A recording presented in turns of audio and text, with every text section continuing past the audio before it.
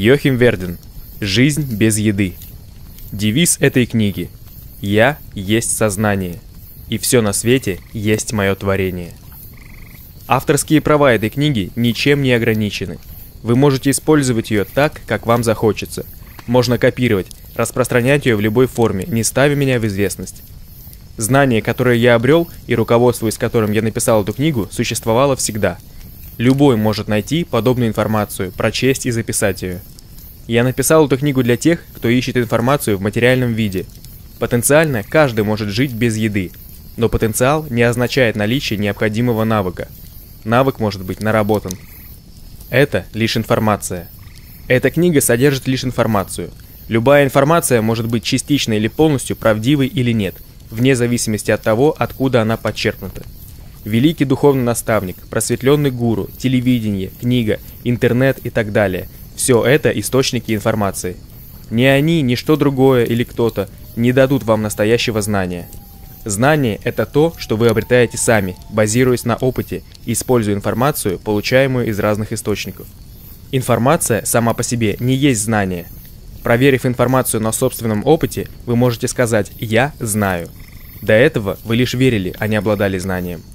Вера нерушимо связана с сомнением. Это две стороны одной медали – Пока вы верите во что-то, вы, возможно, в глубине души в этом и сомневаетесь. Верите, сомневаясь, сомневаетесь, веруя. Веруя, вы можете задавать вопросы, искать знания, стремиться к нему. Но когда вы знаете, у вас уже никаких вопросов не возникает, вы просто знаете. Поэтому не верьте слепо тому, что написано в этой книге. Лучше познать все на собственном опыте. Используйте на пользу себе информацию, изложенную здесь. Проверьте ее на себе. Создайте собственное знание. Если вы будете лишь верить тому, что здесь написано, это не принесет вам ничего хорошего. Если вы думаете, что информация, получаемая извне, заменяет вам знания, вы становитесь рабом информационного источника. Людьми, верящими в так называемые авторитеты, можно с легкостью манипулировать. Это одна из главных причин, почему и как различные религии, партии, культуры и всевозможные измы контролируют людей и их образ жизни, мысли и на этом процветают. Иными словами, я предлагаю вам думать самим, Используйте информацию, считая любых духовных учителей и признанных авторитетов, СМИ и прочее лишь источниками. Затем работайте сами с информацией, полученной от них, не позволяя никому манипулировать вами. Проверяйте на себе, получайте опыт, ибо если вы не сделаете этого, то ваша информация никогда не преобразуется в знание, и вам останется только верить. Позвольте спросить, вы верите в Бога? Да? Нет? Почему? И что из этого? Определение – в английском языке существуют слова «бритарианец» и «бритарианизм». Оба они образованы от слова «брит» – «дыхание». Эти слова не совсем точно отражают суть дела, и значение их следует пояснить. Слыша слово «бритарианец», можно в первую очередь подумать о чем-то, что связано лишь с дыханием, но никак не с отказом от еды. Многие думают, что бритарианцы – это люди, питающиеся воздухом. Разные люди, интересующиеся темой отказа от еды, дают разные определения одному и тому же явлению – чтобы сделать эту книгу более понятной, следует разобраться в определениях. Отказ от еды – неедение. Это состояние человека, который не принимает никакой пищи, но при этом не постится и не занимается так называемым лечебным голоданием. Отказавшийся от еды, неедящий – человек, который не ест, но при этом не истощается и не голодает. У меня есть ощущение, что выше приведенные определения несовершенны, но они направляют читателя на правильный путь понимания предмета и неплохо отражают суть того, о чем эта книга. Конечно, эти слова звучат несколько непривычно и неблагозвучно. К тому же они могут пробуждать в подсознании читателя что-то неприятное. Я продолжаю искать лучший вариант. Мне на ум приходят два выражения. Свободный от еды, для человека, который не обязан есть. Свобода от еды, как характеристика человека, который не зависит от еды и пребывает в этом состоянии. Может у вас есть другие идеи? Бритарианизм отражает возможность человека и не только жить без пищи и воды, но с необходимостью дышать воздухом. Бритарианец – человек, которому для жизни нужен только воздух. Ни еды, ни пищи не требуется для совершенной работы тела. Жизнь на энергии света, жизнь на свету, жизнь в свете отражает возможность человека, и не только, жить без какого бы то ни было источника питания, кроме света, с большой буквы. Позже я дам точное определение, что такое свет. Жизнь на пране отражает возможность человека жить без каких бы то ни было потребностей, кроме праны – высокоэнергетический продукт конденсации света. Прежде чем мы начнем. Увлечение. В начале 2001 года я заметил в Польше некоторое увлечение, позже угасшее, темы бритарианизма. пранического питания, переходя на жизнь в свете. Я уверен, что большую часть этой волны создали СМИ. Мне представляется, что в разных странах время от времени происходят такие всплески. Скорее всего, мои польские наблюдения можно экстраполировать на весь мир. Все было бы хорошо, если бы люди не вели себя как стадо неразумных овец, вслепую идущих за нерадивым пастухом. Этот поход вслепую привел некоторых к смерти и наделал больше вреда, чем пользы. Не только тем, кто пострадал, но и всему явлению в целом. А все вышло так из-за недопонимания предмета и недостаточного знания. Несмотря на то, что вещают СМИ и говорят люди, сам факт непринятия физической пищи есть лишь одна из стадий большого пути развития сферы сознания, осознанности, в которой живет человек – Иными словами, пути к совершенству, пути к осознанному духовному саморазвитию. Принимая отказ от еды за главную цель и пытаясь научить жить тело без физической пищи, не проводя при этом необходимой духовной работы, можно обречь себя на ужасные страдания. Одна из причин, по которым я написал эту книгу, донести правильную и практически применимую информацию по следующим вопросам. В чем суть предмета? Как сделать это наилучшим образом? Что не следует игнорировать? На что обратить внимание? Необходимо помнить, что отказ от еды напрямую связан с духовным саморазвитием, хотя теоретически, даже полностью не сведущий в теме человек может достичь возможности жить без необходимости поглощать продукты. Предупреждение. Главная цель моих усилий состоит в том, чтобы довести до сознания интересующихся информацию о методах адаптации тела для правильного функционирования без нужды в еде. Детальное рассмотрение процессов адаптации. Детальное рассмотрение состояния тела, не нуждающегося в еде. Тем не менее, не считайте эту книгу инструкцией, которая провела бы вас по процессу адаптации к жизни без еды. Моя задача – лишь донести до вас информацию. Адаптация к жизни без еды – комплексный процесс, который, скорее всего, заставит вас расширить границы вашего сознания. Ищите более опытных в этом вопросе людей, спрашивайте совета, находите информацию. Тем не менее, помните, что каждый человек индивидуален и по-своему будет проходить через процесс адаптации. Каждому нужен индивидуальный подход, персональная, чуткая работа – Каждый из тех, кто прошел такой процесс адаптации, прошел его по-своему, индивидуально, не похоже на других. Спросите себя. Я предлагаю вам хорошенько поразмыслить над этими вопросами и дать самим себе ответ. Первое. Почему почти все, что человек ест, позже выделяется из него фекалием, уриной, слизью, кожным салом, кровью, газами и прочим? Значит ли это, что совершенное человеческое тело – это машина для переработки съеденного в отходы? Почему нет болезней? Причиной которых стало бы голодание или неедение. От чего существует столько болезней, причина которых в еде? Почему так много болезней, часто мучающих человека годами, полностью исчезает после достаточно долгого голодания? Почему лечебное голодание статистически считается самым эффективным методом излечения болезней из доступных на Земле? Когда человек лечится от наркотической зависимости, алкоголь, никотин, кофеин, сахар тоже можно отнести к наркотикам, Тело выдает часто неприятные реакции, обострения, клинические симптомы. Когда человек прекращает есть, тело реагирует таким же образом. Отчего симптомы так похожи? Когда человек возвращается к своим наркотикам, тело ведет себя так же, как во время возврата к еде после голодания. Отчего эти явления схожи? Исследования показывают, что некоторые люди могут жить без еды месяцы и годы. В то же время были такие, кто умирал от голода через две недели. Почему? Почему у двух людей одинаковой конституции и веса, но с разными пищевыми привычками, один есть много, другой мало, один вегетарианец, другой мясоед и так далее, одинаковые показатели здоровья? Почему те, кто старается есть здоровую пищу, все равно болеют, в то время как существуют люди, которые питаются мусорной едой и не жалуются на здоровье? Люди и животные во время болезни зачастую теряют аппетит. Во время отказа от еды животное выздоравливает. Человек тоже избавляется от болезни, занимаясь лечебным голоданием – причем гораздо быстрее, чем если бы лечился, продолжая есть. Почему тело так реагирует на голод?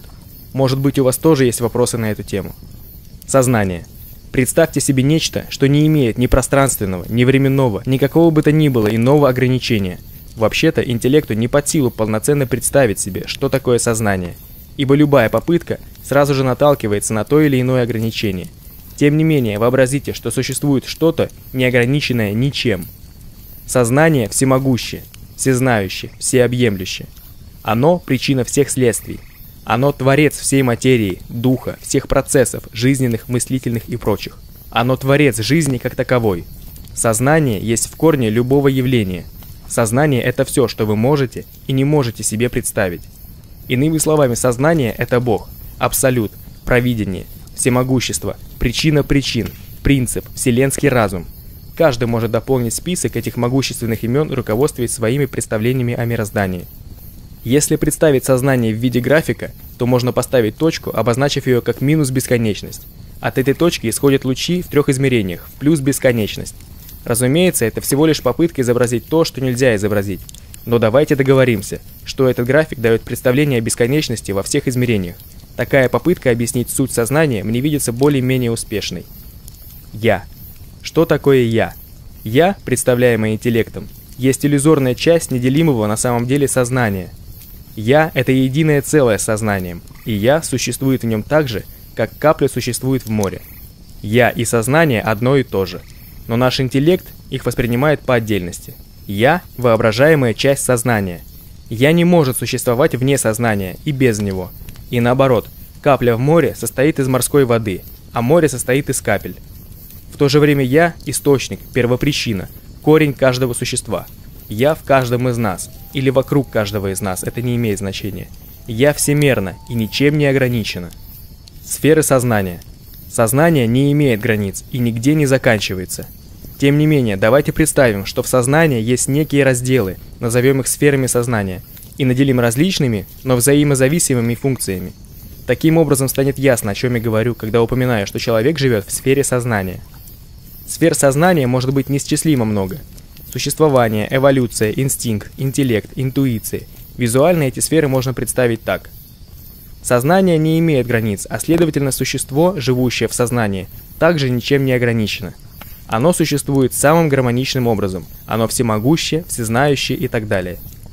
Ограничение сознания сферами делает сущность, живущую в этих сферах, загнанной в рамки, несовершенной, ограниченной. Возможности жизни в большей сфере превосходят возможности в меньшей – Например, минерал, представитель сферы существования, имеет меньше возможностей, нежели растение, представитель сферы эволюция.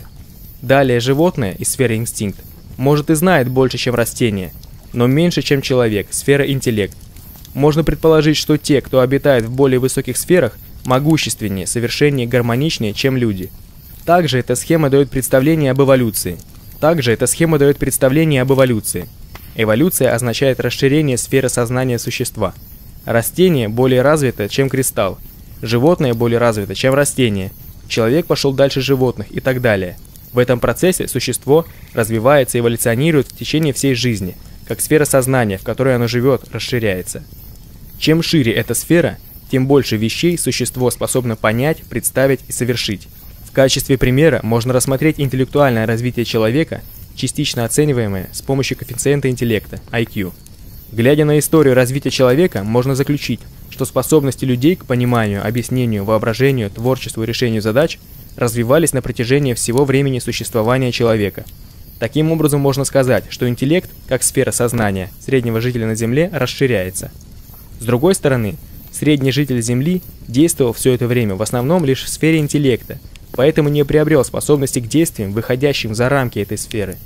Любая сфера есть ограничение – если человек продолжает оставаться в сфере интеллекта, не развиваясь дальше, то есть не выходя на сферу интуиции, он не способен постигнуть реалии, существующие за границами интеллекта.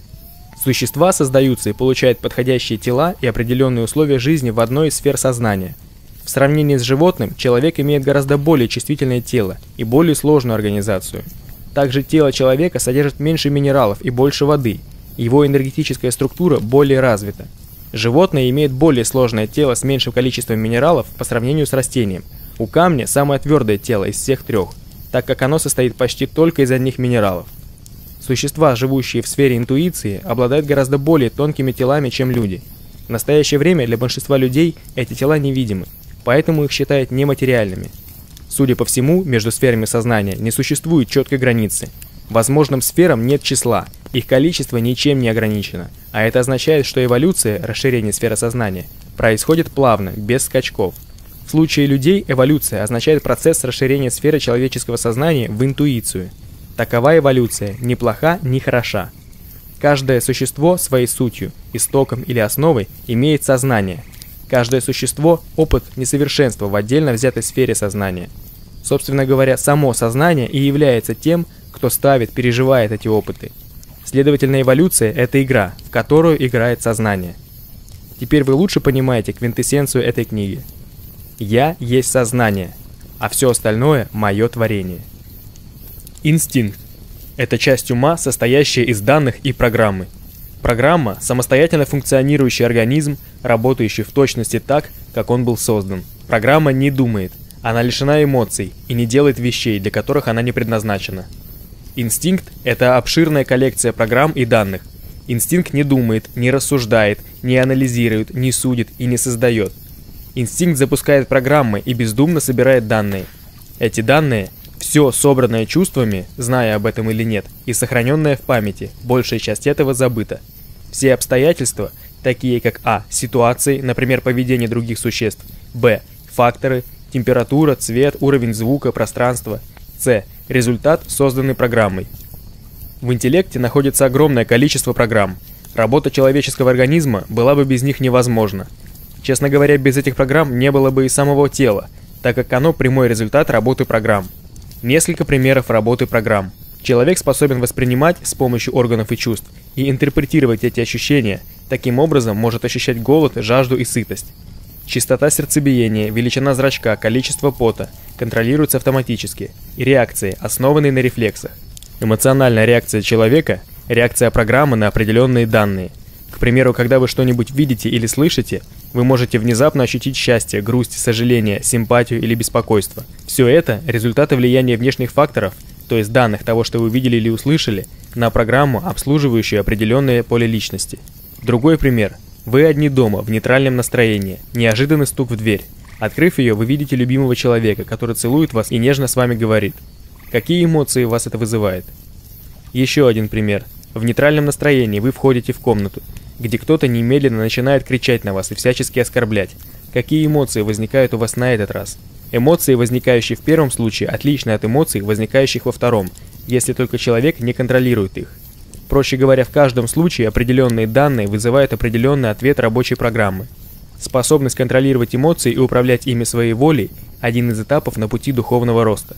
Когда ты контролируешь свои эмоции, ты можешь чувствовать себя счастливым в любое время, и ты можешь оставаться в этом состоянии сколько угодно, до тех пор, пока не решишь вызвать что-нибудь еще, например, грусть.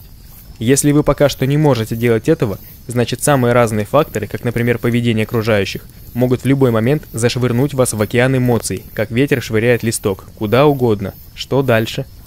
Интеллект. Интеллект – часть ума, которая творит. Интеллект работает следующим образом. Сначала он задает вопрос, затем считает, анализирует, пытается и так и эдак, прикидывает, решает в разном порядке, до тех пор, пока в конце концов он не создаст ответ, решение – этот ответ может содержать в себе следующий вопрос.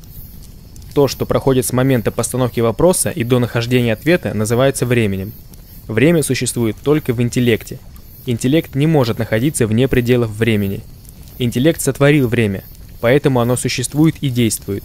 За пределами интеллекта времени нет, следовательно можно сказать, что время – это иллюзия интеллекта. Приблизительно так же дело обстоит и с пространством. Интеллект воспринимает и выстраивает мир биполярным – это мир, в котором все имеет две противоположные стороны, в котором одновременно существует что-то и существует полная противоположность этому. Вопрос и ответ, хорошо и плохо, свет и тьма, холод и жара, простое, сложное, надежда, сомнение, совершенное, примитивное, любовь, ненависть. Кроме прочего, интеллект занимается поиском ответов на поставленные вопросы, построением воображения чего-то, чего еще не было ранее, изменением и комбинацией вещей, взятых из памяти – то есть из базы данных инстинкта или из чувств. Интеллект, в противоположность инстинкту, не накапливает данные, потому что не способен помнить. Он только думает, перегруппирует и таким образом создает данные. Интуиция – это часть ума, которая знает все, не задавая вопросов, не думая, не создавая и не ища. У интуиции нет вопросов. Если в какой-то момент появляется вопрос, в ту же самую секунду возникает и ответ на него. По правде говоря, самого понятия «момент» тоже не существует – так как время вместе с другими иллюзиями в интуиции отсутствует. Время, пространство и биполярный мир в интуиции не существуют, так как является порождением меньше, чем интуиция сферы сознания интеллекта. Интеллект не способен понять интуицию, так как интуиция является более широкой сферой сознания. Следовательно, интеллект не может понять, как работает интуиция. Интуиция включает в себя интеллект как меньшую сферу. Таким образом, она способна понять его – Точно так же интеллект, содержав в себе инстинкт, понимает его, но не наоборот. Это объясняет, почему человек, представитель интеллекта на Земле, способен понять и объяснить, например, как работает организм или поведение животных, и почему животные не способны понять человека, если, например, попросить их решить математическую задачу или объяснить абстрактное понятие. Животное не может этого сделать, потому что сфера инстинкта уже, чем интеллекта. Теперь вы понимаете, почему человек, живущий в основном интеллектом, не способен понять ангелов или других существ, более развитых духовно, которые живут в основном интуицией. Действительно, люди не понимают их, но они понимают и любят людей настолько же, насколько люди понимают и любят животных. Поэтому, когда один человек пытается объяснить другому что-то пришедшее интуитивным путем, так называемые духовные понятия, он может только философствовать. Несовершенство этой коммуникативной ситуации похоже на то, как если бы одна корова пыталась объяснить другое устройство человеческого интеллекта. Для большей ясности я дам еще три определения. Первое. Сверхсознание, суперсознание. Все действия интуиции и их результат. Второе. Сознание. Все действия интеллекта и их результат. Третье. Подсознание. Все действия инстинкта и их результат. В большинстве случаев в контексте вы по умолчанию можете заменять суперсознание интуицией, подсознание инстинктом, без дополнительных пояснений. Говоря о людях, я также использую понятие интуиции, интеллекта и инстинкта как название составных частей ума. Таким образом, интеллект – это одна из сфер сознания и в то же время часть ума, действующая описанным выше образом. Каждое существо, включая человека, в сути своей есть сознание, которое ограничивает себя определенной сферой. Сказка о рыбке. Сначала я расскажу сказку, правдивую историю, которая станет прологом к последующему описанию человека. Как-то раз у меня была рыбка – я решил испытать, что значит быть рыбкой. Как это? Что делает рыба и почему? Что чувствует рыба? Может ли она жить без еды? Какие эмоции есть у рыбы? Мне хотелось найти ответы на эти вопросы. Я решил исследовать эту сферу. Я был любопытен и хотел поиграть. Сначала, в течение нескольких месяцев, я ежедневно проводил с рыбой несколько часов. Я наблюдал ее в разных ситуациях. Я многое узнал и понял о рыбе. Я мог уже написать книгу и стать авторитетом в области жизни рыб. Я видел все, что только можно, связанное с рыбами и их жизнью.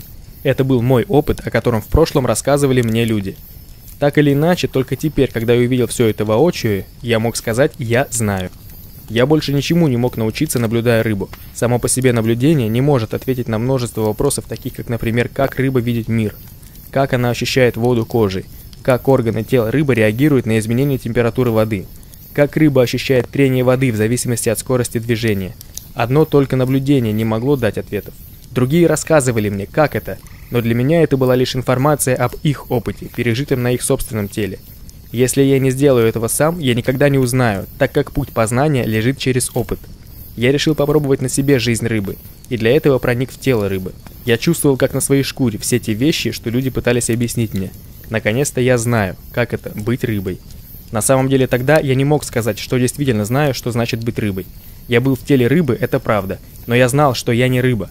Я испытал все, что можно испытать, наблюдая за рыбой и находясь в рыбьем теле, но я не постиг эмоции рыбы. Точно, эмоции – вот суть жизни рыбы. Интересно, что чувствует рыба, когда щука собирается ее съесть? Или когда другая рыба пожирает ее мальков? Как я мог испытать весь спектр эмоций и мыслей рыбы? Пребывание в теле рыбы недостаточно, потому что я знал, что я не был рыбой. Это была лишь игра. Когда я играю, я понимаю, что это всего лишь игра. Люди рассказывали мне о ментальной и эмоциональной жизни рыбы, но для меня это по-прежнему было лишь информацией. Я решил войти не только в тело, но и в ум рыбы, и забыть, что я не рыба, что я только играю. Я сделал это и прожил целую рыбью жизнь, не зная, что я не рыба. Только после этого мой опыт жизни рыбы стал полным. Все, результаты наблюдений, ощущения от жизни в рыбьем теле, пережитые эмоции составило мой опыт – только завершив все стадии эксперимента, я мог сказать, что я знаю жизнь рыбы, потому что я ее прожил. Теперь я мог объяснить это другим людям, точно так же, как они пытались раньше объяснить мне.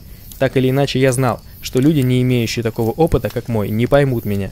Более того, найдутся люди, отрицающие все, что я говорю, и требующие доказательств. Каким образом я собираюсь им доказать все, что я пережил? У них нет этого опыта. Они не открылись ему, потому что решили просто послушать мою информацию. Я знаю, они не способны понять меня. Поэтому я не собираюсь убеждать их или что-то доказывать. Я могу только дать информацию, которую они могут проверить сами, если захотят. Понимаете ли вы, что я только что описал человека? Что он есть и что он делает? Знаете ли вы, что вы точно такая же рыба, герой игры, созданный я? Будучи человеком в этот раз, вы до определенной степени уже знаете, что делает и что ощущает человек.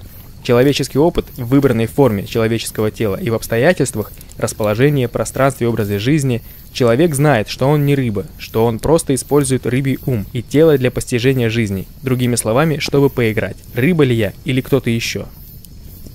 Что такое человек? Я – центр, корень, первопричина, суть и так далее. И одновременно творец всех остальных составляющих человека. Я представляется нам как бы отдельной и независимой частью сознания. В то же время «я» содержит в себе все составляющие человека, так как все элементы существуют только в уме «я». Поскольку «я» — часть сознания, «я» обладает всеми свойствами сознания, к примеру, всемогуществом и всевидением.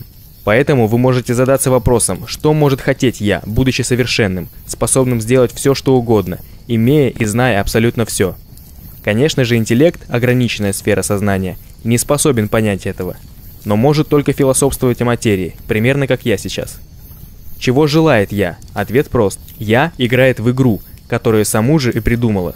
Поскольку я знает, имеет и способна сделать все, что угодно, ему не нужно ничего – и оно может выбрать, например, игру. Эта игра называется «Опыт», и для того, чтобы быть максимально успешной, должна выглядеть как очень реальная вещь. Чем меньше вещей и ситуаций выглядят не искусственными, тем лучше игра. «Я» может творить обстоятельства, ограничивая определенную сферу сознания, которая максимально подходит к условиям данной игры. В случае, если выбранная игра называется «Опыт жизни на Земле человеческого существа», «Я», помимо прочего, создает следующие инструменты, необходимые в данной игре – Первое. Ум, состоящий из интуиции, интеллекта и инстинкта. Второе. Довольно сложную структуру, называемую телом, которая состоит из материального тела и множества других элементов, также называемых телами. Третье. Обстоятельства и условия опыта. Например, жизнь в маленьком городке на Земле. Создав все необходимые компоненты, я переживаю то, что называется эволюция от несовершенства к совершенству, или духовное развитие – это весьма интересная игра, когда существо, совершенное по своей сути, не знает этого, думая, что оно несовершенно и изо всех сил стремится к совершенству. Я – сознание, все остальное – мое творение. Сейчас вы знаете, откуда взялась главная идея этой книги. Свет. С большой буквы «С». Знаете ли вы, откуда взялись и что означает выражение «жить светом», «жить на свете», «питаться светом» и что вообще такое этот свет? Из моих предыдущих объяснений вы уже знаете, что такое сознание – Теперь вообразите нечто, где сознание полностью отсутствует, нечто вроде прямой противоположности сознанию. Давайте назовем это тотальным отсутствием сознания, ТОС. Разумеется, невозможно представить ТОС так же, как невозможно представить сознание. Сама попытка уже ограничивает то, что безгранично и невообразимо. Это как нарисовать бесконечность. Когда я объясняю тотальное отсутствие сознания с помощью интеллекта, я обычно представляю себе полную кромешную тьму. Когда в этой тьме появляется сознание, это выглядит как вспышка света. Это и есть свет. Другими словами, процесс возникновения сознания в ТОС внешний наблюдатель мог бы описать как возникновение вспышки света. Итак, свет – это проявление сознания. Каждое живое существо – это проявление ограниченной сферы сознания. Чем шире сфера, тем больше света проявляет существо. Сознание – это корень, суть, начало всего сущего – Сознание проявляет себя настолько, насколько ум существа позволяет это. Таким образом, чем шире сфера сознания, в которой обитает существо, тем ярче свет, излучаемый им в темноте. Как вы уже поняли, каждый человек, так же как и любое другое существо, живет светом. Свет порождает и поддерживает жизнь. Когда вы это ощущаете, вы обычно говорите, что чувствуете любовь. Свет и любовь – проявление сознания – Разница не в материи, но в способе, которым существо способно воспринимать их. Свет – то, что существо видит, любовь – то, что существо чувствует. В общем, вы уже живете светом, и более того, жили им всегда. Если вы хотите жить светом, просто позвольте себе чувствовать, что вы живете им. Недостаточно понимать это интеллектом, но однажды почувствовав, вы уже знаете это, и это становится вашей реальностью. И вы узнаете о том, что именно вы творец своей жизни – Сейчас закройте глаза, полностью расслабьтесь. В течение какого-то времени вы видите и ощущаете полную темноту. Затем позвольте себе увидеть свет. Увидев его, обратитесь к своим ощущениям. Что вы чувствуете? Любовь? Скажите себе и по-настоящему почувствуйте это. Я – сознание. источник света, любви и жизни. Влияние социума. Однажды, в самом начале моего эксперимента с неедением, моя жена сказала мне, «То, что ты делаешь, противоестественно». Прежде чем ответить, я внезапно осознал, что в ее утверждении довольно много правды. Почему? Прежде чем я отвечу, пожалуйста, подумайте о трех случаях, приведенных ниже. Первое. Ребенок, рожденный в социуме людей, которые едят, просит есть с момента рождения. Ребенок должен питаться, иначе его тело не будет получать питательных веществ и прекратит работать, умрет. Не давать еды ребенку было бы актом противоестественным. Второе. Ребенок, рожденный в обществе людей, которые едят, и родители которого не едящие, но не люди, принуждающие себя жить без еды, будет меньше просить еды, чем в первом случае. Третье. Ребенок, рожденный в обществе неедящих, не будет есть с самого начала. Следовательно, он не должен получать никакой еды. Кормление ребенка было бы поступком противоестественным. Понимаете, в чем различие? Можно предположить, что это что-то, связанное с инстинктом ребенка, с программами, ответственными за отношения между человеком и материей, называемые пища. С момента зачатия каждый человек находится под влиянием социума. Самое большое влияние на инстинкт ребенка, пока он находится в утробе, оказывает мать, затем отец, другие члены семьи и люди, с которыми мать проводит большую часть своего времени. Если все они люди, которые питаются нормально, не стоит ожидать, что инстинкты, которые сформировались у ребенка в утробе, будут отличны от доминирующих в обществе. Поэтому биологическая природа рожденного ребенка будет такой же, так как является результатом влияния, оказываемого на личность в течение всего периода беременности. Привычки человека, связанные с едой, формируются еще в утробе и могут быть изменены позднее. Похожие процессы происходят в течение всей жизни после рождения. До тех пор, пока ребенок не повзрослеет, его диета зависит от общества, в котором он живет. Новорожденный обладает инстинктом, запрограммированным таким образом, который позволяет его уму и телу работать правильно. Набор этих программ составляет его природу. Действия, противные этой природе, влекут за собой нарушения и в экстремальных случаях смерть. Вывод прост. В следующий раз, когда вы решите родиться на Земле и быть неедящим, выбирайте подходящих родителей и окружение. Социальное программирование не ограничивается лишь родителями и другими людьми, с которым контактирует человек. Свое влияние оказывает образование, среда окружения, цвета, звуки, климат, потребляемая пища, игры и так далее.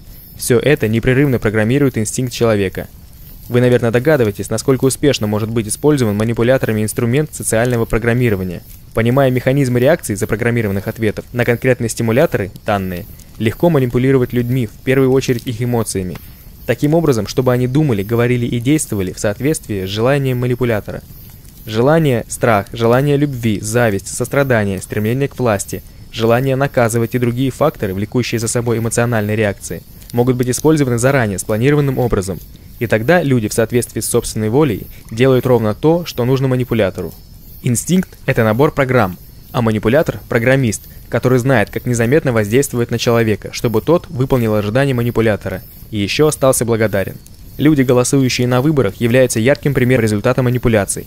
Обратите также внимание на рекламу, упаковку товаров, внутренние устройства супермаркетов и офисов, заявления политиков и журналистов и так далее и тому подобное. Слушайтесь и почувствуйте эмоции, которые все это в вас вызывает. Думаете совпадение? Чем больше вы думаете своей головой, тем более осознанно вы делаете что бы то ни было, и чем больше внимания уделяете социальному внушению, тем более ясна вам подноготная, и тем больше вы понимаете, насколько сильно влияние, оказываемое на мысли, разговоры и поступки людей. И теперь вы действуете самостоятельно, не повинуясь шаблонам, заложенным в инстинкте, все более и более независимо. Эмоциональные состояния, возникающие в вас, все более подчинены вам. Вы сами решаете, какой из них хотите ощутить сейчас. Они уже не являются результатом программ, заложенных в инстинкте. Имейте в виду, что человек, который не понимает или не контролирует свои инстинкты, отвечающие за программы, управляющие отношением к пище, не может стать неедящим. Не может быть неедящим. Такой человек все еще раб своих инстинктивных программ. Перепрограммирование. Инстинкт – часть ума, которая создает, помимо прочего, материю, в том числе человеческое тело. Функции тела зависит, также инстинкт отвечает за взаимоотношения тела с внешней материей, частью которой является еда – Инстинкт человека, который нормально питается, располагает набором программ, активизирующих все процессы, связанные с едой и питанием. Мне кажется, нет нужды объяснять, как все это работает в случае с обычным человеком. Довольно много зная об инстинкте, мы уже можем прийти к заключению, что для того, чтобы стать неедящим, бритарианцем, прежде всего надо изменить программы, связанные с пищей. Для среднего землянина результат работы этих программ выглядит примерно так. Если определенная субстанция, называемая едой, поступает в организм через пищеварительную систему, в определенном количестве заданное время тело работает. Если же изменить что-то в системе, к примеру, сильно уменьшить количество или изменить время принятия пищи, организм станет работать с нарушениями. В крайних случаях возможно прекращение всех жизненных функций. Поэтому, чтобы сделать тело независимым ни от еды, ни от времени, ни от количества, нужно изменить программы так, чтобы они работали следующим образом. Независимо от поступления или не поступления субстанций, независимо ни от времени, ни от количества, тело работает правильно. Инстинкт постоянно поддерживает организм в рабочем состоянии, и теперь человек, по сути, является неедящим. Человек, предпочитающий начать с изменения диеты и еще не решивший стать неедящим, может изменить программу следующим образом. Тело получает только растительную пищу, работая при этом нормально. В этом случае человек является веганом. Также можно изменить программу таким образом, чтобы организм успешно работал только на овощных и фруктовых соках. Такой человек, питающийся жидкостями. Как изменить направление работы программ – как удалить ставшую ненужной программу, как создать новую. Методы, используемые для исполнения подобного рода решений – визуализация, гипноз и внушение. Откуда в организме энергия? Коротко и доступно. Принимая во внимание механические, энергетические и химические аспекты жизнедеятельности организма, можно сказать, что он управляется как минимум четырьмя системами – пищеварительной, дыхательной, кожной и системой желез. Если бы я рисовал таблицу процентного соотношения того, какие системы в какой степени контролируют организм среднестатистического жителя Земли, если это вообще поддается определению, она выглядела бы примерно так. Около 20% пищеварительная система, 45% дыхательная система, 35% кожная, около 1% иммунная. В сумме это дает 101%, поскольку даны приблизительные значения. Также зависит от конкретного человека, пропорции могут довольно сильно различаться. Можете считать, что это оценочное графическое представление соотношений между системами внутри человеческого организма. Не считайте это точными научными данными. Кроме того, пропорции варьируются. Это зависит от образа жизни человека. К примеру, пищеварительная система неедящего и к тому же не пьющего человека работает на 0%, а иммунная в промежутке от 1 до 100. В случае очень мало едящего человека, который регулярно упражняет дыхание и подставляет свое тело солнечным лучам, эти пропорции будут отличны, Кожа около 45%, дыхание 50%, пища 1%. Остальное же является прямой трансформацией света, праны, в материю. Вы, возможно, испытали это на себе, когда вы посвящаете больше времени духовным упражнениям, меньше хочется есть. То же самое происходит, когда вы занимаетесь хатха-йогой, делаете энергетические упражнения или проводите много времени на солнечном пляже. Солнечным летом человек обычно испытывает меньше чувства голода, чем пасмурной зимой. Поэтому мы легко можем заключить, что когда иммунная система организма развита достаточно хорошо, тогда мы теряем необходимость не только в еде и питье, уменьшается даже потребность в дыхании, солнечном свете, снижается реакция на изменение окружающей температуры. Сейчас я кратко опишу контрольные системы человеческого организма. Пищеварительная система. Это одна из наиболее знакомых нам систем, которая трансформирует твердые и жидкие субстанции, называемые едой, пищей, питанием. Они удовлетворяют человека своим видом, запахом и вкусом, и главным образом ощущением наполненности желудка. Кроме того, после еды пропадает ощущение голода и жажды. Это явление типично для любой зависимости. Общепринятое научное понимание и объяснение того, как потребленные субстанции сообщают энергию тела, таково. Съеденная еда расщепляется пищеварительным соком и энзимами на более простые субстанции, в основном состоящие из химических элементов, таких как глюкоза и аминокислоты. Затем из этих веществ организм синтезирует, создает то, что ему необходимо для выделения жизненной энергии, той, что используется, например, для движения мыслительного процесса обогрева тела. Далее просто и очевидно.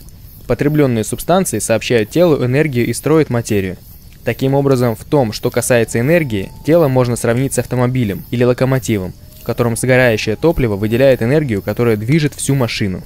Некоторые люди задаются вопросом, действительно ли съеденный хлеб или выпитый фруктовый сок строят тело человека и сгорают, как уголь или дрова, отдавая энергию.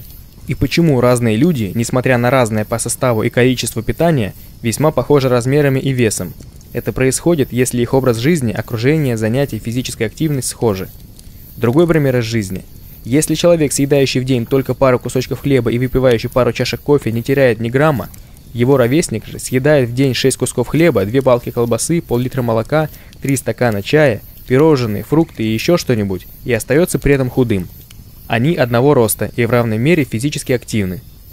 Возможно, вы приведете много схожих примеров. Если нет, просто оглянитесь вокруг и сравните людей таким образом, как это только что сделал я. Эти примеры наглядно свидетельствуют, что связь между количеством потребленной пищи, ее составом и видом тела, а также количеством жизненной энергии не абсолютна. Почему это так? Если большее количество еды дает больше жизненной энергии, то люди, которые едят больше, должны чувствовать себя более энергичными. Существует даже так называемая энергетическая ценность пищи, эффективный инструмент манипуляции людьми. Такое-то количество жира содержит столько-то калорий, такое же количество молока меньше, сахарозы больше и так далее. Но почему съев большое количество сахара с жиром, человек чувствует себя значительно хуже, чем если бы он выпил столько же фруктового сока или воды? Почему после обильного сытного обеда человек вместо того, чтобы лучиться энергией, ленив и слаб? С детства мы слышим «больше ешь, чтобы быть сильнее». Очень жаль, что дети с самого раннего возраста обмануты этим утверждением, что позже оборачивается для них огромными страданиями, болезнями, старением и ранней смертью тела. Кроме того, принуждая ребенка есть, вы причиняете ему огромный вред. Забота о том, чтобы он съел с тарелки все до последней крошки, вредит организму человека, которого вы любите. Это также является причиной почти необратимых изменений в психических и физических структурах ребенка. Эти изменения влияют на психическое и физическое здоровье человека на протяжении всей его жизни, которое в таком случае укорачивается. Короче говоря, принуждая ребенка есть больше, чем он хочет, вы травмируете его организм. Позвольте ребенку решать самому. Не волнуйтесь, он не умрет с голоду, ровно как и не будет переедать, если только такая программа не была встроена заранее. Вы должны лишь оберегать его от ядов, вроде сладостей, чипсов и всего жареного, копченой и приготовленной на гриле еды, а также молока животных, включая все его производные. Возвращаясь к вопросам выше. Ответ прост и для многих людей поразительный. Поглощение еды не дает телу энергии, Наоборот, вся съеденная пища требует от организма энергии для ее разложения, нейтрализации и вывода. То есть организм использует собственную энергию для трансформации и выделения всего того, что человек отправил в пищеварительный тракт. Другой ответ также довольно удивителен. Съеденная еда не создает клетки человеческого тела. Она влияет на то, как они построены и как работают, но не строит их. Организм не строит клетки непосредственно из потребленной пищи, что же делает организм со съеденной едой? Если он работает как следует, он просто целиком выводит еду. Он выводит бесполезные ядовитые вещества с испражнениями, мочой, потом, слюной, жиром, кровью, дыханием, волосами, ногтями, эпидермисом. Но если с организмом что-то не в порядке, для нынешней цивилизации это нормально, сейчас почти нет здоровых людей, то он поступает иначе с некоторым количеством поглощенной еды. Часть ее консервируется, например, жир, гликоген, Другая часть откладывается в сторону для последующего удаления, субстанции, которым необходима больше энергии для вывода, например, тяжелые металлы. Похоже, человеческий организм – машины, производящие и выделяющие отходы, которые загрязняют окружающую среду. Это соответствует закону изменений в природе. Чем больше человек ест, тем меньше у него жизненной энергии, тем быстрее стареет и изнашивается организм. Любая машина со временем выходит из строя, и организм человека не исключение. Продолжая о том, что происходит со съеденной материей.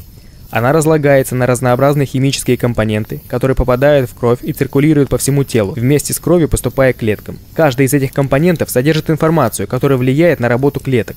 Клетки находятся под влиянием информации, содержащейся в съеденной материи. Информация – это программа. Клетка, находясь под влиянием программы, может производить то, что ей нужно для жизни – протеины, минералы, воду и так далее. Так, химические компоненты, произведенные из того, что человек ест и пьет – поступают в клетки, играя роль катализатора, производящего определенную реакцию. Поэтому поведение и Поэтому поведение и внешний вид человека зависит от того, что он ест. Субстанции, поступающие клеткам, катализируют реакции, которые являются либо полезными, либо вредными для организма человека. Чем больше неполезной информации поступает, тем раньше клетка умирает.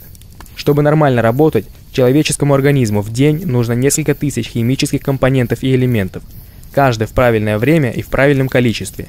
Если они не поступают, функции организма нарушаются. Это называется болезнью. Из-за них тело быстрее изнашивается и умирает. Вы думаете, что с едой можете поставить в организм все необходимые вещества в нужное время и в нужных пропорциях? Это практически невозможно, не так ли? К счастью, организм может синтезировать их напрямую из света или чего-нибудь еще, при условии невмешательства человека. Дыхательная система. Это, конечно, легкие, которые снабжают организм воздухом и удаляют газообразные субстанции. В основном диоксид углерода, который является продуктом трансформации материи. Легкие выполняют также другую важную задачу – обеспечивают организм праной. Прана – базовый строительный элемент, создающий материю, который необходим для материализации жизни даже самой крошечной частицы атома. В соответствии с изначальным определением, прана – то же самое, что и свет. Но после более детального анализа можно сказать, что прана – продукт света. Это первая материя, произведенная самоконденсацией света. Прана находится везде и поступает в легкие вместе с воздухом. Таким образом, тело живет. Без праны человек не мог бы жить, если бы не... Но это уже совсем другая история. Существуют дыхательные упражнения, широко известные в йоге, пранаямы, в которых правильное дыхание заряжает организм большим количеством жизненной энергии. Эти упражнения, правильно выполняемые, могут вылечить психику и тело. И некоторые из них особенно полезны во время голодания и неедения. Кожа. Кожа – самый большой орган человеческого тела. Кожа, как и легкие, несет дыхательную функцию, газообмен и поглощение праны. К тому же кожа поглощает солнечное излучение – а значит в ней происходят процессы фотосинтеза. Кожа синтезирует и поставляет в тело ряд элементов, к примеру витамин D. Также кожа выполняет функции детектора, различая температуру, влажность, плотность, состав и прочие качества предметов и сред, с которыми контактирует. Через кожу в тело могут попадать газообразные вещества. Эта функция у кожи сходна с подобной функцией кишечника. Благодаря коже тело может избавляться от различных сверхлетучих веществ, то есть кожа еще и орган выделения – газы, пот, кожное сало, слизь – все то, что заставляет кожу специфически пахнуть. Это вещества, с которыми выводятся токсины. Из вышесказанного можно заключить, что наносимая на коже косметика, кремы, шампуни, губная помада, пудра поглощается кожей, а следовательно и телом. Эти чужеродные продукты попадают в кровь и отравляют организм, заставляя иммунную систему работать над их удалением. Часто бывает так, что косметические продукты оседают в теле, накапливаются, и с годами эти накопления могут стать причиной болезней. Так что прежде чем нанести на кожу что-то, подумайте. К примеру, готовы вы выпить шампунь, который собираетесь нанести на кожу головы? Не причинит ли это вам неприятности? Если нет, то для кожи и для мытья волос он подойдет. Тоже с кремами и прочей косметикой. Если она несъедобна, то и коже она не подходит. Система прямого восприятия. Шишковидная железа. Шишковидная железа – это орган внутренней секреции, располагающийся примерно в центре головы. Эта железа, полностью активная с рождения, с возрастом постепенно атрофируется, уменьшаясь до размеров горошины. Считается, что шишковидная железа играет незначительную роль в общей эндокринной системе организма. Однако вот вам любопытный факт. Шишковидная железа – это единственный орган человеческого тела, который никогда не болеет. Нормальный размер развитой, неатрофированной шишковидной железы – мячик для пинг-понга – в таком состоянии она полностью включена в работу и позволяет человеку обладать такими качествами, о которых обычно фантазируют. Телепатия, ясновидение, расширение области восприятия мира, жизнь без еды, питья, дыхания, без зависимости от температуры окружающей среды, перемещений между измерениями, умение изменить вид, размеры и плотность физического тела. Так называемые духовные или психологические упражнения могут сделать шишковидную железу более активной и увеличить ее. Исследования, проведенные с помощью компьютерной томографии, показали, что у некоторых неедящих размер этой железы примерно вдвое превышает стандартные показатели среднего жителя Земли. Питание тела через систему прямого восприятия – это естественнейший путь питания. Тело соткано из света, и наилучшим образом для него было бы светом же и праной и питаться. Чем активнее работает шишковидная железа, тем меньше телу требуется энергия из других источников – Шишковидная железа напрямую показывает, насколько расширена сфера сознания, в которой живет человек. Такое явление, как экстрасенсорное восприятие, зависит от работы этой железы. Если она развита должным образом, человеку больше не требуются физические ощущения, ибо канал прямого восприятия дает куда больше информации. Человек может быть физически слеп и глух, но с помощью шишковидной железы он может видеть и слышать гораздо больше, чем здоровые люди. Следует знать, что стимулировать физический рост одной лишь шишковидной железы нельзя. Ее рост должен идти вместе с ростом гипофиза. Обе эти железы дополняют друг друга функционально, так что лучше, чтобы они развивались совместно. В идеальном случае эти железы срастаются в одну, напоминающую по форме знак бесконечности. Подводя итог, можно сказать, что проявление активности шишковидной железы прямо показывает, насколько человек может питать свое тело и строить его из света. Очищение тела. В человеческом теле существует сложная система очистки. Удаление отработанных и отравляющих элементов происходит при помощи фекалий, мочи, дыхания, потоотделения, выделения слизи, кожного сала, а также идет через лимфу, кровь, слезы, волосы, ногти и эпидермис, отшелушивающиеся частички. Человеческое тело подобно машине, которая производит отходы, вырабатываемые из того, что человек потребляет. Функционирование машины, называемой человеческим телом, зависит от эффективности системы очистки. Если тело хорошо очищено, то в нем ничего не застревает и не откладывается на будущее. Тело работает правильно. Но если тело, а так чаще всего и бывает, не в состоянии переработать и удалить вещества, попавшие в него извне, в слишком больших количествах, ему приходится аккумулировать их. Тело аккумулирует их в подкожном жире, печени, в гликогене, в мышечных волокнах, в кистах разного происхождения, в опухолях, в костях, в костном мозге и в головном мозге. Тело человека, потребляющего много еды, в особенности наполненной токсинами, дышащего нечистым воздухом, пьющего грязную воду, серьезно отравлено. Его очистительная система не в состоянии справиться с загрязнениями. Она работает постоянно и не успевает очищать тело. Оно загрязняется быстрее. Нужно давать телу отдыхать, к примеру, дышать чистым воздухом, чтобы у системы очистки была возможность удалить грязь. Накопленные вещества, проще говоря токсины, самая частая причина заболеваний. Вот почему голодание, в особенности сухое, самый эффективный метод оздоровления, известный на Земле. Правильное голодание творит чудеса. Оно избавляет человека от неизлечимых заболеваний. Эта информация так проста, что ее способны понять даже младшие школьники. Отчего же образованные доктора ничего об этом не знают? Если они не знают, как вылечить человека от болезни, они объявляют эту болезнь неизлечимой. Но неизлечимых болезней не существует. Существуют люди, составляющие большинство, которые не умеют лечить болезни. И это большинство создает общественное мнение, миф о неизлечимости – Однако не нужно быть доктором наук, чтобы понять, что отравленное тело нуждается прежде всего в отдыхе от еды, от продолжающегося отравления. Ему нужно дать время, чтобы оно могло справиться с отходами, которые уже накопились. Введение в организм химических веществ, называемых лекарствами, одна из распространеннейших ошибок человечества, и это лишь от незнания. Большинство этой химии вредит еще больше. Как работает система очистки среднестатистического жителя западного мира, где люди не мучаются от голода, а напротив имеют избыток еды? Давайте сравним ее с двигателем автомобиля. Если обороты двигателя не превышают 2-3 тысячи оборотов в минуту, то такой мотор будет служить долгие годы без проблем. Но если заставить двигатель все время работать на пределе 7-8 тысяч оборотов, то он вскоре сломается. Систему очистки среднего жителя Запада можно сравнить с мотором, крутящимся на максимальных оборотах. На самом деле это чудо, насколько сильна человеческая система очистки. Человеку не под силу построить самому такую же выносливую машину, как он сам. Система очистки состоит в основном из печени, почек, кожи, легких и толстого кишечника. Переедание перегружает все органы. Это причина рака кишечника, рака печени, кожных опухолей, самых распространенных заболеваний сегодня. Перегруженный орган рано или поздно откажет. Нагрузка, которую дают люди своим органам, превышает возможные 100%, а для эффективной работы она должна быть не больше 70%. Но лучше всего не нагружать органы очистки более чем на 50%. Исследования доказывают, чем больше человек ест, тем хуже его здоровье, тем чаще он болеет, быстрее стареет и раньше умирает. Система утверждает, что снижение потребления пищи наполовину дает увеличение продолжительности жизни как минимум на 20%. Если средний западный житель сократит потребление еды в четверо, а некоторым бы не повредило и в 10 раз, то продолжительность жизни в 120 лет стала бы статистической нормой. Польская поговорка «все, чего много, то нездорово» – это факт.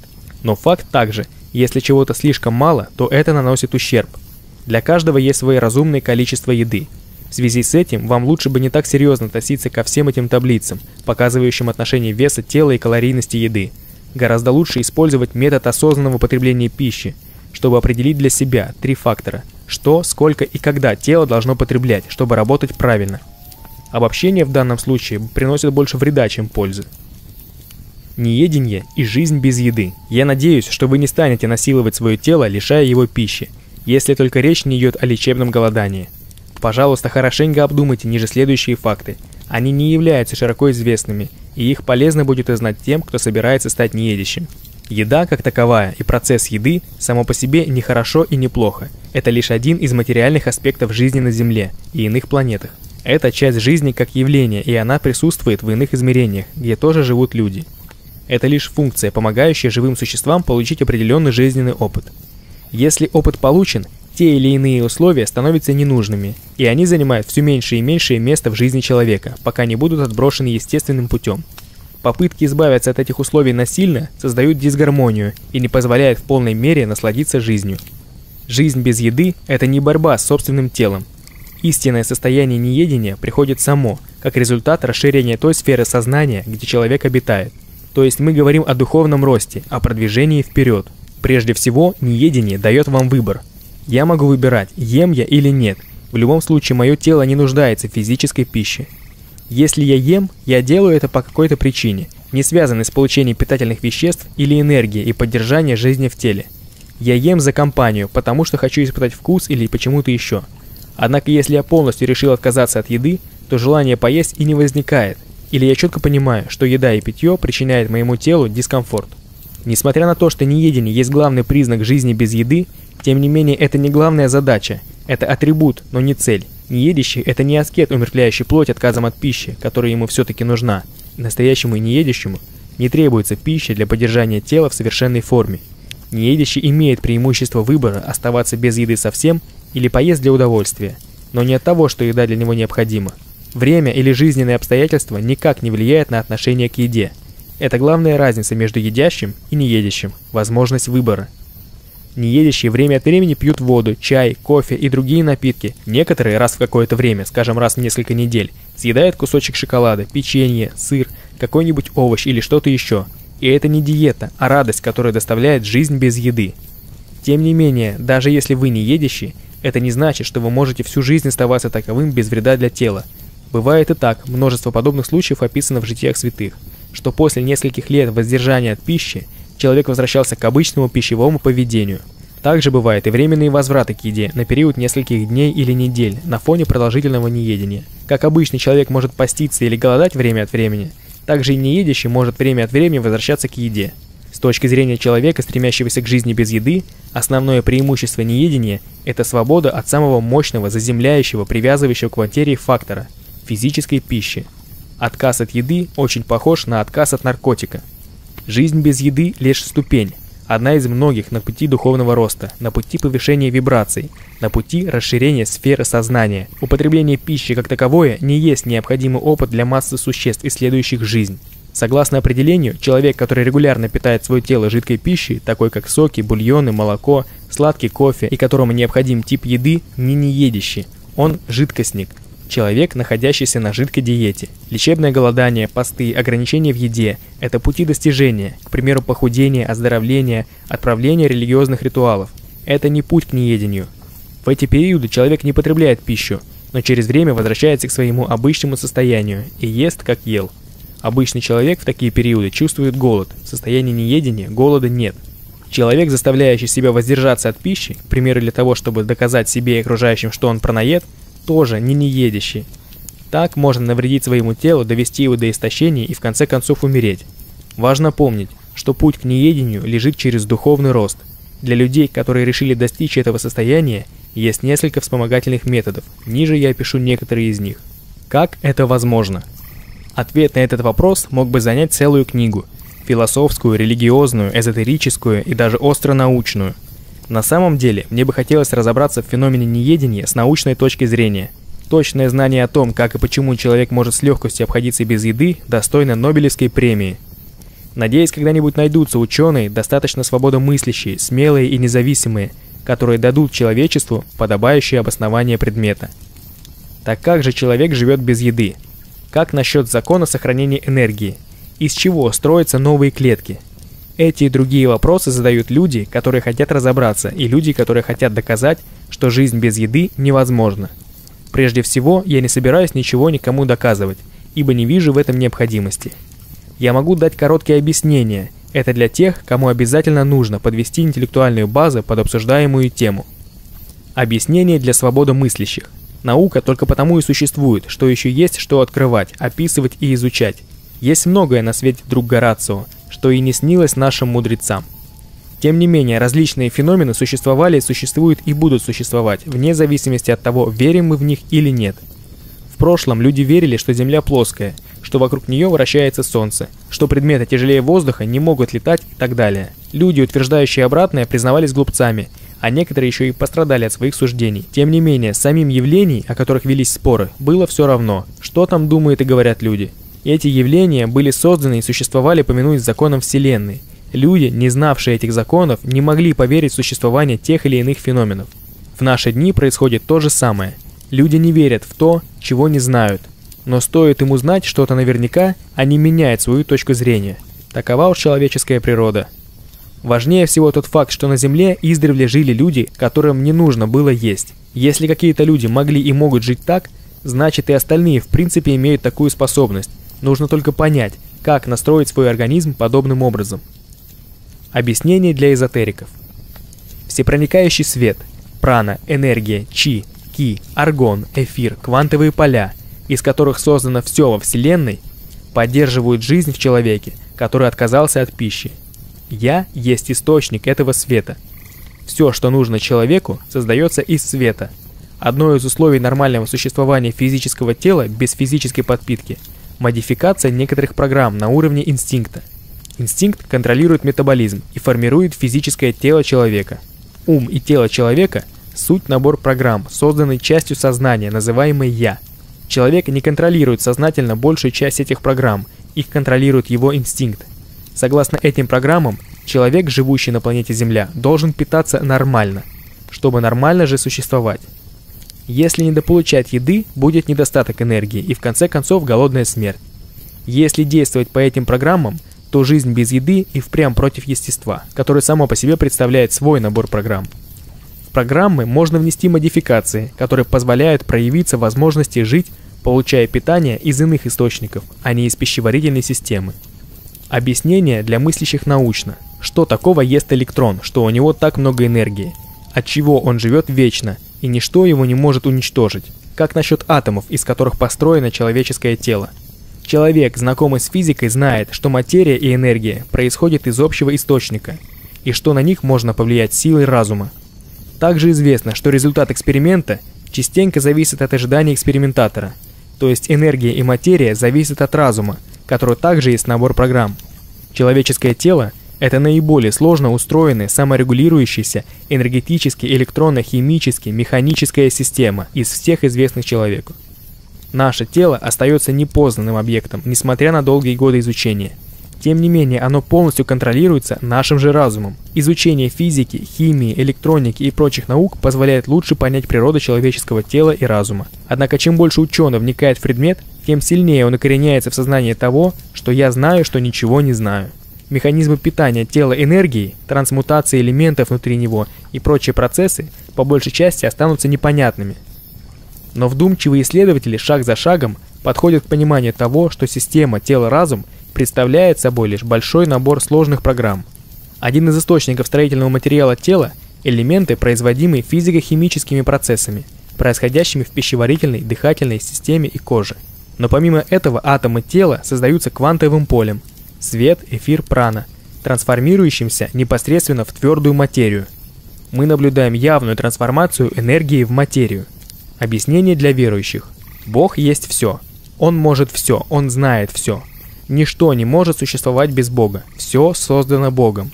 Нет ничего такого, что не было бы создано им. Бог везде. Он есть единственно возможное совершенство, и Бога выбирать, кто сможет жить без потребления еды. Человеку не понять Божьего замысла. Бог может даровать возможность жизни без еды. Молите Бога об этом благословении, и Он вас услышит – ибо он всегда награждает искренне молящих его. Без мудрствований. Я давно уже собирался написать это, но как опишешь то, чего невозможно выразить словами, то, что интеллект отказывается понимать, то, что можно лишь почувствовать. Любая попытка описать это будет мудрствованием, а ведь мы хотели обойтись без него. Тем не менее, как можно заметить, я все же решился описать это. Пусть этот текст станет вкладом во всеобщее понимание того, чем же на самом деле живет наше тело и разум. Когда меня спрашивают, чем я питаю свое тело во время неедения, самый мой честный ответ звучит так – ничем. Я знаю, я ясно понимаю и чувствую, что в период неедения я поддерживаю свое тело в совершенной форме только сознанием того, что я есть Творец жизни. Вы понимаете? Творец жизни. Простое памятование о том, что я сотворил свою жизнь, может поддержать тело и разум в любом состоянии, которое мне потребуется. Я это чувствую. А когда я обращаю фокус своего сознания внутрь себя, в духовный центр, я ощущаю, что «я» дает жизнь всему, создает ее и поддерживает. Пока вы не прочувствуете свое «я», то, кем вы являетесь на самом деле, вы не поймете до конца моих объяснений, хотя я постарался написать это максимально просто. Я знаю, кто я, я это чувствую. Я понимаю, как я творю жизнь, просто держа в уме знание о «я». Однажды вы поймете, кто вы, почувствуете и увидите это. Я осознанно творю жизнь. И более вам никаких объяснений не потребуется. Ваша внутренняя духовная осознанность даст вам понять процесс творения жизни лучше, чем любая информация, советы или объяснения. Вопросов у вас более не будет. Тогда вы поймете, что значит «я питаюсь праной», «я живу в свете», «Бог дает мне свое благословение». Так или иначе, зачем вам себя ограничивать? Зачем вам быть зависимым от праны, света или Бога? Разумеется, вы можете питать себя всем этим, если захотите. Но не лучше ли отбросить все это, отдавшись своей истинной природе, своему «я»? И тогда не только пища и вода, но и Бог, прана, свет вам не потребуется для жизни. Ограничений больше не будет, будет выбор. Вы сможете выбирать, питаться вам или нет, дышать или нет, жить на пране, свете или Божьей благодати, или без всего этого.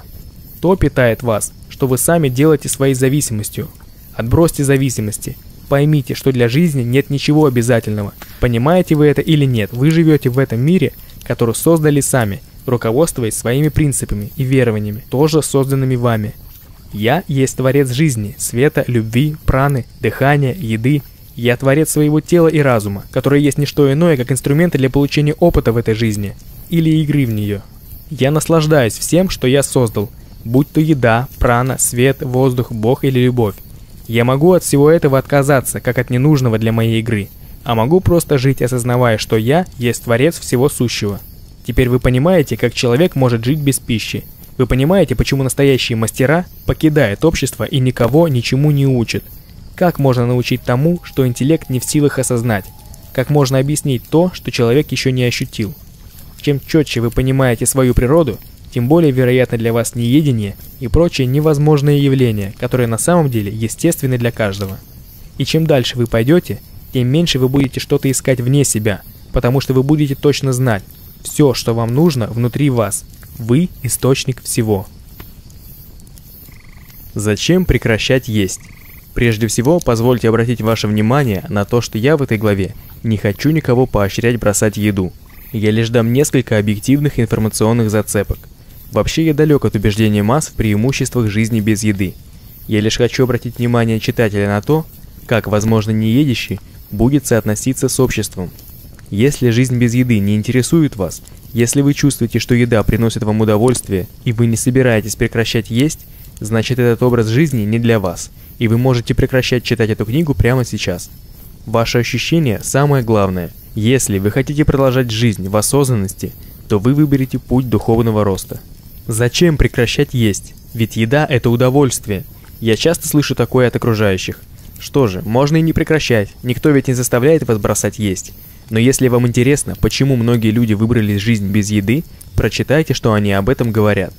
Скорее всего, каждый неедящий формулирует для себя причину не есть строго индивидуально, хотя часто бывает эти причины совпадают у разных людей. Ниже я приведу несколько фактов и дам ответы на часто возникающие вопросы. Будут описаны личный опыт людей, которые перешли на неедение без усилий, и этот образ жизни не принес им вреда. Отличное здоровье. Представьте, что ваше тело работает совершенно, без намека на болезни. Ни простуд, ни кашля, ни насморка, ни утомления, ни боли, ни вялости. Ваше тело здорово и чисто настолько же, насколько здоров и чист ребенок в первые месяцы жизни. Читая эти строки, вы можете сказать «Я и сейчас не болен, и вообще на здоровье не жалуюсь». Но если у вас нет опыта неедения или долгих оздоровительных голоданий, то вы и не представляете, насколько здоровы можете быть. О суперздоровье не рассказать и не описать словами, это нужно прочувствовать. Здоровые люди не знают, насколько здоровее они могут быть. Неедящие могут рассказать, что сейчас они чувствуют себя намного лучше, чем когда ели, и им казалось, что со здоровьем у них было все в порядке. Иммунная система неедящего функционирует так мощно, что если вы попадете в помещение, где все до одного больны гриппом, ОРВИ, ангиной и другими заразными заболеваниями, где все чихают, сморкаются и кашляют, вашего здоровья это не коснется. Одна из причин такой иммунной защиты в том, что тело свободно от токсинов, которые накапливаются у нормального питающегося человека.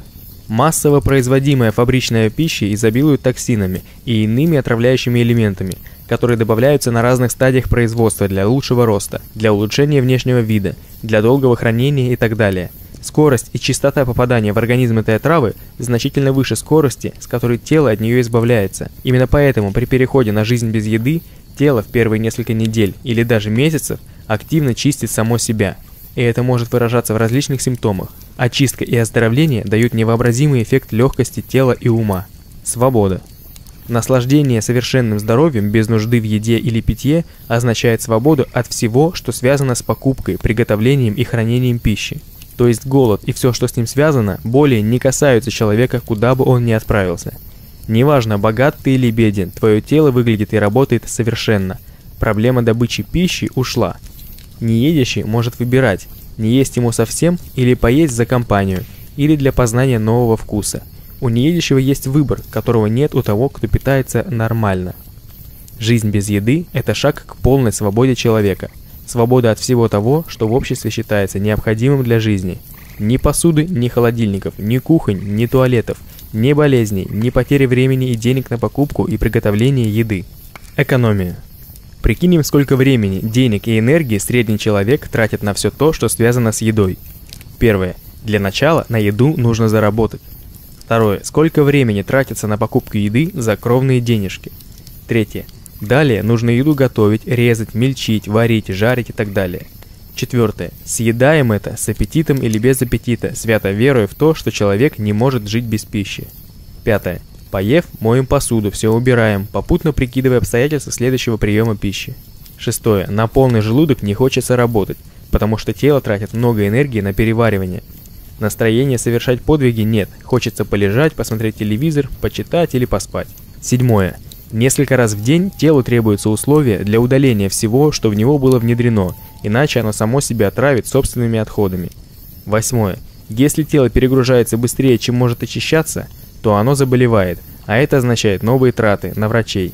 Хотя лечебное голодание стопроцентно и эффективно бесплатно. Сколько раз в неделю, в год, за всю жизнь повторяется эта схема? Сколько денег потрачено, сколько времени? Если интересно, посчитайте. Неедящие экономят уйму денег и времени по сравнению с нормально питающимися. К тому же они наслаждаются отменным здоровьем. Стоит испытать это, чтобы сравнить.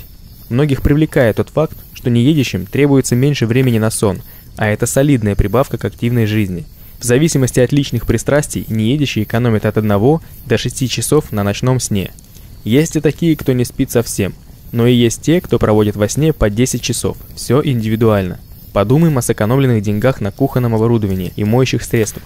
А сколько воды и электричества можно сэкономить? Вот вам личный пример. Когда я был неедящим в 2002 году, я суммировал все финансовые факторы, и вышла экономия в 800 золотых в месяц. В то время средняя зарплата составляла 200 золотых. 1 доллар равен 2,7 золотых. Некоторые еще покупают поваренные книги, книги про диеты, ставя себя в общую зависимость от еды, про оздоровление, про похудение. Неедящих эти траты уже не касаются. Говоря об экономии времени и денег, нетрудно понять, насколько человек зависим от пищевой, ровно как от фармацевтической индустрии. Человек просто порабощен ими. Сколько людей жалуются на это, не зная, что есть возможность жить и без этой зависимости. А ведь свобода находится не дальше, чем собственный ум. Вы можете изменить свою жизнь в любое время и при любых обстоятельствах. Экология. Живя без еды, я заметил, что количество моего мусора сократилось в пятеро. 99% мусора, который остался, это были перерабатываемые материалы – металл, пластик, бумага. Собирая и сдавая все это, я могу еще и заработать, но я предпочитаю зарабатывать на другом. Практикуя жизнь без еды, я засорял природу меньше в примерно в 100 раз. Неужели столько мусора получается от пищи? Да, грубо прикидывая именно так. Нетрудно пронаблюдать, что большая часть мусора – это упаковки от еды и пищевые отходы. Также было бы неправильным не посчитать общемировое количество человеческих испражнений, которые попадают в воду и почву. Умножьте среднее количество испражнений человека за жизнь на 6 миллиардов и прибавьте к этому миллиарды килограммов навоза животных, которые выращиваются для пищевых целей. Сколько миллионов тонн фекалий попадает в землю ежегодно в мире – можно пофантазировать, представив времена, когда Землю будут населять только неедящие. Сравним этот рай с современным положением дел на планете. Первое. Во много раз меньше мусора. Второе. Индустрия использует во много раз меньше природных ресурсов. Количество сожженного угля и нефти гораздо меньше, соответственно меньше производственных выбросов в воздух и в воду. Третье. Нет животноводства. Значит не приходится отдавать землю под пастбище, не нужно поливать ее химикатами, гормонами и антибиотиками – Земля освобождается от миллиардов тонн навоза. Четвертое. Нет аграрной промышленности. Почва не истощается, леса не вырубаются под поля, И опять же, нет химических удобрений. Пятое. Производство металла, пластика, стекла и бумаги значительно меньше. Меньше нагрузка на природу, меньше ущерба лесам, меньше упаковочного мусора. Практика жизни без еды – большое подспорье для экологии. Это очень легко представить. А ведь выше приведенная картина мира кажется сказочной только сегодня. То, что вы прочли, это реальное будущее Земли, и возможно оно придет даже раньше, чем некоторые люди ожидают. Сфера сознания людей, населяющих Землю, стремительно расширяется, и потребление пищи это также касается. Большая часть всего производства на Земле так или иначе связана с едой. Одна индустриальная ветвь опирается на другую, и изменения в какой-то части индустрии производства неминуемо коснутся всех остальных. С отходом от еды вся земная цивилизация изменится революционно. Есть лишь несколько человек сейчас, которые могут осознать всю картину жизни на Земле, где люди свободны от еды. Жизненная энергия. Большинство неедящих наслаждаются гораздо больше жизненной энергией по сравнению с нормально питающимися. Они могут поддерживать физическую и умственную активность в течение многих часов, без какой-либо усталости. Это похоже на ощущение художника, испытывающего мощное вдохновение. Высокий уровень жизненной энергии в умственной сфере выражается в высоком творческом потенциале. В этом состоянии гораздо эффективнее идет изобретательство, творчество, обучение и работа. Многие неедящие сталкиваются с тем, что повышенный уровень жизненной энергии, которая не тратится на переваривание, влияет на продолжительность сна и отдыха. Некоторые неедящие спят всего лишь несколько часов в неделю. Неедящий может после 12-часового путешествия всего-навсего принять душ и приступить к работе без какой бы то ни было усталости. В периоды неедения я испытал на себе, как после 10 часов работы на компьютере, а он высасывает энергию из человека, мой разум был столь же ясен, как когда я приступал к работе. Я лишь ощущал некоторую зажатость в мышцах от сидения, но и это устранялось легкой разминкой, бегом или плаванием. В периоды, когда я ел, я ощущал усталость и резь в глазах уже к середине дня. К вечеру у меня раскалывалась голова – Мысли путались, и я делал массу ошибок в работе. Высокий уровень жизненной энергии у неедящих естественен, ничего экстраординарного в этом нет. Тело использует до 90% энергии на переваривание и удаление пищи, в некоторых случаях 99%. У неедения нет пищеварения, отсюда и берется прибавка энергии. Можно сказать, что неедящий в 9 раз энергичнее человека, питающегося нормально. Тем, кто не испытывал это, будет трудно поверить и понять эту разницу отчего божественная сущность, именуемая человеком, превратила себя в устройство для переваривания пищи. Легко ощутить, что чем больше человек ест, тем слабее он становится. Хочется ли вам работать после обильной еды? Вы становитесь энергичнее или слабее? Все знают, что после еды наступает расслабление и наваливается лень. Распространенная истина «ешь, чтобы быть сильнее» не имеет ничего общего с тем, что есть на самом деле. Чем больше еды попадает в желудок, тем больше работы нужно произвести телу, а значит затратить больше энергии на переваривание и удаление. Едите вы несколько минут, а переваривайте несколько часов, а то и суток. И если тело не справляется с пищеварительной нагрузкой, оно начинает давать сбои, полнеет, болеет, стареет и в конце концов умирает. Лечебное голодание – самый эффективный оздоровительный метод из всех известных человечеству. Вот вам новая поговорка. Ешь меньше, будет чище тело, яснее ум, больше сил, и болезни станут обходить тебя стороной. Но разумеется, ограничение в еде ниже жизненных потребностей тела. Это другая крайность. Тело и разум должны действовать в паре, в рамках одного здравого смысла. Творчество. Общеизвестно, что на полный желудок работается и думается не очень здорово. Хорошо поев, совершенно не хочется засаживаться за работу или учебу. Если нет никакой физической активности, то после еды вообще можно заснуть. Оно и понятно, вся энергия уходит на пищеварение. Если акта пищеварения нет, человек может использовать свободную энергию. Тело и разум работают в паре, один подгоняет и дополняет другого. И чем чище, свободнее энергичнее тело, тем яснее, быстрее и креативнее ум.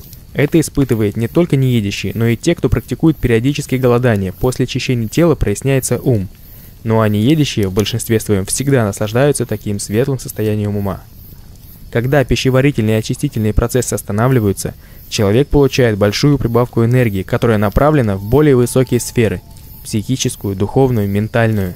Гипофиз и шишковидная железа становятся активнее, восприятие расширяется, и человек получает возможность исследовать более тонкую сферу бытия. В уме возникает множество новых идей, мышление идет быстрее и эффективнее. Создается впечатление, что ум очистился от тумана или дыма, в котором пребывал ранее.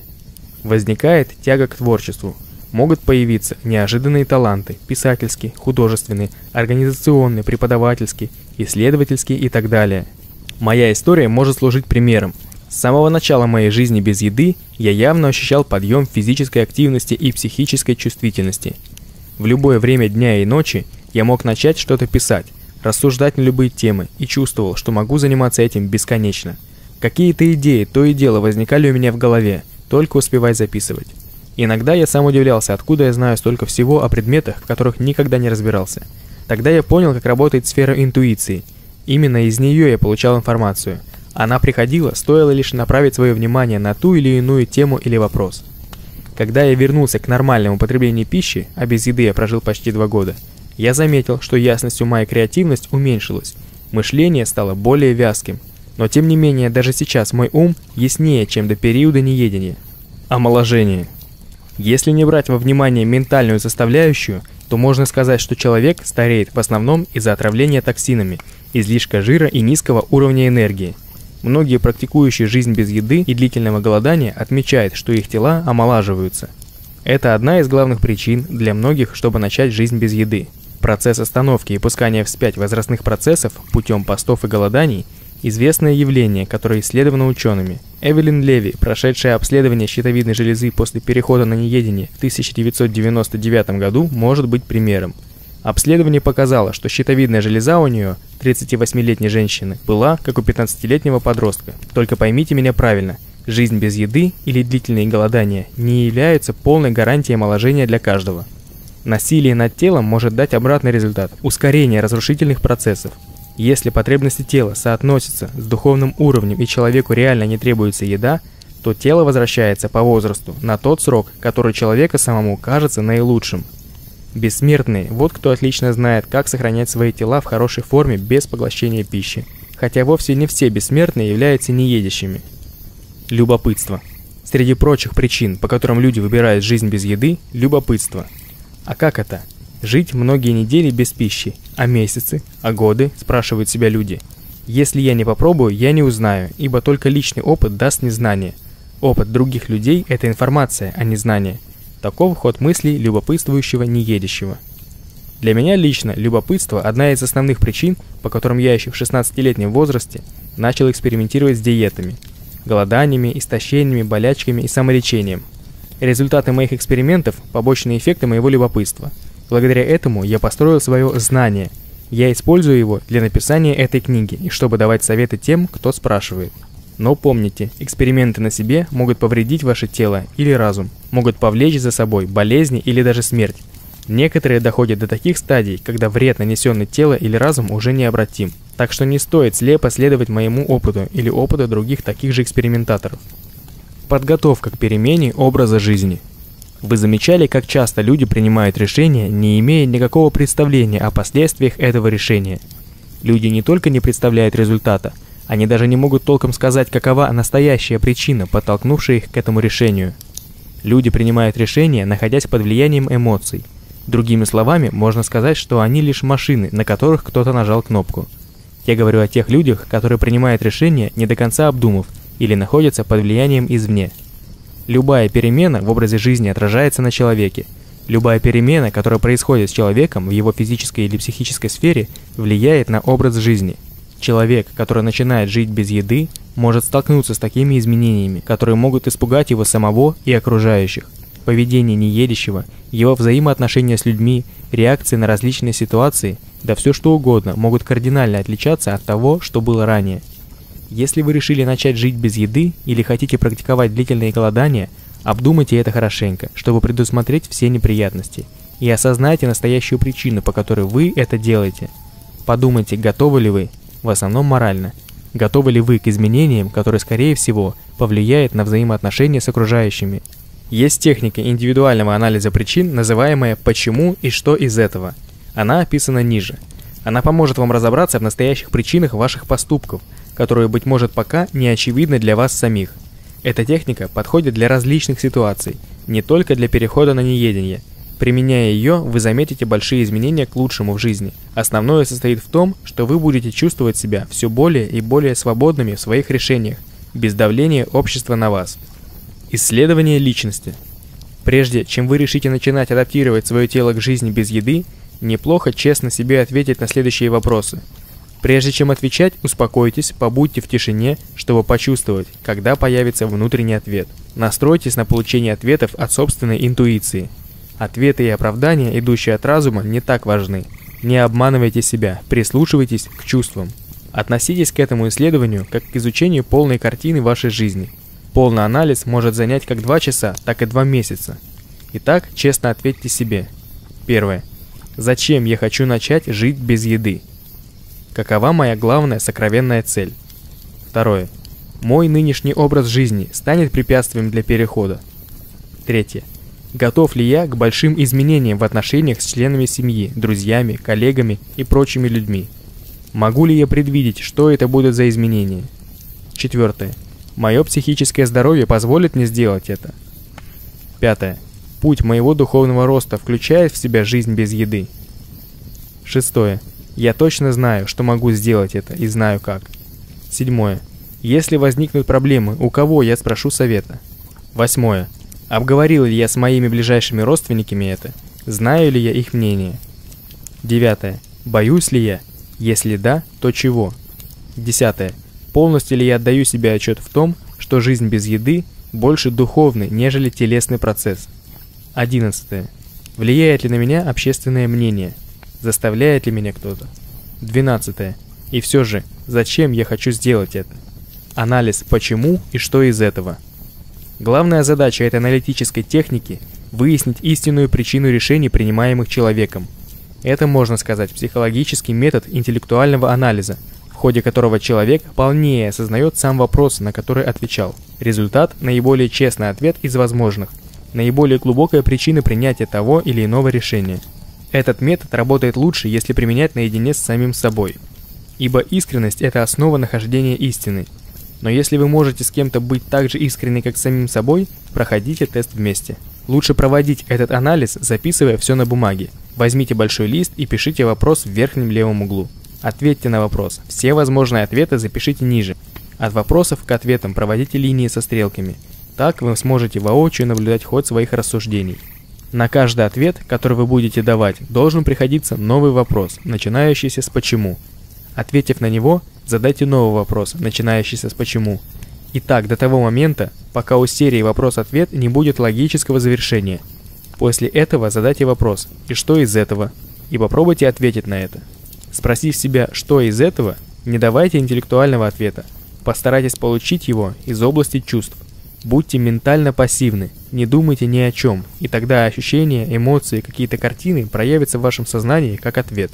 Инстинкт и интуиция проявляются лучше, когда разум пассивен, когда он молчит и не рождает никаких мыслей. Если ответ приходит из области интуиции или инстинкта, в виде эмоций или картинок, знайте, это честнейший и полный ответ – в итоге рисунок на вашем листе бумаги будет похож на дерево. Вы можете использовать по одному небольшому листу для каждого вопроса, или целый ватман для всех сразу.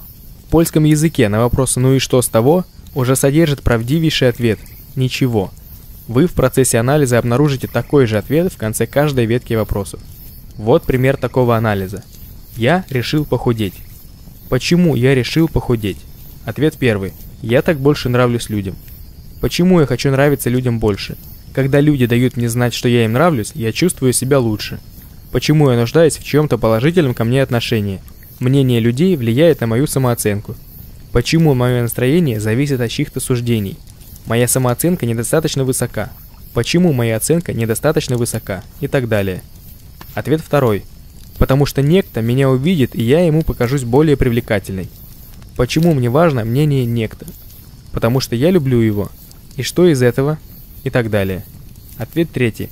Так мое тело лучше выглядит. Почему я хочу, чтобы мое тело лучше выглядело? Потому что я лучше себя чувствую и ощущаю более привлекательным. Почему я хочу быть более привлекательным? Чтобы нравиться людям.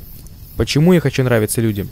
Вообще-то меня больше заводит некто. Мне кажется, что его или ее влечет ко мне.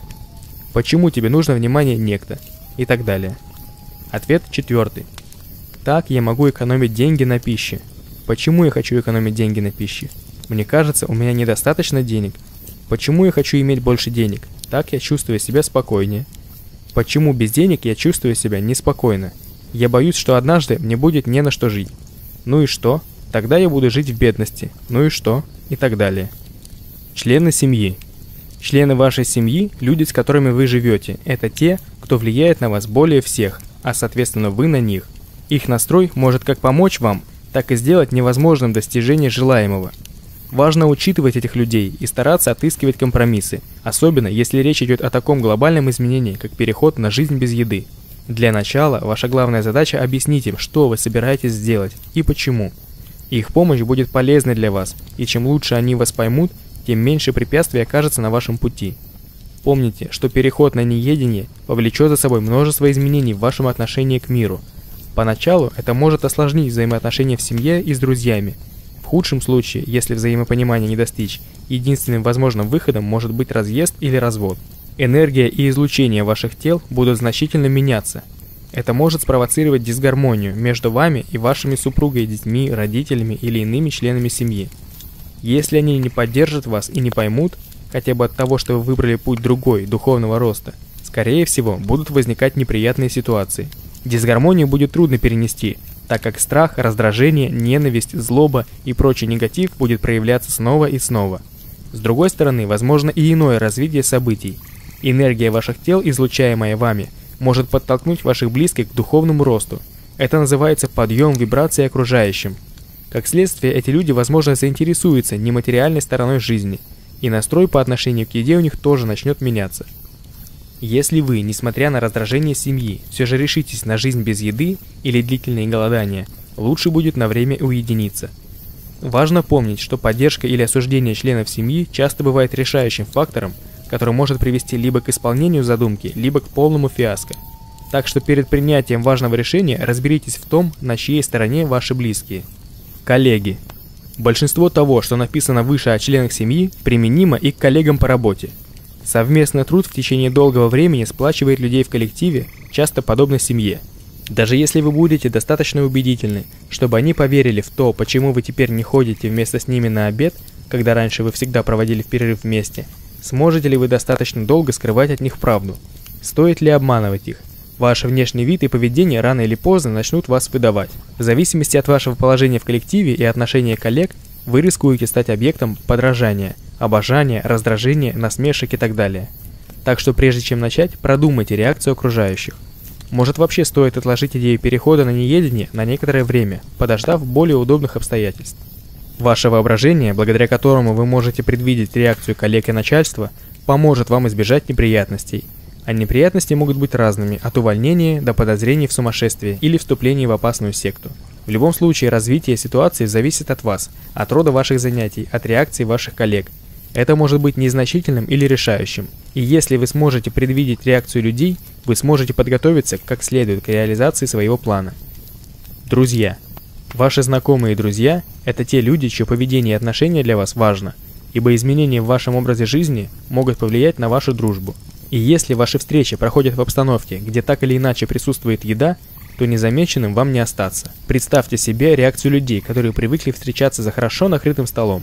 Возможно, они поддержат вас или захотят сами изменить свой образ жизни, а может быть напрягутся. Вы можете даже потерять некоторых друзей. Так и узнаете, кто был настоящим другом. Вредные привычки и привязанности. Если вы уверены, что можете жить без еды, то, скорее всего, вы свободны от привязанности к сладкому, соленому, алкоголю, никотину, наркотикам, перееданию и так далее. Но если ваши привычки продолжают давлеть над вами, то вы все еще не готовы. Это не значит, что вы не можете стараться, стремиться и пробовать. Также это не значит, что вы обречены на неуспех. Вредные привычки не делают жизнь без еды или длительные голодания невозможными. Однако они представляют из себя немалое препятствие. Факт в том, что благодаря неедению или голоданиям человек может добиться значительного освобождения от вредных привычек. Лечебное голодание – один из самых эффективных методов избавления от вредных привычек, в особенности тех, что касаются еды. Статистика показывает, что переход на неедение для человека с вредными привычками не дается безболезненно, даже если этот человек мог подолгу голодать. Наличие вредной привычки указывает на несовершенство в сфере сознания, а стало быть невозможно провести соответствующие изменения на уровень инстинкта – которые позволили бы практиковать жизнь без еды. Если человек живет без еды и при этом имеет вредные привычки, он статистическое исключение. Прежде чем начать переход на неедение, следует озаботиться избавлением от вредных привычек. Для этого следует поработать с эмоциями, а уже после освобождаться от еды. Вредные привычки – такая большая тема, что можно было бы написать отдельную книгу. Здесь я указываю лишь на то, что вредная привычка есть программа, автоматически функционирующая, на уровне инстинкта, которая порабощает человека ровно настолько, сколько человек позволяет этой программе существовать. Привычки – Привычка отличается от вредной привязанности эмоциональной реакции человека. Когда человек отказывается от привычки, прекращает привычное действие, внутри него не возникает никаких эмоций. Самоосвобождение от вредной привязанности дается труднее и влечет за собой неприятные последствия. Отказ от привычки не так болезненен. Во время адаптации к жизни без еды многие привычки изменятся или прекратят свое существование, в особенности те, что связаны с едой. Например, если вы привыкли каждое утро завтракать с семьей, Будьте готовы отказаться от этого. Подумайте о реакции семьи на это, может стоит с ними поговорить. Отказ от различных привычек, несомненно, окажет влияние на вашу жизнь, в частности, на связи в социуме. Такие привычки, как встречи с друзьями в баре, ужин с клиентами, пикники, рыбалка, закупка еды в супермаркете, совместное выпекание пирогов, уйдут в прошлое. Отказываясь от всего этого, не повредите ли вы взаимоотношения в семье и с друзьями? Не нарушится ли ваш внутренний комфорт? Вдобавок могут возникнуть новые привычки, ведь у вас появится значительно больше свободного времени, которое раньше уходило на все то, что связано с едой. Вы не захотите, возможно, сидеть со всеми за столом, готовить пищу, мыть посуду. Как вы распорядитесь появившимся временем? Появятся новые привычки? По правде сказать, пропажа разных привычек не является таким уж большим препятствием на пути освоения нового образа жизни. Однако нужно понимать, что потеря привычек должна идти вам только на пользу. Проанализируйте это. Диета. Часто перед тем, как стать независимым от пищи, человек сидит на какой-либо диете. Сама возможность неедения есть результат сильного повышения частоты вибраций тел человека. Так что предшествующая переходу на жизнь без еды диета может как облегчить, так и осложнить этот переход. Общими словами можно сказать, что так называемая низкочастотная пища, жареная, вареная, с большим количеством химии еда, ставит начинающего неедящего в невыгодную ситуацию. Путь к повышению частоты вибраций будет дольше – Гораздо лучше переходить на жизнь без еды с так называемой высокочастотной пищей, сырые фрукты без химии. Так что зависит от самого человека, какую материальную почву для перехода он себе подготовит, облегчит или затруднит себе задачу. Человеческое тело не любит быстрых и масштабных изменений. Плавные изменения часто проходят незаметно. Это следует помнить, начиная штурмовать неедение.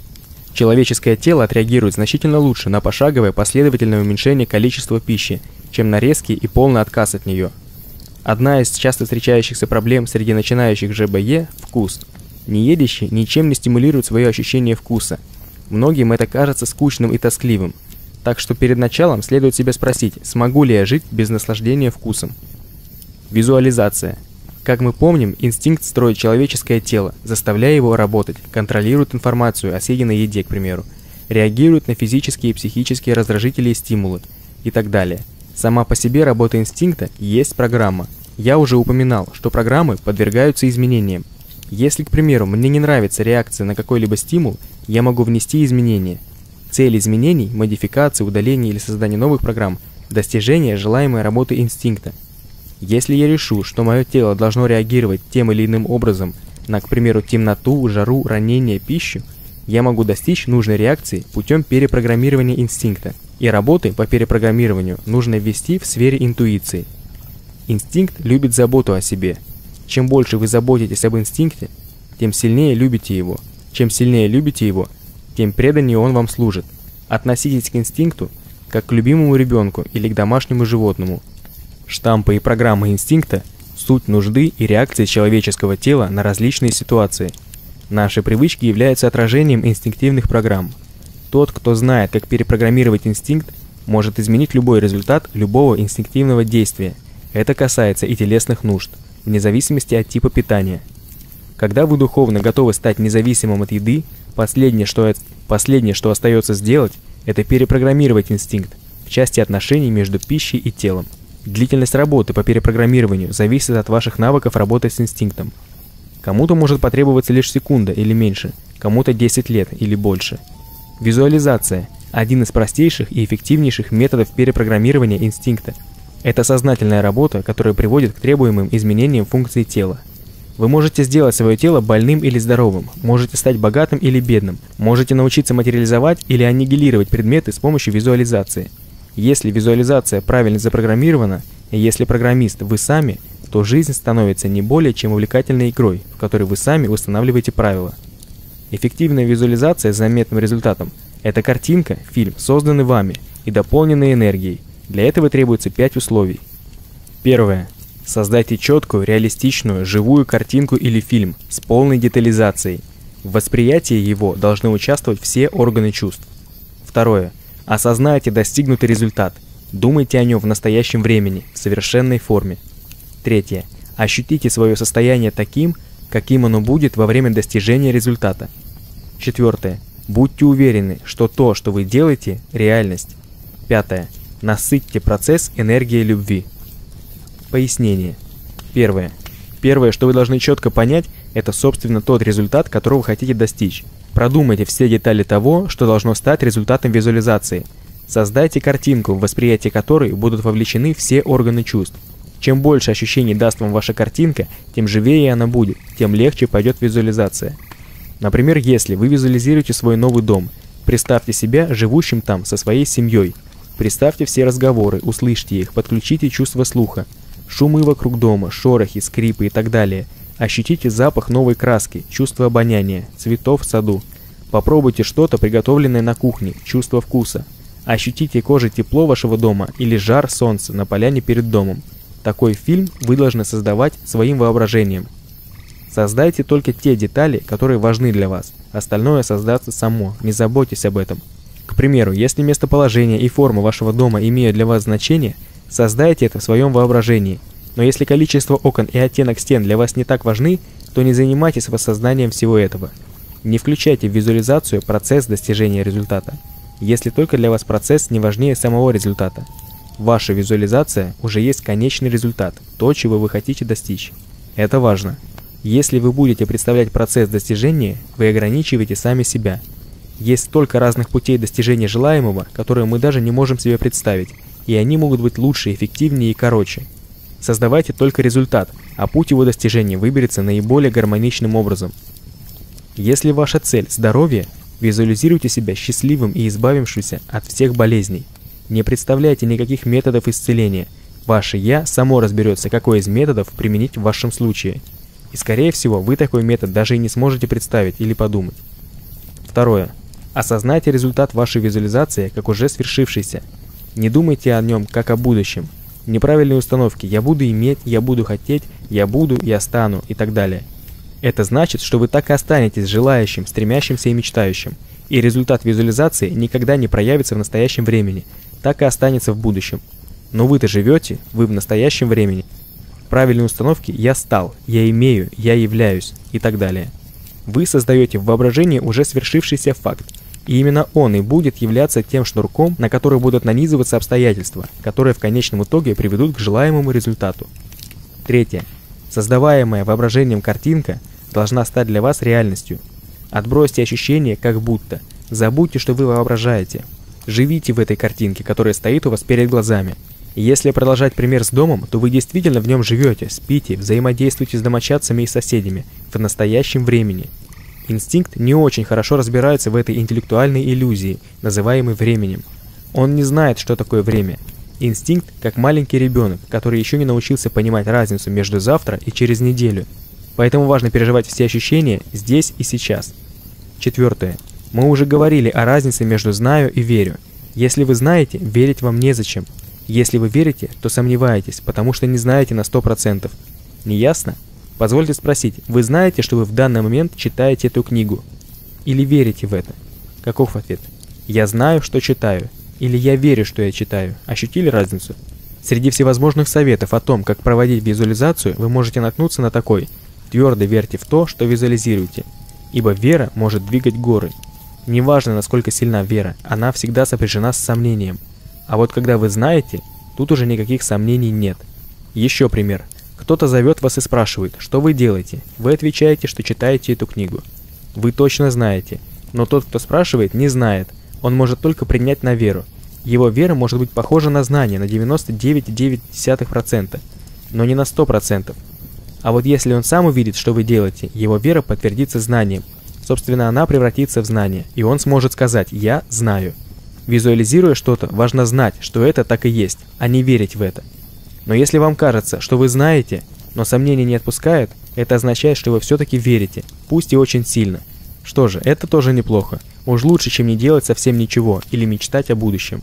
Кстати, если вы видели, как кто-то материализует предмет на вытянутой руке, к примеру, яблоко, значит вы имели дело с человеком, который знал, что предмет появится у него в ладони из воздуха. Такова сила созидательной визуализации. Пятое.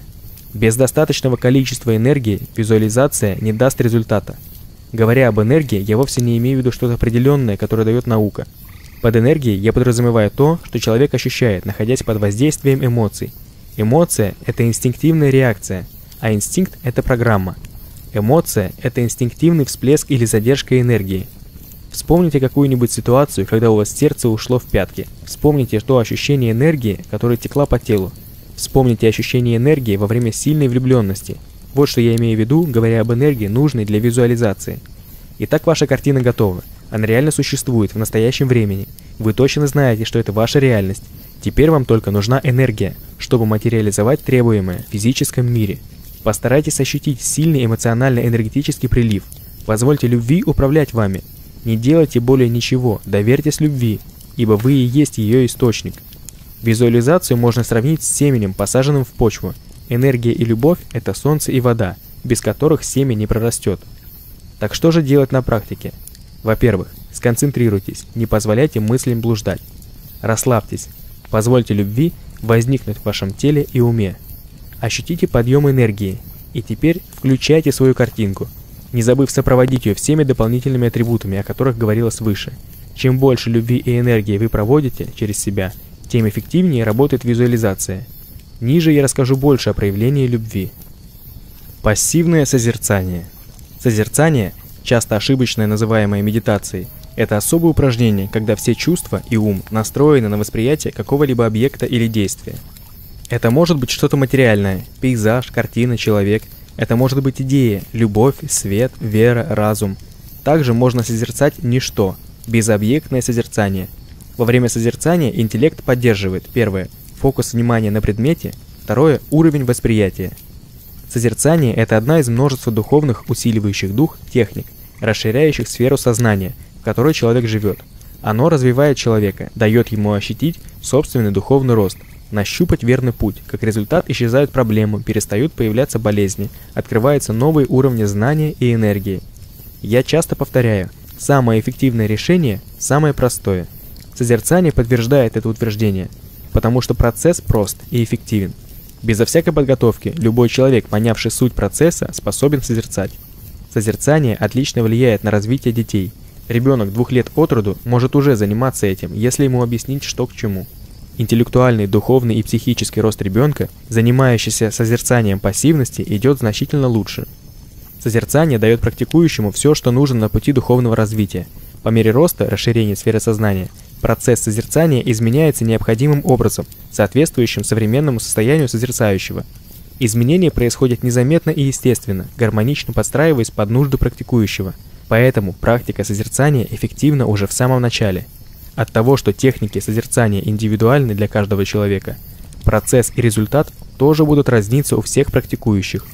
Так что не имеет смысла сравнивать свои практики переживания с опытом кого-то, кто занимается тем же, разве что для расширения кругозора или любопытства. Как проводить пассивное созерцание описано ниже. Сядьте как вам удобно. Постарайтесь расположиться так, чтобы спина естественным образом и без напряжения поддерживалась в прямом состоянии. Можно сесть на стул, касаясь ногами пола, Колени согнуты под прямым углом. Можно на пол со скрещенными ногами. Можно, если вам не трудно, сесть в позу лотоса. Положение тела в любом случае должно быть таким, в котором вы могли бы провести несколько десятков минут без ощущения дискомфорта. Можно и лежать, если вам так уж хочется. Но положение лежа способствует засыпанию. Если уже лежать, то не в той позе, в которой вы обычно засыпаете. Лучше всего на спине с раскинутыми ногами и руками.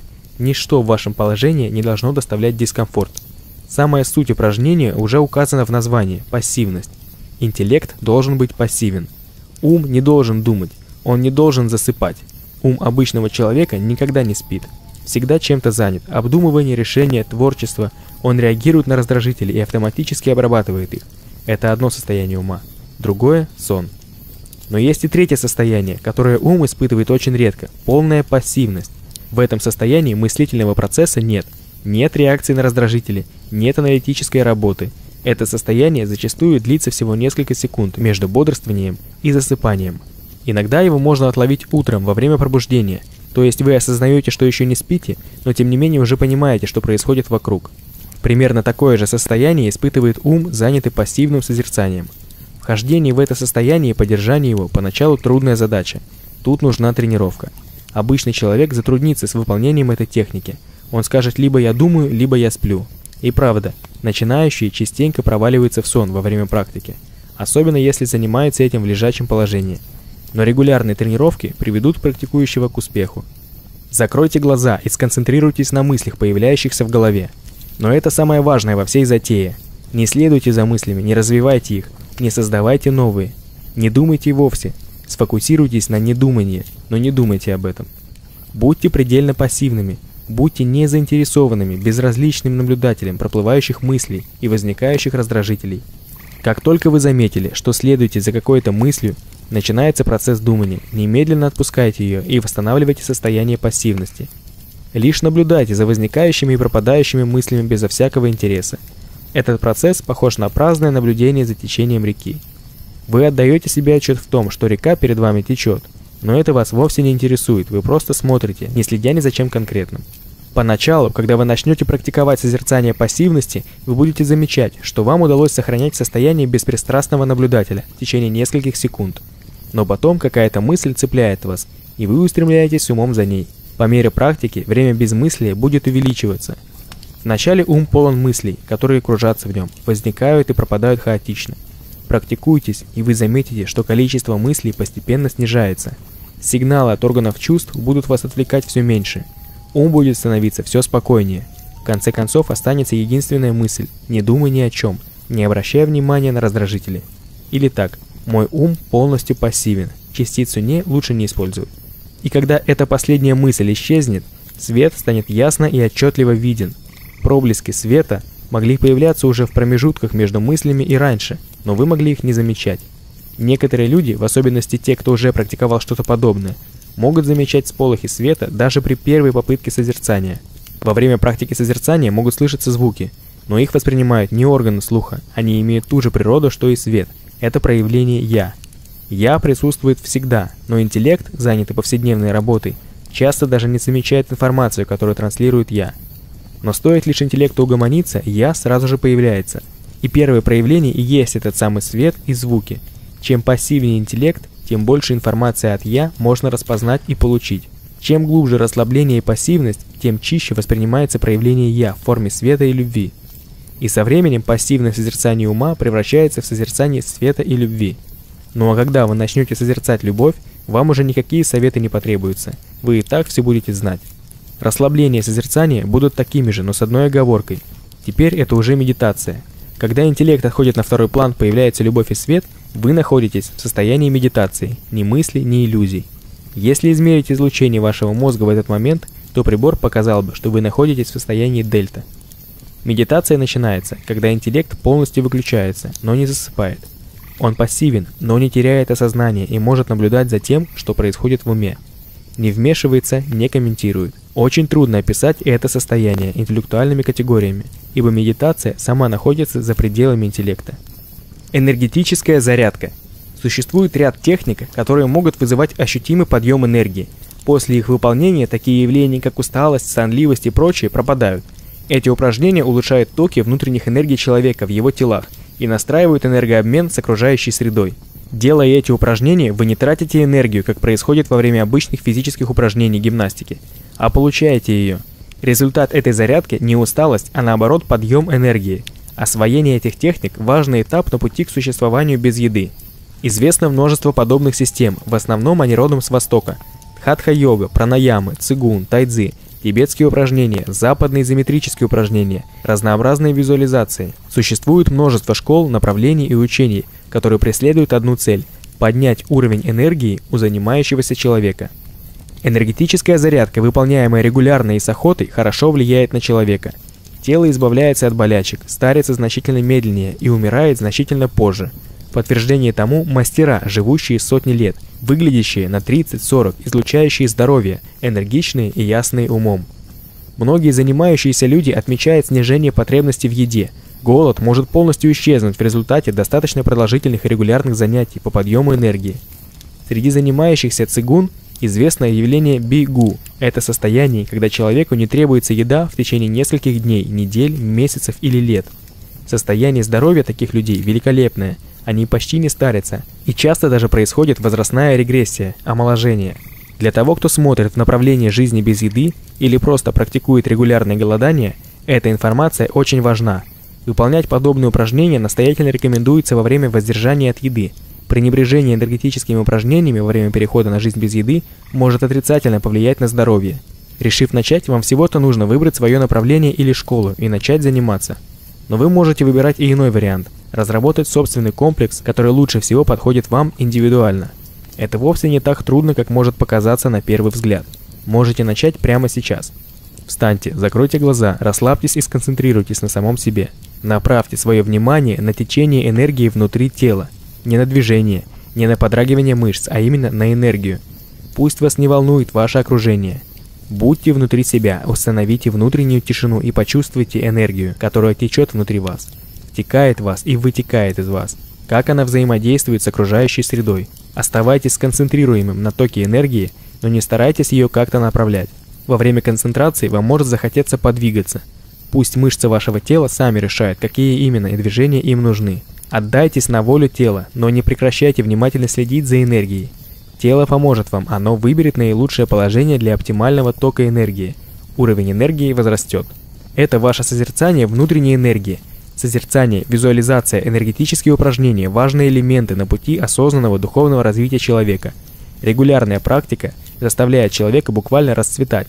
Ум становится спокойнее, мысли миролюбивыми и более творческими, а тело постепенно возвращается в свое наилучшее состояние, восстанавливается и молодеет. Один из результатов подобной практики – изменение отношения к еде. Потребность в ней может просто исчезнуть за ненадобностью.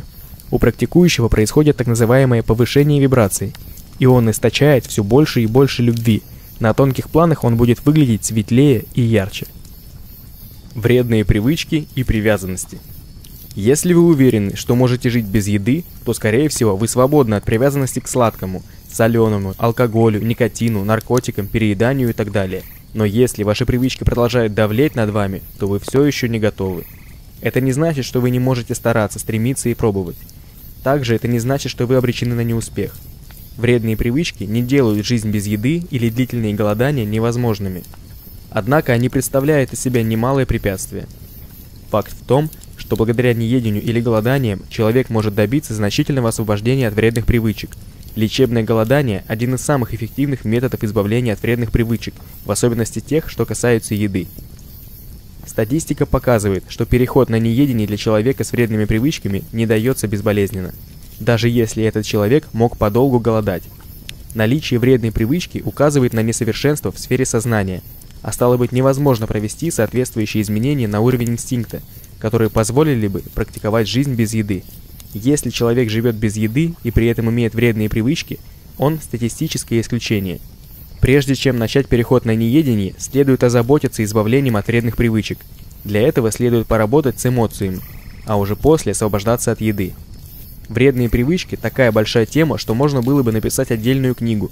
Здесь я указываю лишь на то, что вредная привычка есть программа, автоматически функционирующая, на уровне инстинкта, которая порабощает человека ровно настолько, сколько человек позволяет этой программе существовать. Привычки. Привычка отличается от вредной привязанности эмоциональной реакции человека. Когда человек отказывается от привычки, прекращает привычное действие, внутри него не возникает никаких эмоций. Самоосвобождение от вредной привязанности дается труднее и влечет за собой неприятные последствия. Отказ от привычки не так болезненен. Во время адаптации к жизни без еды многие привычки изменятся или прекратят свое существование, в особенности те, что связаны с едой. Например, если вы привыкли каждое утро завтракать с семьей, будьте готовы отказаться от этого. Подумайте о реакции семьи на это, может стоит с ними поговорить. Отказ от различных привычек, несомненно, окажет влияние на вашу жизнь, в частности на связи в социуме. Такие привычки, как встречи с друзьями в баре, ужин с клиентами, пикники, рыбалка, закупка еды в супермаркете, совместное выпекание пирогов уйдут в прошлое. Отказываясь от всего этого, не повредите ли вы взаимоотношений в семье и с друзьями? Не нарушится ли ваш внутренний комфорт? Вдобавок могут возникнуть новые привычки, ведь у вас появится значительно больше свободного времени, которое раньше уходило на все то, что связано с едой. Вы не захотите, возможно, сидеть со всеми за столом, готовить пищу, мыть посуду. Как вы распорядитесь появившимся временем? Появятся новые привычки? По правде сказать, пропажа разных привычек не является таким уж большим препятствием на пути освоения нового образа жизни. Однако нужно понимать, что потеря привычек должна идти вам только на пользу. Проанализируйте это. Диета. Часто перед тем, как стать независимым от пищи, человек сидит на какой-либо диете. Сама возможность неедения есть результат сильного повышения частоты вибраций тел человека – так что предшествующая переходу на жизнь без еды диета может как облегчить, так и осложнить этот переход. Общими словами можно сказать, что так называемая низкочастотная пища, жареная, вареная, с большим количеством химии еда, ставит начинающего неедящего в невыгодную ситуацию. Путь к повышению частоты вибраций будет дольше. Гораздо лучше переходить на жизнь без еды с так называемой высокочастотной пищи, сырые фрукты без химии. Так что зависит от самого человека, какую материальную почву для перехода он себе подготовит – облегчит или затруднит себе задачу. Человеческое тело не любит быстрых и масштабных изменений. Плавные изменения часто проходят незаметно. Это следует помнить, начиная штурмовать неедение. Человеческое тело отреагирует значительно лучше на пошаговое последовательное уменьшение количества пищи, чем на резкий и полный отказ от нее. Одна из часто встречающихся проблем среди начинающих ЖБЕ – вкус. Неедящий ничем не стимулирует свое ощущение вкуса. Многим это кажется скучным и тоскливым, так что перед началом следует себя спросить, смогу ли я жить без наслаждения вкусом. Визуализация. Как мы помним, инстинкт строит человеческое тело, заставляя его работать, контролирует информацию о съеденной еде, к примеру, реагирует на физические и психические раздражители и стимулы и так далее. Сама по себе работа инстинкта есть программа. Я уже упоминал, что программы подвергаются изменениям.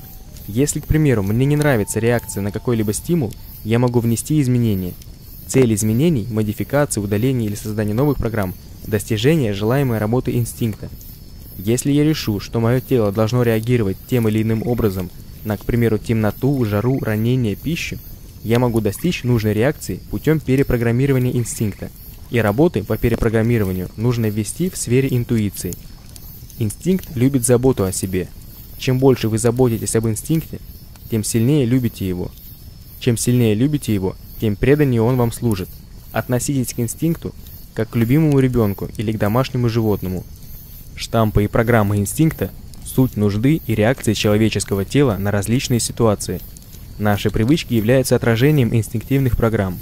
Тот, кто знает, как перепрограммировать инстинкт, может изменить любой результат любого инстинктивного действия. Это касается и телесных нужд, вне зависимости от типа питания – когда вы духовно готовы стать независимым от еды, последнее, что остается сделать, это перепрограммировать инстинкт в части отношений между пищей и телом. Длительность работы по перепрограммированию зависит от ваших навыков работы с инстинктом. Кому-то может потребоваться лишь секунда или меньше, кому-то 10 лет или больше. Визуализация – один из простейших и эффективнейших методов перепрограммирования инстинкта. Это сознательная работа, которая приводит к требуемым изменениям функций тела. Вы можете сделать свое тело больным или здоровым, можете стать богатым или бедным, можете научиться материализовать или аннигилировать предметы с помощью визуализации. Если визуализация правильно запрограммирована, и если программист вы сами, то жизнь становится не более чем увлекательной игрой, в которой вы сами устанавливаете правила. Эффективная визуализация с заметным результатом – это картинка, фильм, созданный вами и дополненный энергией. Для этого требуется пять условий. Первое. Создайте четкую, реалистичную, живую картинку или фильм с полной детализацией. В восприятии его должны участвовать все органы чувств. Второе. Осознайте достигнутый результат. Думайте о нем в настоящем времени, в совершенной форме. Третье. Ощутите свое состояние таким, каким оно будет во время достижения результата. Четвертое. Будьте уверены, что то, что вы делаете, реальность. Пятое. Насытьте процесс энергией любви. Пояснение. Первое. Первое, что вы должны четко понять, это, собственно, тот результат, которого вы хотите достичь. Продумайте все детали того, что должно стать результатом визуализации. Создайте картинку, в восприятии которой будут вовлечены все органы чувств. Чем больше ощущений даст вам ваша картинка, тем живее она будет, тем легче пойдет визуализация. Например, если вы визуализируете свой новый дом, представьте себя живущим там со своей семьей. Представьте все разговоры, услышьте их, подключите чувство слуха, шумы вокруг дома, шорохи, скрипы и так далее. Ощутите запах новой краски, чувство обоняния, цветов в саду. Попробуйте что-то, приготовленное на кухне, чувство вкуса. Ощутите кожей тепло вашего дома или жар солнца на поляне перед домом. Такой фильм вы должны создавать своим воображением. Создайте только те детали, которые важны для вас. Остальное создастся само, не заботьтесь об этом. К примеру, если местоположение и форма вашего дома имеют для вас значение, создайте это в своем воображении. Но если количество окон и оттенок стен для вас не так важны, то не занимайтесь воссознанием всего этого. Не включайте в визуализацию процесс достижения результата, если только для вас процесс не важнее самого результата. Ваша визуализация уже есть конечный результат, то, чего вы хотите достичь. Это важно. Если вы будете представлять процесс достижения, вы ограничиваете сами себя. Есть столько разных путей достижения желаемого, которые мы даже не можем себе представить, и они могут быть лучше, эффективнее и короче. Создавайте только результат, а путь его достижения выберется наиболее гармоничным образом. Если ваша цель – здоровье, визуализируйте себя счастливым и избавившимся от всех болезней. Не представляйте никаких методов исцеления.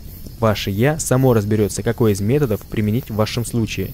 И скорее всего, вы такой метод даже и не сможете представить или подумать. Второе. Осознайте результат вашей визуализации как уже свершившийся. Не думайте о нем как о будущем. Неправильные установки «я буду иметь», «я буду хотеть», «я буду», «я стану» и так далее. Это значит, что вы так и останетесь желающим, стремящимся и мечтающим. И результат визуализации никогда не проявится в настоящем времени, так и останется в будущем. Но вы-то живете, вы в настоящем времени. Правильные установки «я стал», «я имею», «я являюсь» и так далее. Вы создаете в воображении уже свершившийся факт, и именно он и будет являться тем шнурком, на который будут нанизываться обстоятельства, которые в конечном итоге приведут к желаемому результату. Третье. Создаваемая воображением картинка должна стать для вас реальностью. Отбросьте ощущение как будто. Забудьте, что вы воображаете. Живите в этой картинке, которая стоит у вас перед глазами. Если продолжать пример с домом, то вы действительно в нем живете, спите, взаимодействуете с домочадцами и соседями в настоящем времени. Инстинкт не очень хорошо разбирается в этой интеллектуальной иллюзии, называемой временем. Он не знает, что такое время. Инстинкт как маленький ребенок, который еще не научился понимать разницу между завтра и через неделю. Поэтому важно переживать все ощущения здесь и сейчас. Четвертое. Мы уже говорили о разнице между «знаю» и «верю». Если вы знаете, верить вам незачем. Если вы верите, то сомневаетесь, потому что не знаете на 100%. Не ясно? Позвольте спросить, вы знаете, что вы в данный момент читаете эту книгу? Или верите в это? Каков ответ? Я знаю, что читаю. Или я верю, что я читаю. Ощутили разницу? Среди всевозможных советов о том, как проводить визуализацию, вы можете наткнуться на такой. Твердо верьте в то, что визуализируете. Ибо вера может двигать горы. Неважно, насколько сильна вера, она всегда сопряжена с сомнением. А вот когда вы знаете, тут уже никаких сомнений нет. Еще пример. Кто-то зовет вас и спрашивает, что вы делаете. Вы отвечаете, что читаете эту книгу. Вы точно знаете. Но тот, кто спрашивает, не знает. Он может только принять на веру. Его вера может быть похожа на знание на 99,9%, но не на 100%. А вот если он сам увидит, что вы делаете, его вера подтвердится знанием. Собственно, она превратится в знание – и он сможет сказать «я знаю». Визуализируя что-то, важно знать, что это так и есть, а не верить в это. Но если вам кажется, что вы знаете, но сомнения не отпускают, это означает, что вы все-таки верите, пусть и очень сильно. Что же, это тоже неплохо. Уж лучше, чем не делать совсем ничего или мечтать о будущем. Кстати, если вы видели, как кто-то материализует предмет на вытянутой руке, к примеру яблоко, значит вы имели дело с человеком, который знал, что предмет появится у него в ладони из воздуха. Такова сила созидательной визуализации. Пятое. Без достаточного количества энергии визуализация не даст результата. Под энергией я подразумеваю то, что человек ощущает, находясь под воздействием эмоций. Эмоция – это инстинктивная реакция, а инстинкт – это программа. Эмоция – это инстинктивный всплеск или задержка энергии. Вспомните какую-нибудь ситуацию, когда у вас сердце ушло в пятки, или волосы вставали дыбом. Вспомните то ощущение энергии, которое текла по телу, Вспомните ощущение энергии во время сильной влюбленности. Вот что я имею в виду, говоря об энергии, нужной для визуализации. Итак, ваша картина готова. Она реально существует в настоящем времени. Вы точно знаете, что это ваша реальность. Теперь вам только нужна энергия, чтобы материализовать требуемое в физическом мире. Постарайтесь ощутить сильный эмоционально-энергетический прилив. Позвольте любви управлять вами. Не делайте более ничего, доверьтесь любви, ибо вы и есть ее источник. Визуализацию можно сравнить с семенем, посаженным в почву. Энергия и любовь – это солнце и вода, без которых семя не прорастет. Так что же делать на практике? Во-первых, сконцентрируйтесь, не позволяйте мыслям блуждать. Расслабьтесь, Позвольте любви возникнуть в вашем теле и уме. Ощутите подъем энергии, и теперь включайте свою картинку, не забыв сопроводить ее всеми дополнительными атрибутами, о которых говорилось выше. Чем больше любви и энергии вы проводите через себя, тем эффективнее работает визуализация. Ниже я расскажу больше о проявлении любви. Методы перехода на жизнь без еды. Существует масса методов перехода на жизнь без еды. Ровно столько существует перешедших людей – но весь этот опыт можно попытаться обобщить и привести к нескольким вариантам. Они приведены ниже. Используйте эту информацию как общую направляющую, ибо внутри каждого метода возможны индивидуальные варианты развития событий. Каждый из этих методов заслуживает описания в отдельной книге.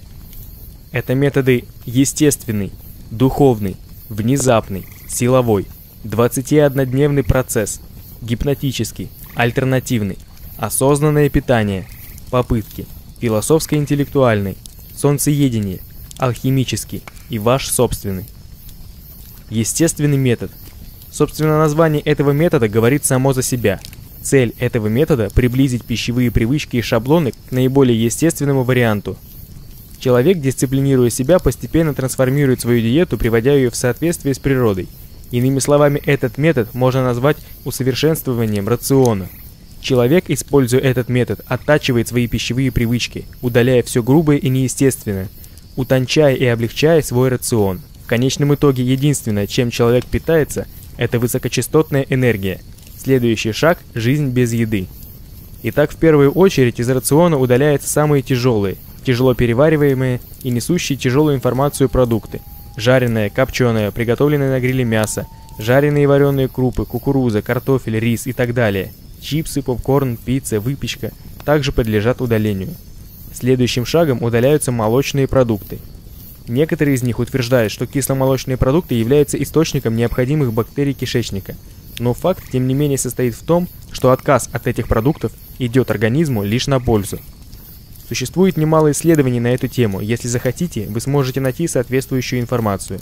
Однако, если вас заботит какая бы то ни была бактериальная среда кишечника, вы верите в то, что она для вас жизненно необходима, то можно пить немного капустного сока или сока огурца, предварительно очищенного от шкурки. Далее отбрасывается все сладкое. Шоколад и горький тоже, конфеты, сладкие напитки, все, что содержит сахар. Мед, глюкозу, фруктозу, химические подсластители. После удаления всего вышеперечисленного остаются овощи, фрукты, некоторые крупы, семена, орехи, зелень, рыба, яйца и некоторые сорта мяса и животных жиров. Дальнейший шаг – прекращение приготовления еды. В самом начале мы перестали жарить, коптить и готовить на гриле. Теперь постепенно исчезают из жизни такие понятия, как варка, приготовление на пару, тушение и прочее.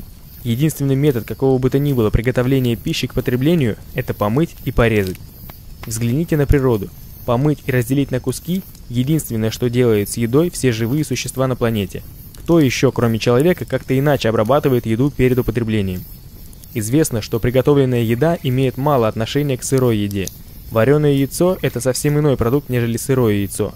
Выглядеть оно может так же, но если провести химический анализ, станет видно, что это иная субстанция. Кухня – это химзавод в миниатюре, где происходит переработка естественных химических наборов в продуктах в искусственные. И человек потребляет именно этот измененный продукт. Отказ от приготовления еды – шаг к воссоединению с природой. Человек – часть природы – Будучи таковым, мы не можем на 100% адаптироваться к той искусственно измененной пище, которую мы производим на своих кухнях. Возврат к потреблению только естественных химических наборов натуральной пищи, получаемой непосредственно от природы, удивительным образом меняет человека. Движение вперед подразумевает отказ от злаковых – пшеница, рожь, кукуруза и им подобные, мясо, рыба, если вы еще не отказались от этого на этапе сыроедения – то есть остаются только сырые овощи, фрукты, семена и орехи. Большинство овощей, потребляемых нами сейчас, это результат долгой селекционной работы и генетических экспериментов. Некоторые изменения берут свое начало в глубокой древности. Овощи, если их не культивировать, очень скоро подвергнутся вырождению, одичанию и исчезновению. Овощи – слабое звено в природе. Именно поэтому нам они тоже не нужны. Итак, остаются лишь фрукты и орехи. Потому что эти продукты производятся природой естественным образом и не нуждаются в человеческой поддержке. Именно они или только они и есть подарок природы человеку. Есть только то, что природа сама дает человеку, значит жить в гармонии с ней. Предки многих людей, населяющих Землю, шимпанзе и гориллы, едят в основном фрукты. И они полны энергии, сильны и здоровы. Но если их начать кормить едой, приготовленной людьми, они быстро захереют и будут болеть и умрут раньше срока. Один из заключительных шагов на пути естественного перехода на жизнь без еды – потребление лишь фруктовых соков – Соки можно выжимать, можно высасывать их из мякоти фруктов. Покупные соки лучше не пить, потому что они являются искусственно произведенными жидкостями. Их вкус, запах и вид существенно отличается от того, что дает природа. Потребление этих соков – существенный шаг назад. Далее выжатые соки следует разводить водой. Все больше и больше воды. Все меньше и меньше сока. И через некоторое время для вас останется лишь одна чистая вода. Вы будете пить воду лишь по потребностям своего организма – но и это количество будет сокращаться, пока вовсе не исчезнет потребность в воде тоже. У тех, кто выбирает этот метод, переход на жизнь без еды, может занять от нескольких месяцев до нескольких десятилетий. Сроки зависят от множества факторов, но основной – уровень духовного развития. Первый важный комментарий. Когда вы постепенно отказываетесь от пищи, следите за тем, чтобы не воевать против собственного тела. Борьба обязательно заканчивается победой одной стороны и проигрышем другой. Так что если вы боретесь со своим телом, оно страдает. Например, вы жить не можете без жареной картошки и едите ее по 3 килограмма в неделю. В таком случае вам не стоит отказываться от любимого блюда сразу. Лучше начните проявлять дисциплинированность в еде. Ешьте свою картошку, но уменьшайте ее количество, например, на 1% в неделю. Для тела это уменьшение пройдет незамеченным, аппетит будет удовлетворен, а вы тем самым постепенно сведете потребление картошки на нет. Но у тела есть своеобразная память на приятные ему вещи – и вот однажды, проходя мимо места, где готовят любимую некогда картошку, вы вдруг почувствуете запах и ощутите, как выделяется слюна. В желудке возникает голод, и вам нестерпимо хочется, нет, не поесть, а именно картошки. Не пытайтесь себя перебороть, уступите. Съешьте немного картошки. Насладитесь ее вкусом, жуйте ее долго. В противном случае, мысль о картошке может преследовать вас. Картошка будет сниться ночью, и в итоге вы, кроме как о своем неудовлетворенном желании, думать ни о чем не сможете. Тело достаточно хорошо приспособляемо. Оно вполне может адаптироваться к вашим пожеланиям, если вы будете вводить изменения постепенно, почти незаметно для него. Да, придется потратить какое-то время. Быстрые, резкие, скачкообразные изменения могут телу навредить. Примеру, переселение из тропического климата в холодный или единовременная потеря веса 120 кг принесут телу немалые страдания. Изменение диеты – это гигантская перестройка механизмов и процессов тела и нужно проводить ее плавно, постепенно. Если вы относитесь к своему телу с любовью, понимаете его, то вы дадите ему столько времени, сколько ему нужно для изменений, и оно вас не подведет. Второй важный комментарий. Однако описанный выше способ не есть универсальное руководство для всех. Каждый человек – это отдельный мир. Что хорошо одному, невыносимо для другого. Так что вы можете вносить любые изменения, которые подходят вам индивидуально. Положитесь на интуицию, она вас проведет через процесс изменений лучше, чем любые книги, инструкции или опытные товарищи. Я знаю людей, которые перешли на жизнь без еды через так называемую оптимальную диету Аткинса, состоящую преимущественно из жиров животного происхождения. Это их путь. Третий важный комментарий. Применяйте дисциплину, но не силу. Что есть дисциплина? Это разумно спланированная и системно исполняемая последовательность действий, которые ведут к объективному результату. Дисциплина не подразумевает борьбы, в особенности, если вами движет любовь. Важно понимать разницу между дисциплиной и насилием. Дисциплина ведет к успеху, насилие ведет к поражению. Духовный метод. Материя, в том числе и тело, есть проявление духа тонкого мира. Все, что проявлено в физическом плане, изначально было создано в планах более тонких. И если в духовной сфере человека присутствует мысль о жизни без еды, то рано или поздно это будет проявлено в мире материальном. Используя духовный метод перехода на жизнь без еды, нужно расширить сферу сознания, понимая, что именно в ней начало перехода. А уж тело не отстанет и включится в работу по переходу на свой уровень. Если для сознания жизнь без еды реальная цель, то тело будет вынуждено последовать.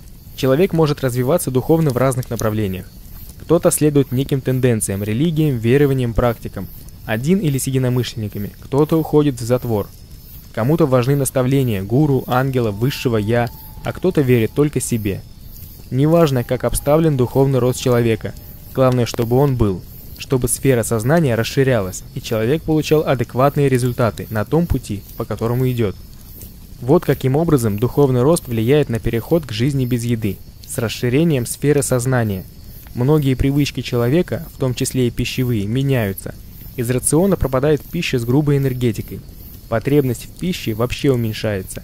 И однажды эта потребность исчезает вовсе.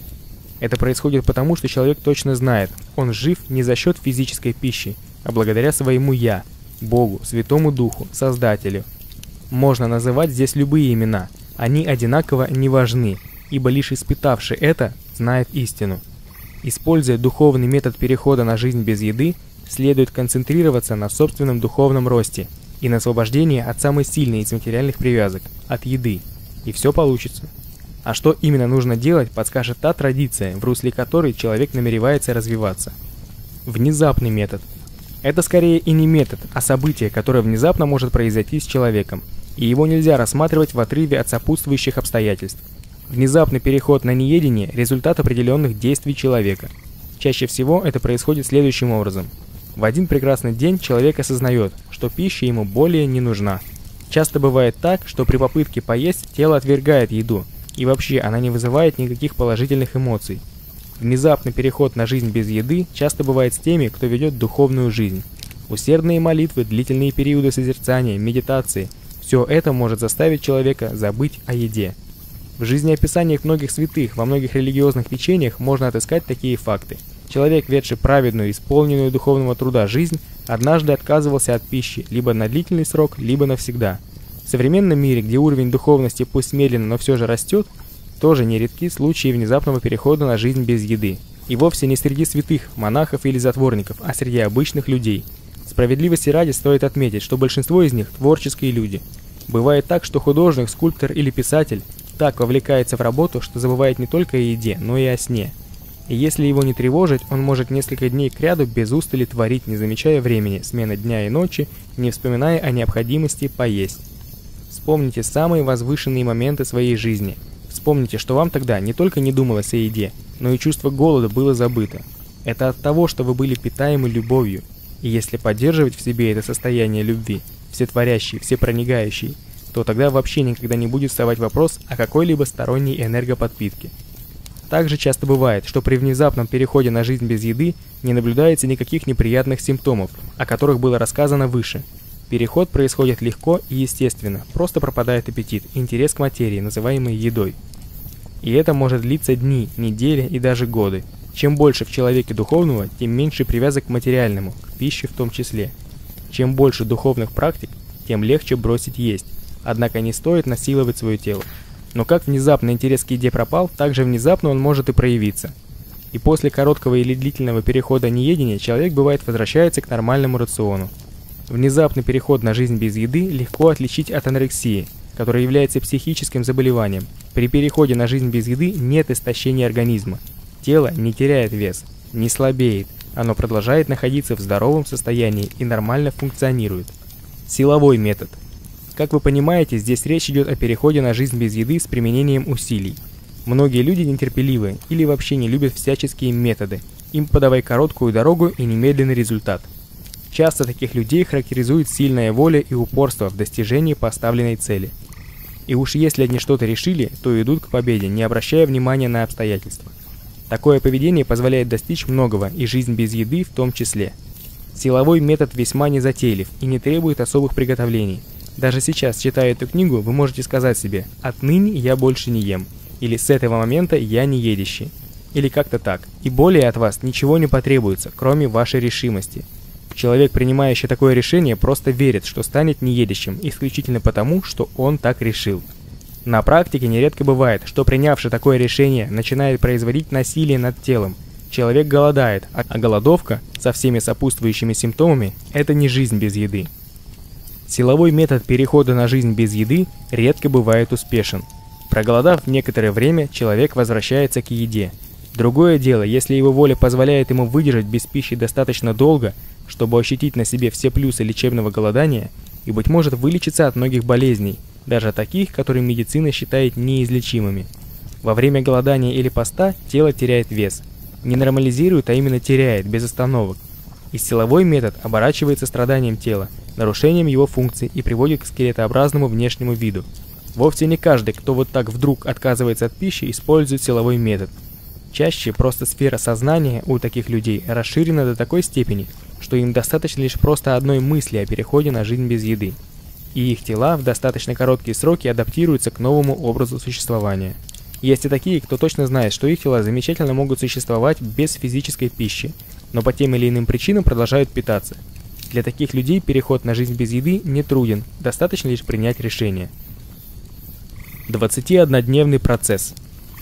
Предостережение. Пожалуйста, не проводите 21-дневный процесс, если не прошли внимательно и глубоко не обдумали первоисточник, книгу Джасмухин «Праническое питание». Неправильно проведенный процесс может угрожать вашей жизни. Описание, данное ниже, далеко не полное и не является инструкцией.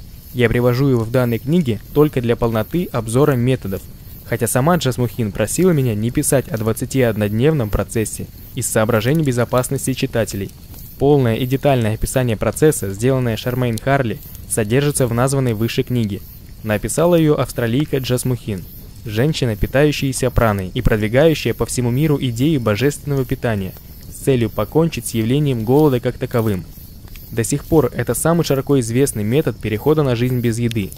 В следующей книге Джасмухин «Пища богов» содержится ее один более длительный и щадящий метод перехода. Важно знать, что информация о 21-дневном процессе была получена от нематериальных существ, группы единомышленников из Австралии. Джасмухин была одной из них.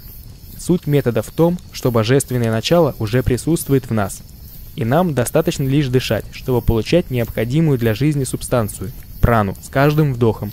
Это новый метод питания для людей будущего. Это часть человеческой эволюции – 21-дневный процесс разделен на три части, по неделе каждая. Первую неделю человек не ест и не пьет при сухом голодании.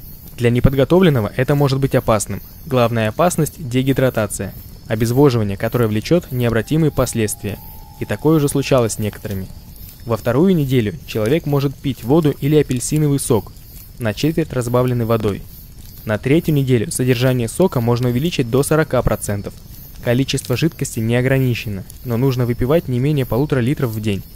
Многие, проходившие процесс, пили не апельсиновые, а какие-то другие соки. Рекомендуется проходить процесс в одиночестве, в отрыве от цивилизации. Было бы идеально, если проходящего процесс ежедневно навещал бы друг, заходящий на несколько минут, проверить, все ли в порядке. Во время процесса происходит психическая и физическая очистка – Телевизор, компьютер, работа, ежедневные дела, ссоры, проблемы. От всего этого человек, проходящий процесс, должен быть изолирован. Важно сконцентрироваться на духовной стороне процесса, без отвлечений. Именно поэтому его лучше проводить, находясь в отпуске и вдали от забот. По моим наблюдениям, люди, интересующиеся этой темой, считают, что 21-дневный процесс есть некая магическая инициация, которая позволяет человеку стать неедящим. Однако я не знаю лично никого, кто бы стал таковым после прохождения процесса. Другое дело, процесс дал этим людям уверенность в том, что они таки могут жить без пищи. 21-дневный процесс как таковой не превращает человека в неедящего или бритарианца. С технической точки зрения процесс – это комбинированное голодание, сначала сухое, затем на соках. И это очень эффективный метод очистки тела от токсинов, а при соответствующей духовной работе и психике от всяческого мусора. И если сознание не готово, 21-дневный процесс будет лишь очистительной процедурой, а не методом перехода на жизнь без еды. У каждого процесс происходит по-своему. Кто-то не чувствует ничего сверхъестественного и продолжает жить как жил, но уже без еды. А для кого-то процесс становится самым потрясающим духовным опытом в жизни. У некоторых открываются паранормальные способности. Каждый человек индивидуален, и один и тот же опыт переживается всеми по-разному. Гипнотический метод – Гипноз – это инструмент для перепрограммирования подсознания. Одна из частей подсознания ответственна за контроль и связь физического тела, психики и части внешнего мира, известной как еда. В случае с рядовыми жителями Земли эта связь носит витальный характер, то есть еда необходима для жизни. Ряд особых субстанций, называемый едой, должен регулярно, своевременно и в нужных количествах поставляться телу для продолжения существования. Но части подсознания могут быть модифицированы. Человек, стремящийся к жизни без еды, программирует свое подсознание так. Человеческое тело функционирует правильно вне зависимости, поставляется в него какая-либо пища или нет. Работая с опытным гипнотизером или проводя сеанс самогипноза, используя индивидуализированный набор изменений подсознания – можно добиться того, что перепрограммирование произойдет. Успех, среди прочего, зависит здесь и от того, насколько гипнабельным будет человек, решивший изменить свою жизнь таким образом. Это довольно рискованный и малоизученный метод достижения неедения. Главная опасность в том, что подсознанием могут быть впитаны вредоносные установки. Во время сеанса гипноза подсознание впитывает информацию как губка в воду, и каждая установка – это серьезное перепрограммирование. Важно помнить, что гипнотизер делает внушение не только одними словами. Поведение гипнотизера, его эмоции, окружающая среда, обстановка, звуки, проникающие с улицы – все это дополняет собой внушение, и мы никогда не сможем точно сказать, какая именно мелочь, как и на что повлияет. Именно потому, что в подсознании могут возникнуть какие-то нежелательные программы, я не рекомендую пользоваться этим методом для перехода на жизнь без еды, особенно если вам подходит какой-то другой. Быстро введенные в подсознание изменения, несомненно, повлекут изменения в жизни, и это может причинить страдания. Визуализация, например, гораздо более щадящий метод перепрограммирования подсознания. Этот метод может сгодиться в некоторых экстренных случаях, например, во время голода, причиной которого стала война или какая-то катастрофа. В данном случае будет гуманнее, загипнотизировав человека, внушить ему, что он прекрасно проживет без пищи, чем позволить ему медленно умереть с мыслью о том, что без еды тело не выживет. Альтернативный метод – Данный метод построен на особом расписании приема пищи. Но прежде чем приступить к переходу по этому методу, нужно сократить количество приемов пищи в день. К примеру, если вы едите 5 раз в день, начните есть 4. Привыкнув к этому, перейдите на 3 раза в день. Нужно дойти до момента, когда вы будете питаться один раз в день, и это будет для вас комфортным. Следующий шаг – начать есть через день, то есть день питания единожды в день, день голодания – то есть ваше пищевое расписание будет выглядеть так. Еда, голод, еда, голод, еда, голод. И так далее. Пройдет время, и этот ритм станет для вас привычным. Вы не будете замечать ничего необычного в этом. Вы будете чувствовать, что вам хочется есть лишь каждый второй день. Это произойдет само по себе, но вам уже не надо будет подсчитывать дни или помнить расписание. Дальше переходим на новый график. Одна еда раз в три дня. Сегодня едим, завтра и послезавтра нет. Обратите внимание на то, что день, когда вы едите еду, вы употребляете ровно такое же количество еды, как и тогда, когда вы питались ежедневно. То есть не надо удваивать, утраивать порции, чтобы наесться на 2 или на 3 дня вперед. Следуя такому графику, вы придете к тому, что будете питаться раз в неделю, потом раз в две недели. Вам будет лучше облегчить себе рацион, жидкости, фрукты. Не перегружайте пищеварительную систему, внезапно вываливая в нее большие объемы тяжелой еды. После того графика, к которому она привыкла, это может сильно ей навредить. Когда вы питаетесь несколько раз в месяц, нет ничего удивительного, если вы вдруг однажды просто забудете поесть. Если вас при этом не мучает приступ голода, то не стоит перекраивать расписание, дождитесь следующего сеанса еды. Но будьте внимательны к своему телу. Альтернативный метод может легко перейти в изнуряющее голодание с истощением, ослаблением или прочими неприятностями – в таком случае пересмотрите свое расписание, укоротите периоды без еды или работайте над расширением своей сферы сознания. Попытки. Вот некто решает начать жить без еды и исключает из своего мира любую физическую пищу. Такое решение может быть, но не обязательно, принято без подготовки. Человек наблюдает за собой, за своим разумом и телом. И если все идет нормально, жизнь без еды ему дается без проблем. Он начинает считать себя неедящим, бритерианцем или праноедом. Но если возникают симптомы, указывающие на невозможность жизни без пищи, у человека есть выбор – продолжать не есть или вернуться к потреблению пищи. Разумный выбор – снова начать есть. Почти все, кто ощущает, что их тела не готовы правильно функционировать без еды, сделали бы так. И так человек начинает есть снова, а свою неудачную попытку он может назвать просто периодом голодания. Человек некоторое время принимает пищу, его тело приходит в порядок, исчезают неприятные симптомы – он может даже подумать о том, чтобы поесть впрок, чтобы поднакопить немного жировых запасов. Известный факт, чем больше в теле жира, тем дольше человек может выдержать без пищи. Разумеется, лучше не заниматься накоплением жира, это не очень хорошо для здоровья. Чем дольше будет следующий период неедения, тем больше шансов у человека адаптировать свое тело к жизни без еды. Восстановившись, поднабрав жирку, наш герой снова отказывается от еды. И опять спустя некоторое время он может вернуться к еде, чтобы опять привести в порядок тело. Но возможно это и не потребуется, потому что он может отказаться от еды так, что тело прекрасно заработает и безо всякой еды. Но возможно это и не потребуется, потому что может оказаться так, что тело прекрасно работает и безо всякой еды. Но если человек все же начал снова есть, он может повторить попытку в любой момент в будущем, и любая новая попытка может закончиться как возвратом к еде снова, так и переходом на жизнь без еды. Но возможно выбрать иной путь. Продолжая неедение, человек ощущает, что его тело истощается и слабеет, и приближается критическая точка. Критической ее можно назвать потому, что это точка баланса между жизнью и смертью тела. После этой точки есть три пути развития событий. Переход на жизнь без еды, сильное истощение, физическая смерть. Причем второй и третий вариант наиболее вероятны в случае такого безответственного подхода. Конечно, есть исключения, но и они чрезвычайно редки. Балансирование между жизнью и смертью вводит человека в особое психическое состояние, которое не опишешь словами.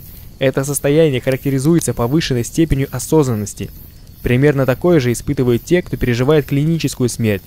Кто-то возвращается изменившимся, кто-то остается за пределами биологической жизни. Именно в такие моменты происходят случаи чудесных излечений.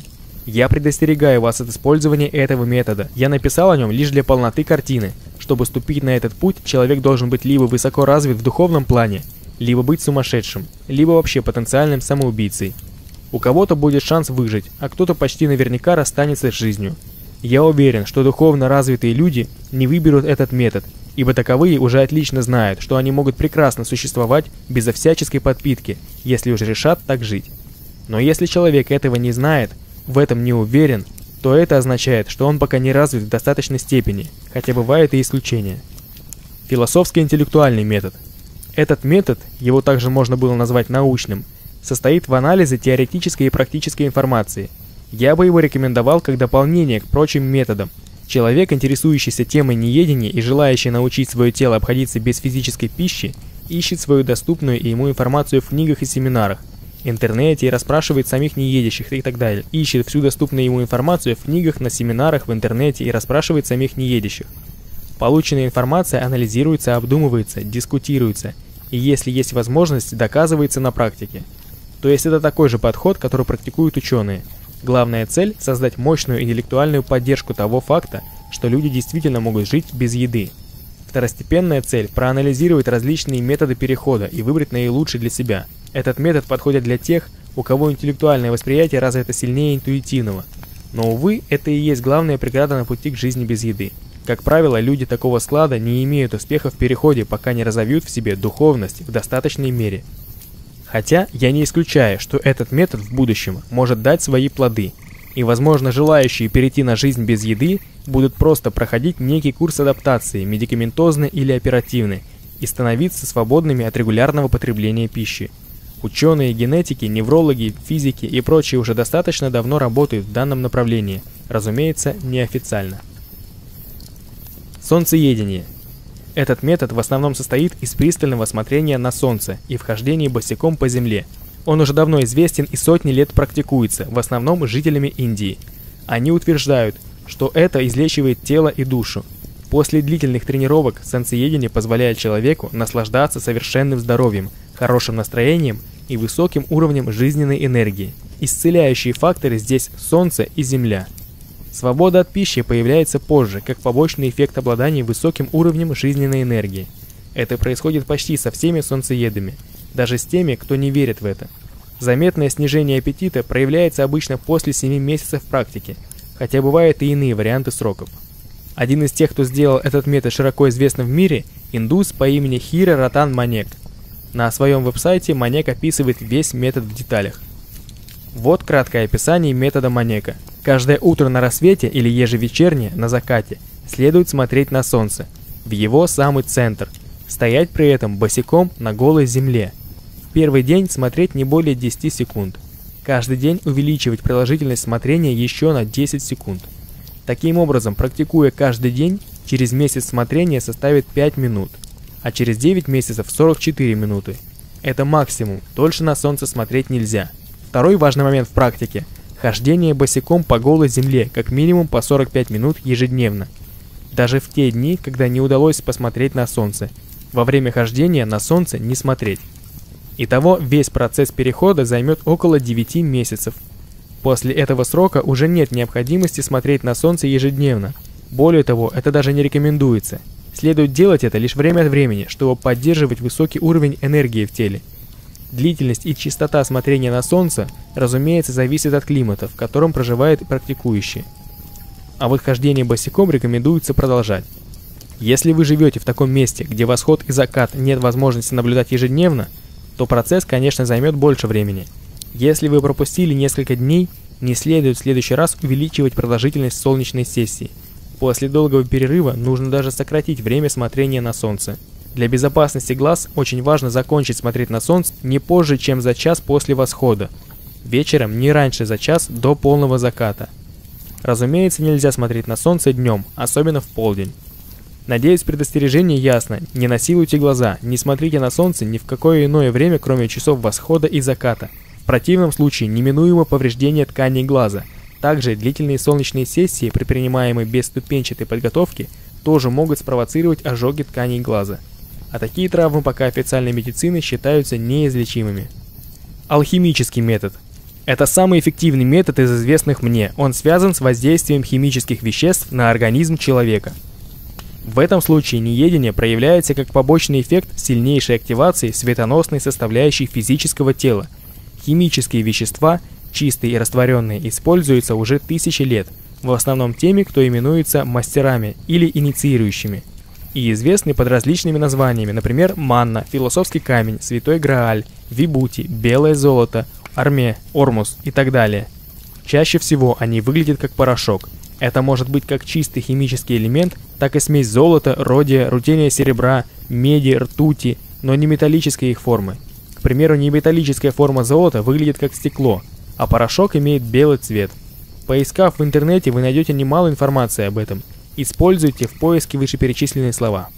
Описание чудодейственных веществ, исцеляющих душу, тело и возвращающих к жизни, часто бывают даны в зашифрованном символическом виде – их можно найти в Библии, Ведах, Коране, древнеегипетских текстах или книгах по алхимии. Секреты этих веществ передаются только тем, кто прошел длительный процесс ментальной и духовной очистки, посвятил много времени занятиям и практикам. Принятие таких веществ неподготовленному человеку может спровоцировать сумасшествие или смерть. Вот описание одной из возможных процедур. Духовно подготовленный человек сперва очищает свое тело девятидневным постом, голоданием. С десятого дня человек начинает принимать внутрь порошок или жидкость, тщательно приготовленную алхимическую композицию, состав которой зависит от преследуемой цели. Прием композиции растягивается на месяц или около того. Это опять же зависит от цели и состава принимаемого вещества. Через 40 дней телу уже не требуется никакая еда. Если, однако, голод все еще появляется, следует продолжать прием, постепенно уменьшая дозу, до того момента, пока чувство голода не пропадает совсем. Всевозможные духовные упражнения во время приема композиции существенно ускоряют процесс, активируют работу различных систем тела, увеличивается эффективность и работоспособность мозжечка и шишковидной железы. Это позволяет человеку открыть для себя новые каналы восприятия мира, новые навыки и умения. Для большинства людей алхимический метод – билет в один конец. Такая резкая активация светоносной составляющей тела практически всегда будет означать психическую травму или смерть. В лучшем случае резко изменившемуся человеку грозит полное взаимное неприятие окружающего мира, отчасти из-за того, что у него разом откроется множество нефизических каналов восприятия. Человек будет перегружен информацией. То, что он увидит и услышит, будет похоже на наркотическую галлюцинацию, хотя таковой и не будет являться. Самое, пожалуй, необычное состоит в том, что мысли такого человека будут материализоваться в разы быстрее, чем у нормального. А это означает, что следить за своим сознанием, генерирующим подчас не совсем благие помыслы, нужно во сто крат тщательнее. В 1995 году Дэвид Хадсон выступил с серией публичных лекций о некоторых веществах, полученных в его лаборатории. Эти вещества имели качества, описанные еще древними алхимиками. Исследования этого и других ученых подтвердили, что некоторые химические составы могут производить с человеком удивительные изменения. Осознанное питание. Осознанное питание, ОП, один из эффективнейших методов перехода на жизнь без еды. Осознанное питание дает вашему телу то, что ему нужно и в нужное время. Вот как это делается, шаг за шагом. Допустим, вы ощущаете голод. Действуйте по ниже следующим пунктам. Первое. Остановитесь ненамного. Расслабьте тело и разум, спросите себя, а что это со мной? А теперь почувствуйте ответ, не думая о причине голода. Вам нужно именно почувствовать. Чем больше ощущений и чем меньше интеллекта вовлечено в процесс, тем больше сознание проявляет себя. Обдумывание – процесс ограниченный по сравнению со сферой сознания, так что прочувствуйте ответ на свой вопрос. И возможно на этом этапе голод пропадет. Второе. Вы все еще голодны? Идем дальше. Спросите себя, что именно вам хотелось бы съесть. Вспомните различные виды еды и выберите именно то, что вас сейчас привлекает. Поняв, что это, представьте, что вы это едите. Представьте, как пища наполняет ваш рот и желудок. Теперь снова спросите себя, что это со мной, и прочувствуйте ответ. Если голод пропадает, можете остановиться. Попутно внимательно проследите все свои мысли, возникающие во время процесса.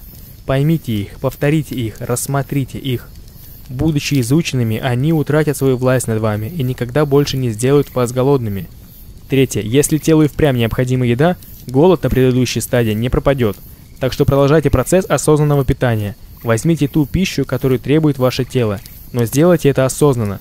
Осознавайте, обдумывайте, смакуйте каждое ваше движение, каждый элемент процесса, выбор, распаковка, приготовление, разрезание. Следите за тем, что происходит внутри вас, внутри сознания. Продолжайте спрашивать себя, что это со мной. Старайтесь ощутить ответ – на этой стадии голод может пропасть, а вы узнаете о себе много нового. Если опять не получилось, следуем далее. Вот вы сидите перед тарелкой с той едой, которую так желали. Вот вы сидите перед тарелкой с той едой, которую желали. Медленно возьмите кусочек, продолжая наблюдать за всеми реакциями тела. Спрашивайте себя, что это со мной? Не ищите ответа в разуме, постарайтесь ощутить его. И опять же, на этом этапе голод вполне может исчезнуть. Если нет, действуем далее. Пятое. Откусите кусочек, подержите во рту. Прочувствуйте его всем телом, как оно реагирует на проявление столь вожделенной пищи. Чувствуйте, наблюдайте и не думайте.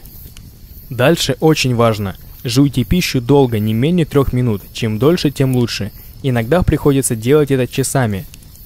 Глотайте только тогда, когда содержимое вашего рта превратится в жидкость и изменит вкус. Не глотайте пищу, пока вкус не изменился, иначе это не будет осознанным питанием. Чувствуйте, но не думайте. Пока вы жуете, вкус пищи может вам показаться отвратительным, и вы не захотите это глотать. Выплюньте ее. Седьмое. Поступайте так же с каждым кусочком еды, пока не наедитесь. Делая это, будьте уверены в том, что удовлетворяете насущную потребность тела. Используя осознанное питание, вы в свое время осознаете то, что делаете. Процесс начинается с ощущения голода или жажды. Проходя через стадии осознанного питания, вы узнаете правду о том, откуда берутся эти ощущения и что они собой представляют. Если это не есть необходимая потребность тела, то вы не станете есть, тем самым нагружая пищеварительную систему. Лучшая забота о теле – давать ему то, что нужно в необходимых количествах в правильные сроки.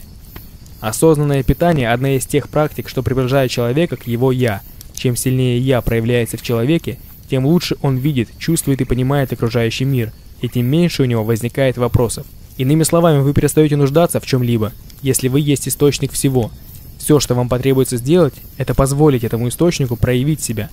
В обычных условиях нашей ежедневной жизненной рутины я задавлена интеллектуальной частью разума. Осознанное питание и иные техники увеличения осознанности делают интеллект не таким болтливым, гораздо более тихим и восприимчивым голосу интуиции. Так как интуиция напрямую связана с «я», ей известно абсолютно все, она имеет решение для всего и даст вам любой совет, какой бы ни понадобился. Осознанное питание, осознанный сон, осознанные разговоры, осознанные. Что бы вы ни делали осознанно, это заставляет вас становиться более осознанным в целом, расширяет сферу сознания, в которой вы живете. Чем шире эта сфера, тем меньше вопросов, ибо сомнение меняется на знание. Таким образом, переход на жизнь без еды, жизнь без воздуха, жизнь без сна и чувствительности к температуре окружающей среды – лишь вопрос вашего решения. Ваш собственный метод – Всякий человек живет в собственном мире.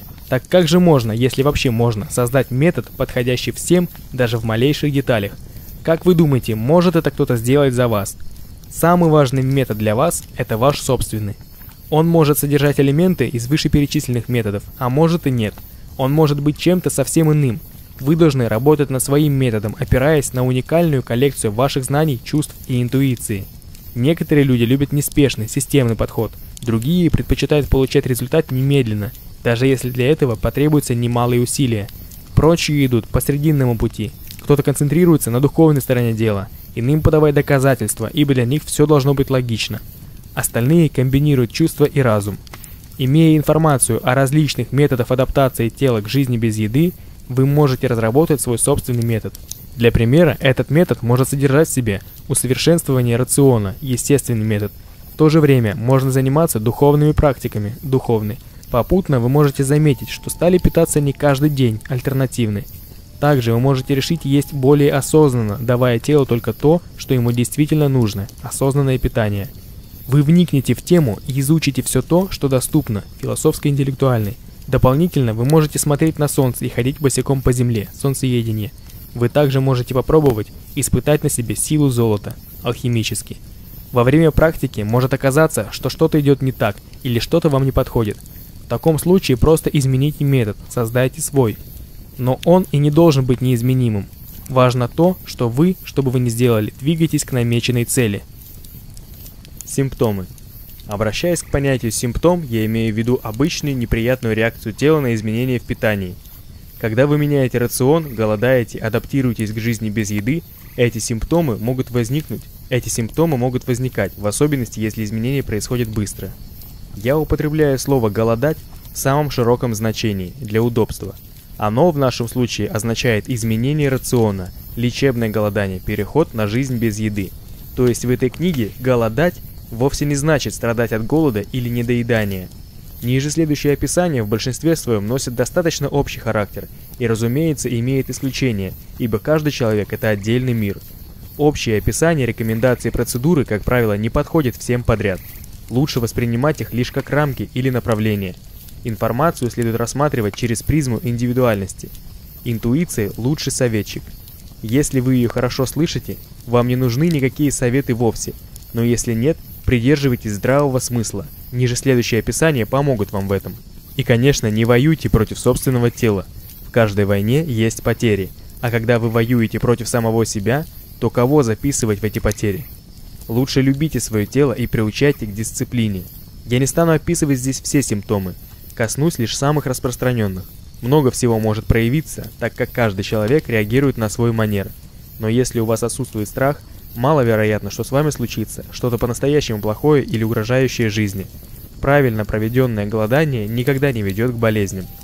Если у вас все же есть какие-то сомнения относительно голодания, советуйтесь с компетентным человеком, лучше всего с врачом, опытным в вопросах лечебного голодания.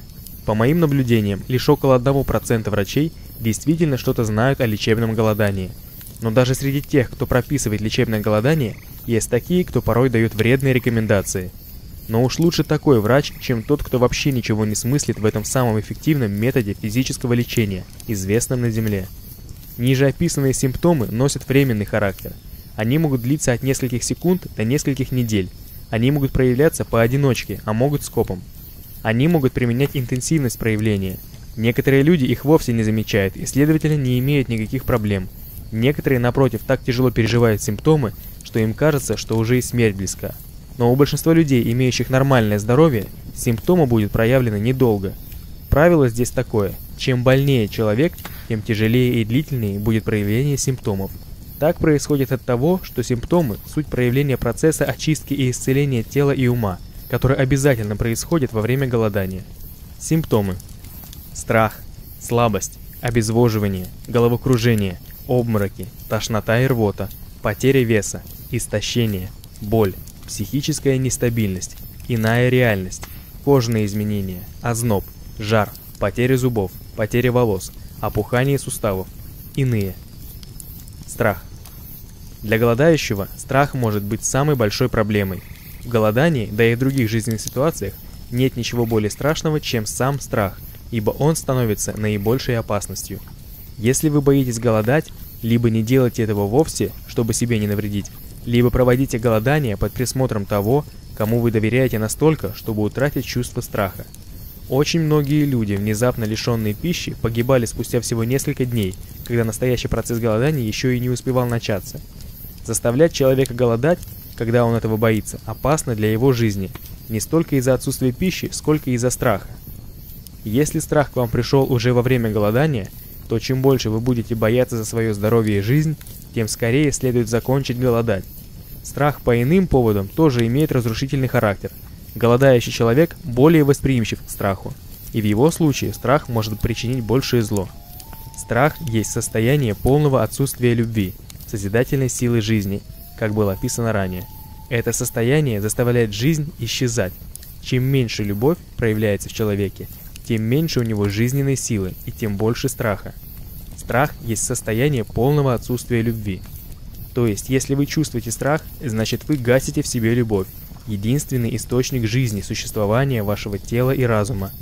Если вы позволите любви, источником которой являетесь, проявить себя, то страх пропадает. Страх и любовь никогда не появляются одновременно. Если вы хотите избавиться от подступающего страха, используйте это упражнение, которое высвободит любовь, находящуюся в вас. Сядьте или лягте в расслабленной позе. Пусть вокруг вас будет тишина. Утихомирьте свой ум. Дышите свободно и спокойно. Сосредоточьтесь на ощущении любви, источником которой вы являетесь, и которая естественным образом лучится в вас. Почувствуйте, что внутри вас бьется источник вашей жизни. Он бьет настолько мощно, насколько ваш ум может позволить ему это. Пусть он проявит себя в полную силу, Пусть Он, как солнце, зальет любовью вас и все вокруг. Ощущайте любовь в себе и вокруг вас. Ничего не пытайтесь создать или придумать. Просто позвольте любви проявиться такой, какая она есть. Слабость. Чувство физической слабости – один из самых распространенных симптомов. Но кто-то может сказать, что слабость – это нормальное явление. Некоторые люди, особо сильно привязанные к пище, ощущают слабость уже после нескольких часов голодания. Чувство слабости сигнализирует, что тело начинает чувствовать изменения в графике поставки пищи. График сбит, тело реагирует. Кто-то может и не ощутить слабости вовсе, такое бывает редко. Кто-то почувствует ее лишь несколько раз, а с кем-то она пробудет весь период голодания. Независимо от причины появления и длительности, слабость указывает на понижение уровня жизненной энергии. Что с этим делать? Зависит от ситуации и от человека. Кому-то, кто физически активен, лучше немного отдохнуть. Кому-то, кто напротив ведет пассивный образ жизни, будет неплохо прогуляться, размяться, проехаться на велосипеде и искупаться. Во время голодания умеренные физические и энергетические упражнения идут только на пользу. Когда тело двигается, энергия течет лучше, вымывая застой в самых укромных уголках этого тела. Не рекомендуется делать силовые и изнуряющие упражнения. Лучше те, в которых ум сосредоточен на токе энергии по телу. Изометрическая гимнастика, йога, цигун, тайцзи действует очень благотворно. Хорошо заниматься этим регулярно, исключая те моменты, когда телу нужен полноценный отдых и оно требует сна. Во время голодания человек может проводить часы и даже целые дни в абсолютной пассивности. Сил нет ни на что, даже выйти прогуляться. Остается только лежать и отдыхать. Возможно, потребуется больше сна. Эти явления вызываются выбросом в кровь токсинов, которые в обычном состоянии человека хранятся в тканях и отравляют организм мало-помалу.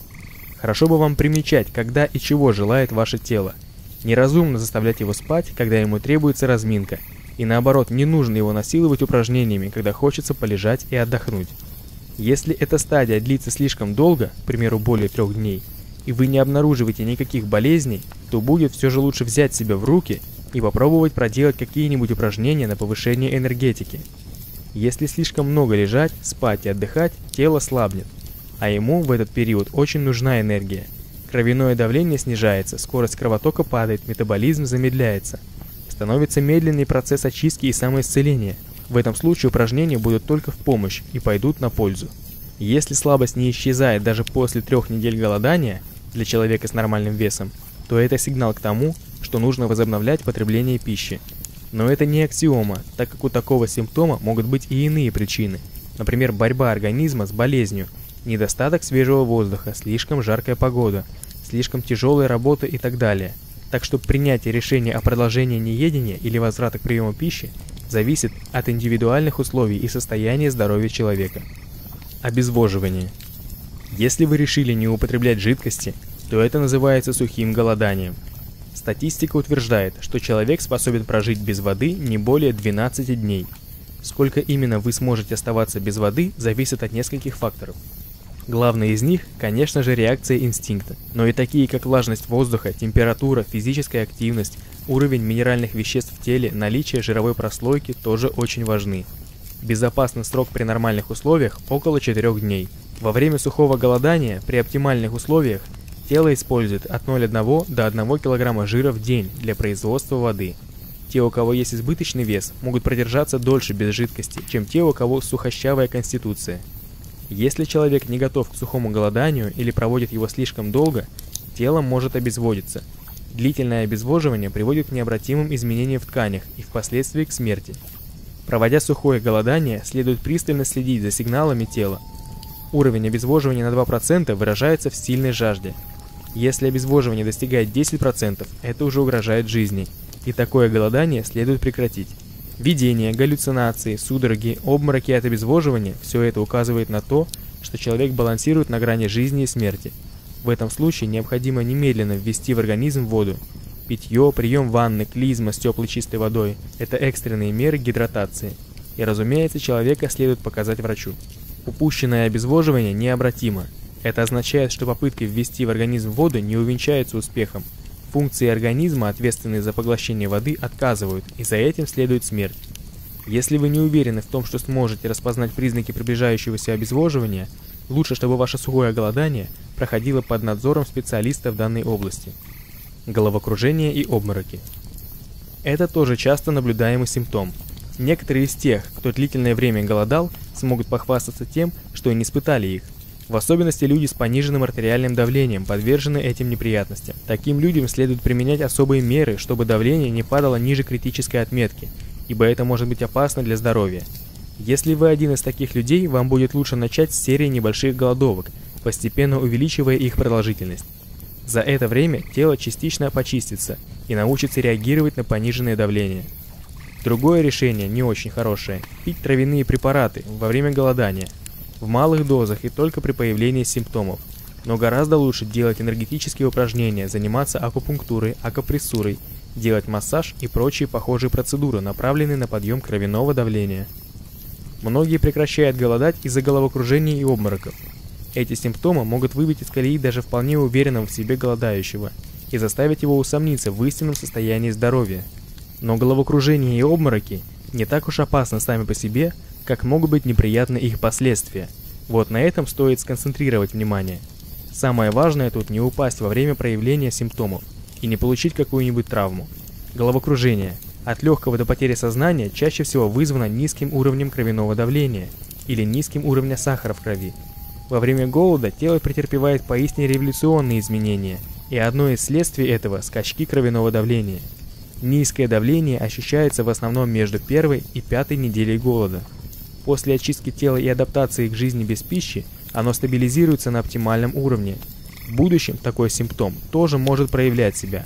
Это будет зависеть от индивидуальных особенностей человека и от таких факторов, как потребление жидкостей, чай, кофе, температура и влажность воздуха, атмосферное давление и прочее. Но скачки давления сами по себе не так страшны. Особо пристальное внимание нужно уделить собственным телодвижениям. Резкие движения, быстрая перемена позиции тела – к примеру от лежания к вставанию, могут привести к скачкообразному понижению давления. Если вы собираетесь встать, лучше обопритесь на что-нибудь и вставайте медленно, не спеша. Если вы ощущаете головокружение, прекратите движение, сядьте или лягте. При резких движениях может возникнуть потемнение в глазах. Лучше заранее научиться себя вести при появлении таких симптомов, как потемнение в глазах. Оно происходит из-за того, что кровь резко отливает от головы. В этом случае помощь будет следующее – Нужно принять такую устойчивую позицию, в которой голова оказалась бы ниже торса. Встаньте на колени, опустите локти на пол, вытяните руки вперед, опустите голову вниз, между руками, так, чтобы увидеть собственные бедра. Если головокружение не проходит, лягте на спину и положите ноги на что-нибудь, так, чтобы они оказались выше торса. Если головокружение не проходит очень долго, или при этом симптом проявления слишком часто, следует подумать о прекращении голода и проконсультироваться с врачом. Вполне возможно, что стоит проверить уровень сахара в крови. Тошнота и рвота. Это частые симптомы для тела, в котором происходит процесс самоочистки. Тело голодающего не тратит энергию на пищеварение. Эта энергия идет на очищение. В процессе растворения, разжижения застарелых залежей грязи в различных закоулках организма в кровь периодически вбрасываются разнообразные токсичные вещества. Кровь доставит их к выходу, чтобы тело их выбросило – Но так как кровеносная система едина, загрязненная кровь успевает пробежаться по всему телу, не исключая и мозг, тот его участок, который ответственен за тошноту и рвоту. Другая причина, по которой могут возникать эти симптомы – язвы, абсцессы, кисты, не до конца зажившие раны, гнойники, опухоли, любые поражения внутренних органов, о чем голодающий может и не знать. Тело в процессе голодания вскрывает все эти образования и пытается избавиться от них любым возможным способом. Так что в этом случае лучше помочь своему телу и немного потерпеть. Возврат к еде в такой ситуации, конечно, избавит от проявления симптомов, но и остановит незакончившийся очистительный процесс. Для примера расскажу историю одного человека. В 40-летнем возрасте он устроил себе длительное очистительное голодание. Надо сказать, в детстве его лечили медикаментами, содержащими ртуть. На девятый день голода он внезапно почувствовал себя плохо. У него началась сильная рвота, после рвоты ему сразу стало легче. В рвотных массах он обнаружил ртуть, около четверти стакана. То есть его тело с детства носило эту ртуть в себе, и лишь во время голода эти закрома открылись и отравляющее вещество было выброшено. Тошнота и рвота не должны вызывать особого беспокойства. Проблема уходит сама со временем. Нужно лишь подождать от нескольких часов, в редких случаях до нескольких дней, Прогуливайтесь, посещайте места с чистым воздухом, делайте упражнения. Движение ускоряет процесс очистки от токсинов. Также, если хотите, можно вызвать рвоту с помощью теплой воды. Очень хорошо помогает избавиться от выводящихся в кишечник токсинов клизма. Если во время рвоты отделяется кровь или желчь, стоит проконсультироваться с врачом. Но скорее всего это будет означать, что ваше тело еще не закончило с очисткой и ему нужно голодать чаще. Акт рвоты приносит облегчение, потому что тело выбрасывает яд. После ощущается прилив энергии и человек чувствует себя лучше, чище изнутри. Потеря веса. Это тот симптом, случай которого следует рассматривать индивидуально. Когда полный человек избавляется от лишнего веса, это явление благотворное. Но если вы были и без того достаточно худы, и теперь еще больше потеряли вес, стоит задуматься о возможности истощения. И если в первом случае нужно продолжать голод, то во втором лучше вернуться к еде. Также индивидуальными являются скорость и объем потери веса. Как правило, эти показатели стабилизируются после первых дней голода. Быстрая потеря веса в первые дни, как правило, идет за счет очистки кишечника и разнообразных отложений, и избавления тела от лишней воды, что особо заметно во время сухого голодания. Если в первую неделю голодания тело может терять около килограмма в день, то дальше потеря веса будет составлять лишь килограмм в неделю – в редких случаях потеря веса может составлять и 15 кг за день. Я знаю двух человек, чьи тела отреагировали на голод таким образом. Но бывают и такие, кто теряет всего несколько килограммов за весь период голодания.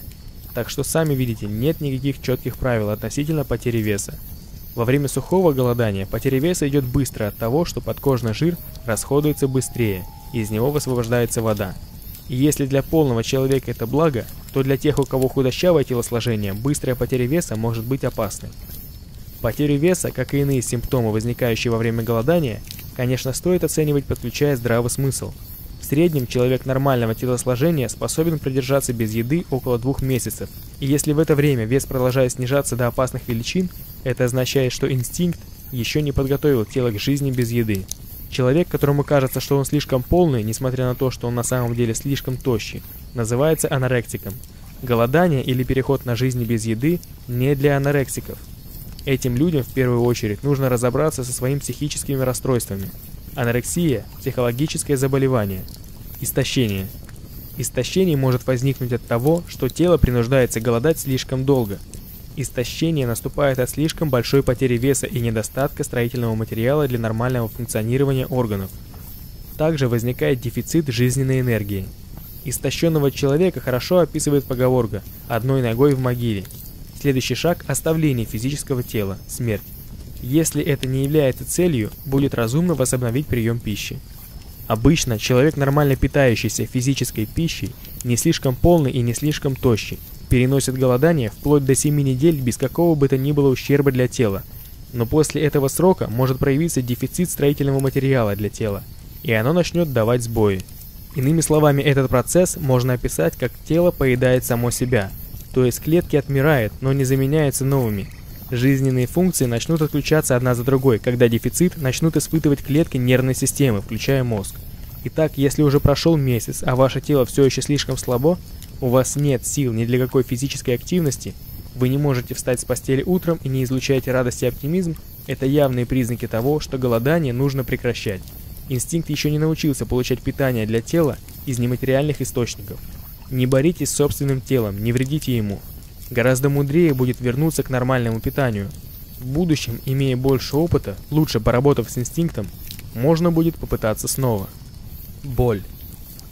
Вы можете ощущать боль в любых частях тела. Головная боль – самый частый симптом, обычно он проявляется первым. Другие виды боли в области сердца, желудка, печени, почек, суставов, позвоночника, кишечника, мышечные боли могут проявляться в любое время и длиться от нескольких секунд до нескольких дней. Боль в том или ином органе во время голода означает, что тело избавляется от причины болезни. Орган восстанавливается, приводит себя в норму. Так что боль больше причина для радости, нежели для беспокойства. Чем сильнее и продолжительнее боль, тем, видимо, больше проблема в болящем органе. Бывает так, что орган начинает о себе напоминать болью только во время голода. А до начала голода человек мог и не знать о своей проблеме. Чем дольше голод, тем больше очагов болезненности, тем вернее можно говорить о процессе очистки и самовосстановления тела. Но бывает и так, что в прошествии нескольких счастливых месяцев без еды вдруг появляется колющая боль в области сердца.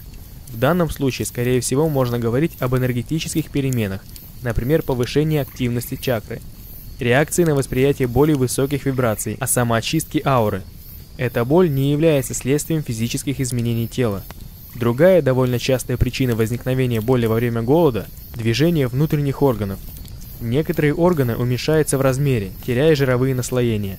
Из-за этого органы стремятся найти новое, более выгодное взаимное расположение.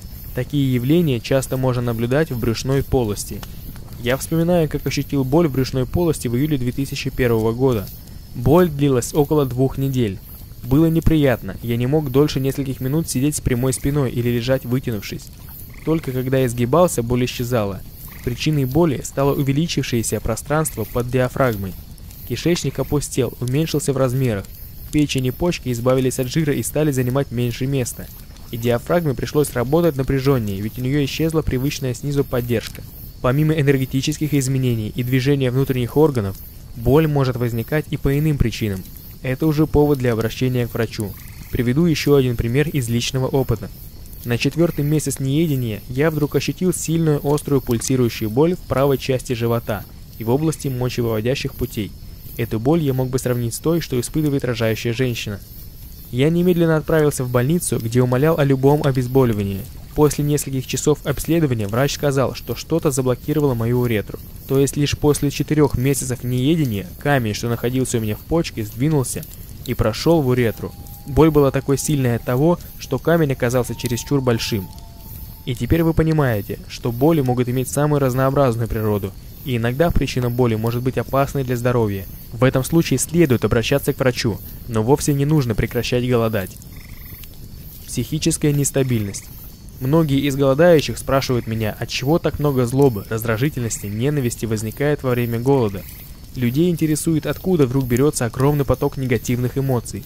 Члены семей с трудом выносят такого изменившегося родственника. Настроение у голодающего становится непредсказуемым. Бывают вспышки ярости, агрессии, человек может внезапно накричать или расплакаться, но через секунду настроение вновь меняется на благостное. Иные проявления – депрессия, потеря интереса ко всему происходящему, печаль – Люди испытывают состояние, когда ничто не имеет значения. Угрызение совести, потеря интереса к жизни, даже желание скорейшей смерти – вот такие проявления бывают у психической нестабильности. Вышеописанные состояния, несомненно, пройдут, ибо это есть процесс очистки психики.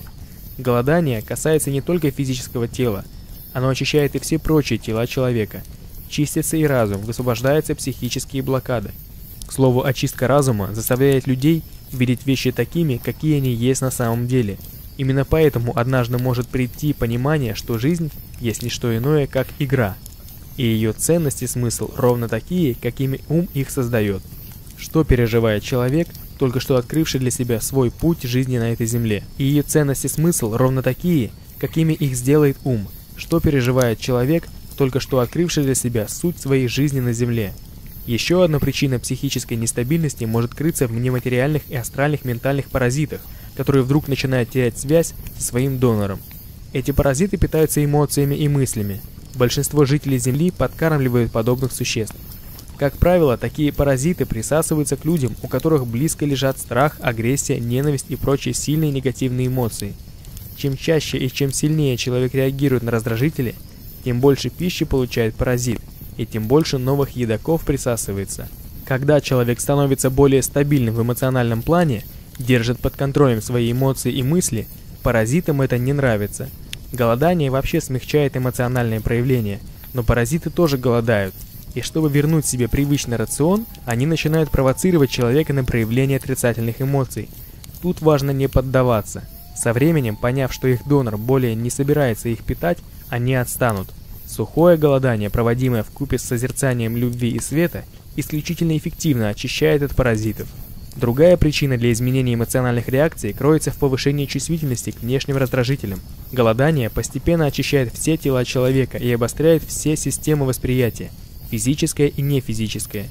Так что человеку, ставшему более чувствительным, нужно некоторое время, чтобы приспособиться к новым ощущениям.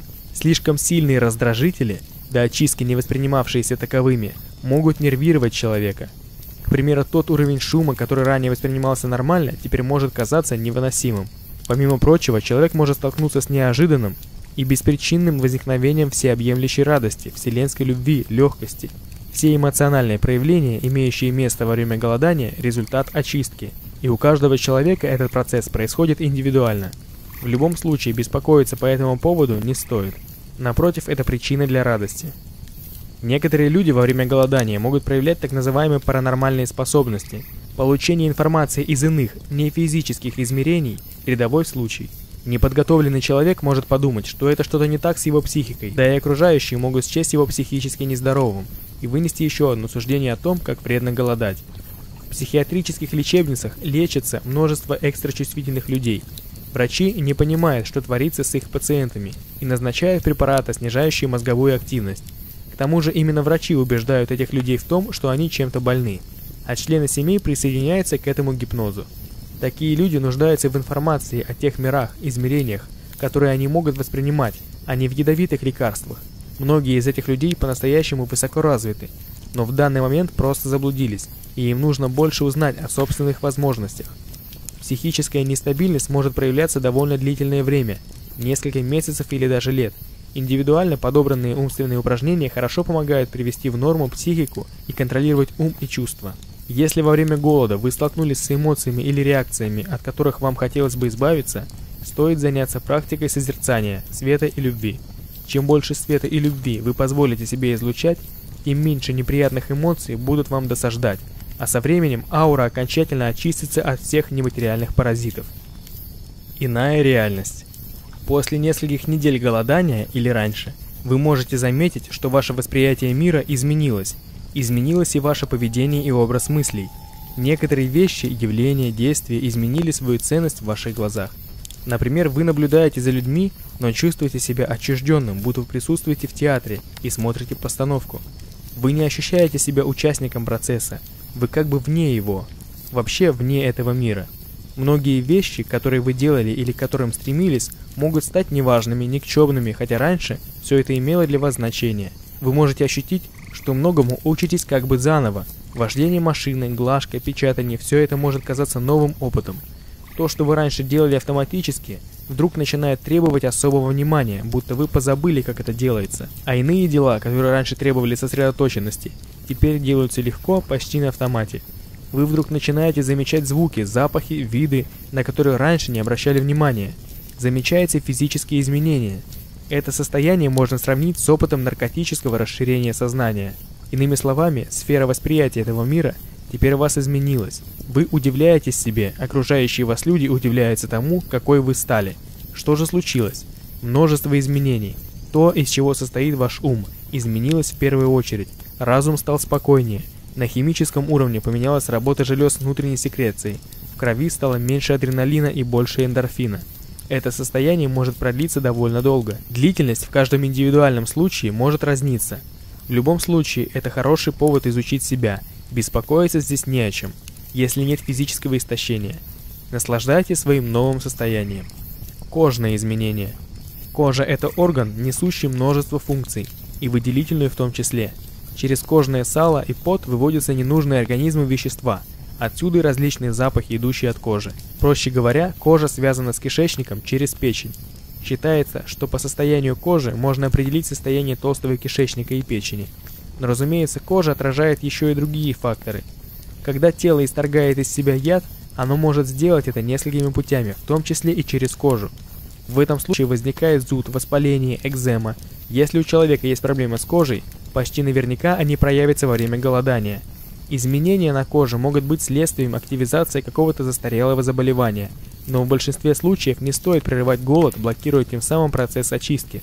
Со временем, по мере избавления от причин болезни, очистится и кожа. В особых случаях, когда человек продолжает голодать, невзирая на истощение, Кожные изменения сигнализируют о сбое в работе иммунной системы и о проблемах, с которыми тело не в состоянии справиться само. В этом случае следует снова начать есть. Суммируя вышесказанное, можно утверждать, что аллергическое высыпание и прочие кожные проблемы в основном не повод для прекращения голодания. Исключение – последний случай. Озноб. Если вы или ваши родственники проходили через опыт голодания, то вам должно быть известно, что такое озноб во время голода – Несмотря на то, что окружающая температура нормальная, у человека холодные руки, ноги, нос, уши. Может даже проявиться легкий насморк, будто человек простудился. Все это может иметь место безотносительно того, как тепло человек одет. Я сам видел и разговаривал с неедящими, одетыми по-зимнему, хотя на улице было плюс 25. Их руки были синими от холода, лицо выражало страдания, и они сами были укутаны во множество одежд. Один мой знакомый как-то сказал на это – это не просто переносить, но я уже привык к тому, что мне холодно, когда я голодаю. Человек ощущает холод не потому, что он одет несоответствующим климату или погоде образу. Хотя, конечно, общественное мнение сформировало установку на то, что тело испытывает холод или тепло в зависимости от окружающей температуры. Главная причина ощущения температуры в количестве и методе распределения жизненной энергии в теле человека. Проще говоря, чем больше у человека энергии, тем комфортнее он себя ощущает, даже невзирая на окружающий мороз. Тоже и с жарой. Как бы жарко не было, тот, у кого уровень энергии высок, будет ощущать себя нормально. Но если энергия не достает, или человек не знает, как ее использовать, чтобы контролировать собственную температуру, он по-прежнему будет зависим от жары и холода. Можно сделать вывод. Если вы во время голодания мерзнете, можно помочь себе, сконцентрируясь на распределении внутренней энергии – для освоения этого будут полезны визуализации, энергетические упражнения и контрастный душ будет описан ниже. Все это может сделать человека безразличным к холоду. Много горячего питья не лучший выход. Во время питья и чуть погодя вам, конечно, будет тепло, но все же со временем вы перегружаете тело лишней жидкостью и даете лишнюю работу выделительной системе. Потоки энергии в теле отвечают за наше восприятие холода и тепла – вы легко обнаружите, что ощущение жарко и холодно субъективны и зависят от умения управлять внутренней энергией. Физические факторы, влияющие на ощущение тепла, в основном отражают работу кишечника, печени и селезенки. Если с этими органами что-то не в порядке, они препятствуют свободной циркуляции энергии. Очистка кишечники, печень в этом случае чистится автоматически, поможет человеку наладить энергообмен. Это позволит не мерзнуть зимой и не сильно потеть в жару. Жар. Тело повышает свою внутреннюю температуру во время борьбы с паразитами. Это одна из защитных функций. Во время голода иммунная система усиливает работу, обнаруживает очаги бактериального заражения и начинает очистку. При этом бактерии попадают в кровоток и циркулируют по всему телу, вызывая повышение температуры. Так проходит естественный процесс самоисцеления. Если жар возник во время голода, лучше всего будет просто дождаться, когда он исчезнет сам собой. Пейте больше теплой воды, ни чай, ни кофе, ни сок. Лягте в кровать, отдыхайте, спите больше. Как правило, жар длится не более нескольких часов, в некоторых случаях до нескольких дней.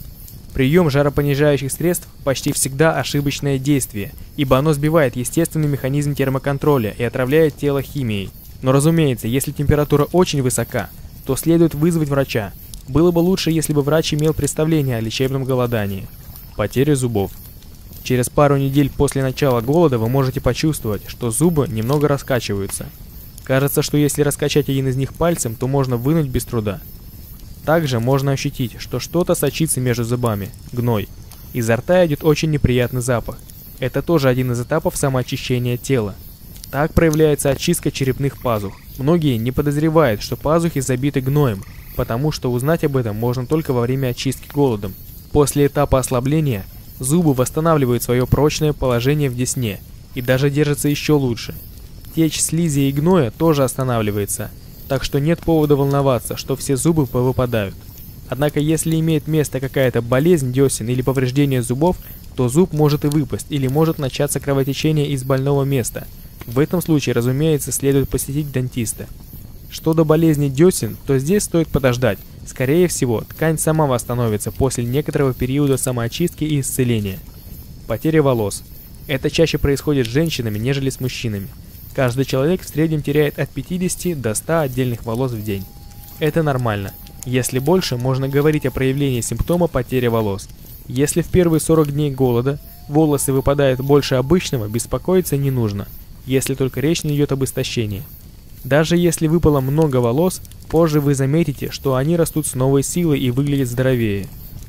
Если тело исхудало и волосы начали выпадать после шестой недели голодания, Скорее всего, это означает, что началось истощение. Это тот случай, когда голод уже не идет на пользу. Полным людям нечего опасаться истощения, им сначала нужно достичь состояния гармоничного тела. Выпадение волос – временное явление. Вместо выпавших вырастут новые. Опухание суставов. Проявляется в первый или во второй месяц голода. Суставы опухают, но боли нет. Также могут болеть суставы, бывшие ранее поврежденными, теперь они восстанавливаются настолько, насколько это возможно – Питье жидкостей, содержащих соли, также может спровоцировать опухание суставов. Также слишком много обычной воды может повлиять на проявление этого симптома. Если суставы опухают при сухом голодании или при нормальном потреблении воды, это означает, что они чистятся, избавляются от накопившейся соли. Делать ничего не надо, только ждать. Опухоли сойдут через некоторое время. Принимать какие-либо химические вещества было бы ошибочно. Иное. Каждый проходит через голод по-своему – есть множество симптомов, телесных и психических, которые могут проявиться во время голода. Важно в это время держать в уме привлекательную картинку с самим собой, находящимся в изумительном состоянии здоровья, счастья и гармонии. Излишнее внимание, направленное на проявившийся симптом, только усилит его и причинит больше неудобств. В большинстве случаев достаточно лишь подождать, чтобы симптомы исчезли, ведь они – суть проявления самоочистки тела.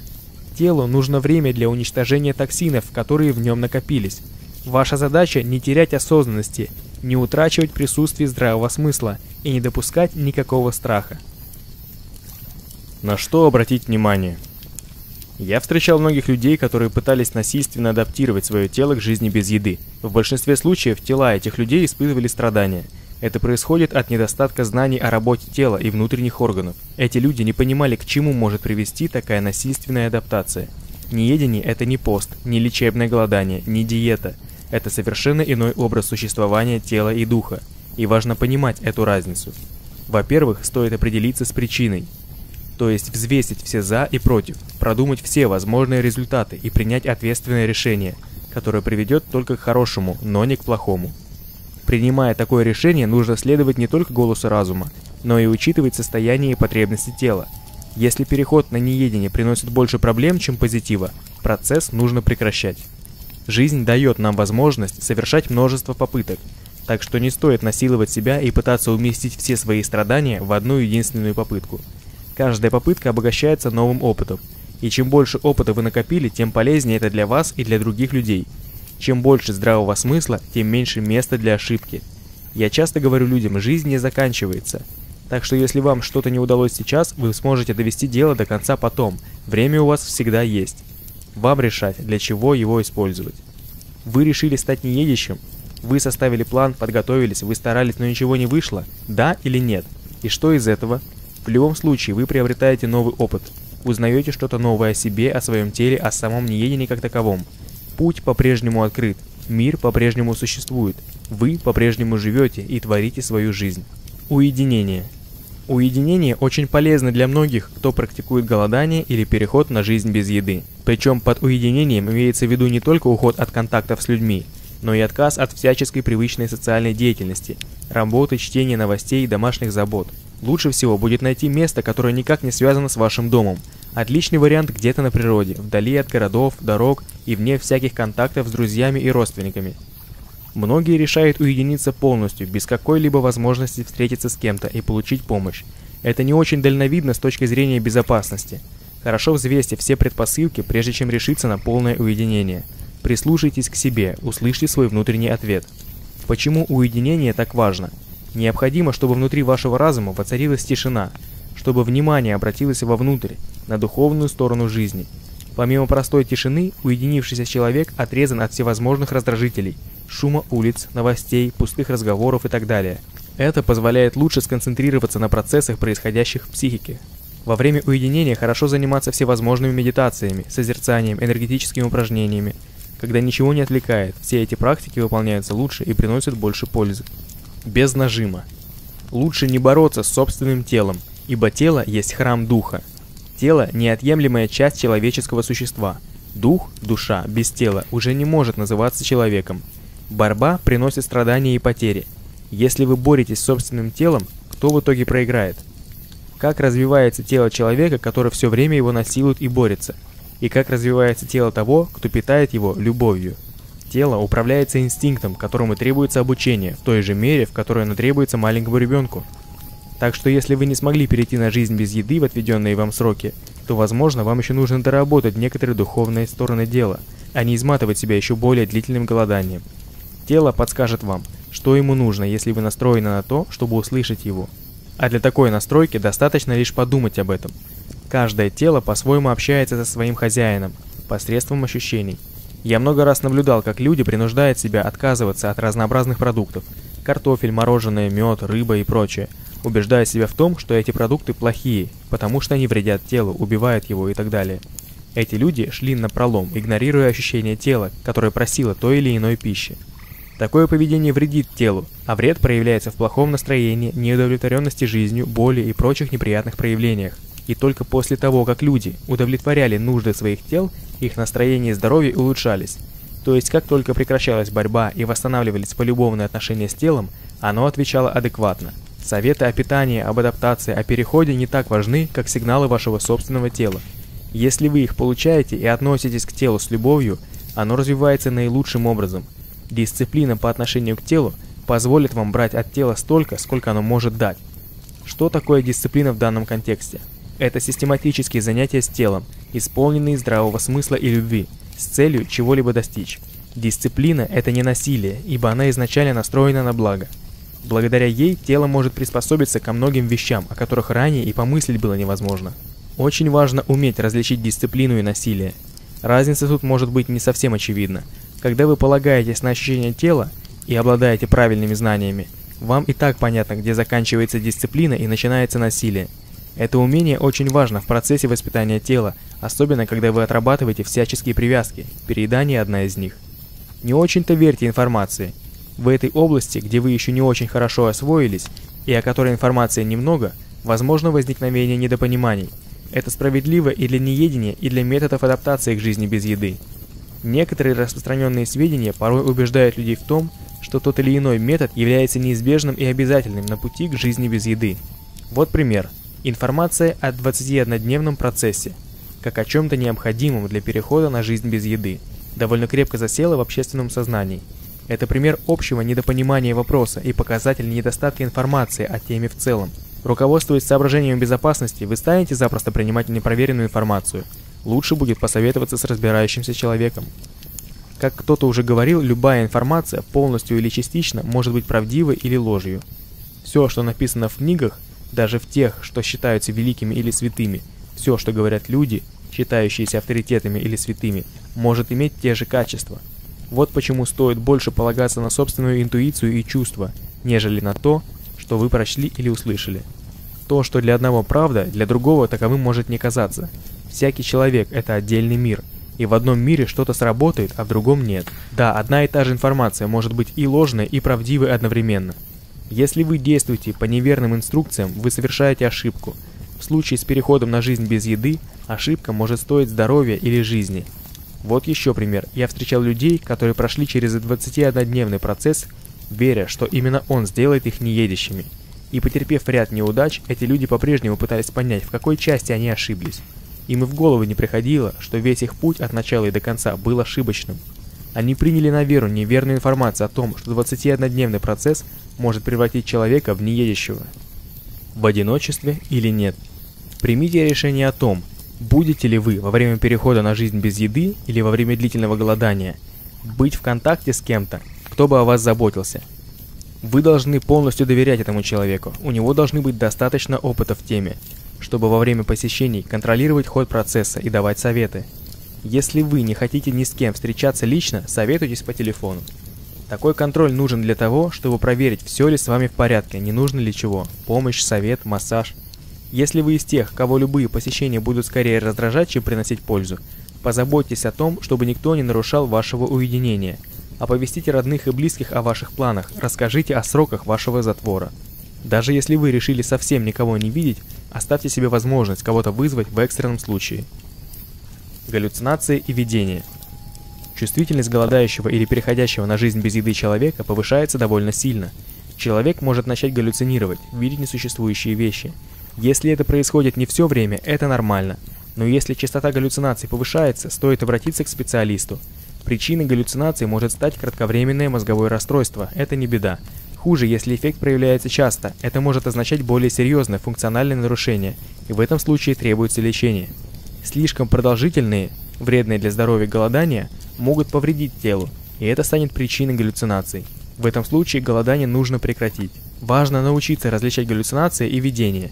Видение – это наблюдение за объектом нематериального мира или иного времени, которое становится возможным из-за повысившегося уровня восприятия человека. Очищение тела раскрывает новые возможности мозга, и человек может обрести так называемые паранормальные способности. Одна из них – умение видеть иные миры, измерения или существ, их населяющих. Галлюцинации – суть доказательства того, что в теле что-то идет не так. Может быть, процесс адаптации идет слишком быстро. Также этот симптом может спровоцировать временное отравление токсинами, выходящими из организма. А видение – следствие развития сверхчувствительности, пробуждение паранормальных способностей. Это не галлюцинации, и это не нужно лечить, это нужно изучать, научаться обращаться с этим, интерпретировать это. Осведомленные в этой теме люди могут оказать существенную помощь в понимании и освоении ваших новых способностей. Здоровье. Некоторые считают неедение чем-то вроде лечебного голодания. Они считают, что жизнь без еды – метод оздоровления, но неедение отличается от голодания – Неедение – это образ жизни, который принимает для себя здоровый человек. Лечебное голодание – это метод приобретения этого здоровья. Лучше не начинать переход на жизнь без еды, если со здоровьем не все в порядке. Сперва следует привести здоровье в норму, а уже затем начинать применять на себе жизнь без еды. Процесс перехода станет куда более неприятным и болезненным, если вы не долечили что-то до конца. Многие, считающие себя здоровыми, попросту не обращают внимания или не замечают симптомов различных болезней – Чаще всего это касается заболеваний печени, почек, толстого кишечника. К примеру, многие жители западного общества имеют в своем кишечнике колонии грибов-паразитов, иными словами микоз кишечника. Такие паразиты могут жить и в других органах. Это безболезненно, незаметно для человека, но все же болезнь, от которой, однако, можно без труда избавиться. Для перехода на жизнь без еды есть одно противопоказание – умственные расстройства. Лучше даже не упоминать о факте возможности жизни без еды в присутствии больного умственного неполноценного человека. Но если такой человек все же решил перейти на жизнь без еды, этот процесс нужно строго контролировать. Температура тела.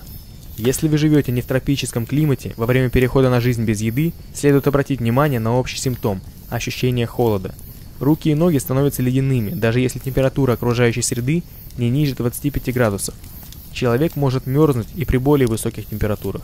Если ощущение холода вам мешает, обратите на это пристальное внимание. Этот симптом недостатка жизненной энергии. Если температура тела опускается до 35 градусов, следует принимать меры, ибо это уже не есть рабочая температура. Если вы мерзнете, но к еде возвращаться не хотите, начните одеваться теплее и регулярно выполняйте энергетические упражнения. Прибавьте к этому соответствующую визуализацию к примеру, где вы представляете собой источник тепла, греющий все вокруг и греет как огонь. Если все же чувство холода длится долго, в сравнении, к примеру, с другими голодающими, стоит проверить печень и селезенку. Есть шанс, что они работают недостаточно эффективно. Если конечности долгое время остаются холодными и синеют, согрейте их. Перед сном надевайте теплые носки и перчатки, это помогает, но все же не является решением проблемы.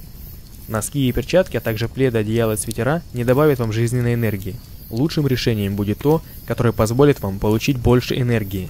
Настоящий неедящий практически независим от температуры окружающей среды. Он будет чувствовать себя комфортно при достаточно широком спектре температур. Телу, особенно претерпевающему революционные изменения, может потребоваться немного дополнительного тепла. Это помогает сохранить жизненную энергию для обогрева и для иных дел. К примеру, духовных занятий. Именно поэтому переход на жизнь без еды легче проходит летом, если вы не живете в тропиках.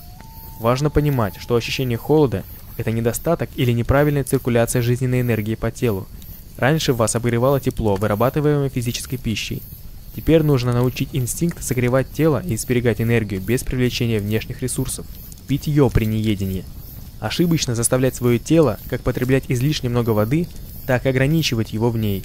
Пить воду или иные жидкости нужно ровно только в тех количествах, которые требует тело в данный момент. Переизбыток или недостаток воды вредит телу. Когда вы пьете слишком много, вы перегружаете пищеварительную систему, нагружаете почки. Избыток воды может вызвать отекание ног и лица. Также это приводит к увеличению отделяющейся слизи, которая удаляется с кашлем и насморком. Вода – замечательный растворитель и энергоноситель, но перебор с ней требует дополнительной энергии.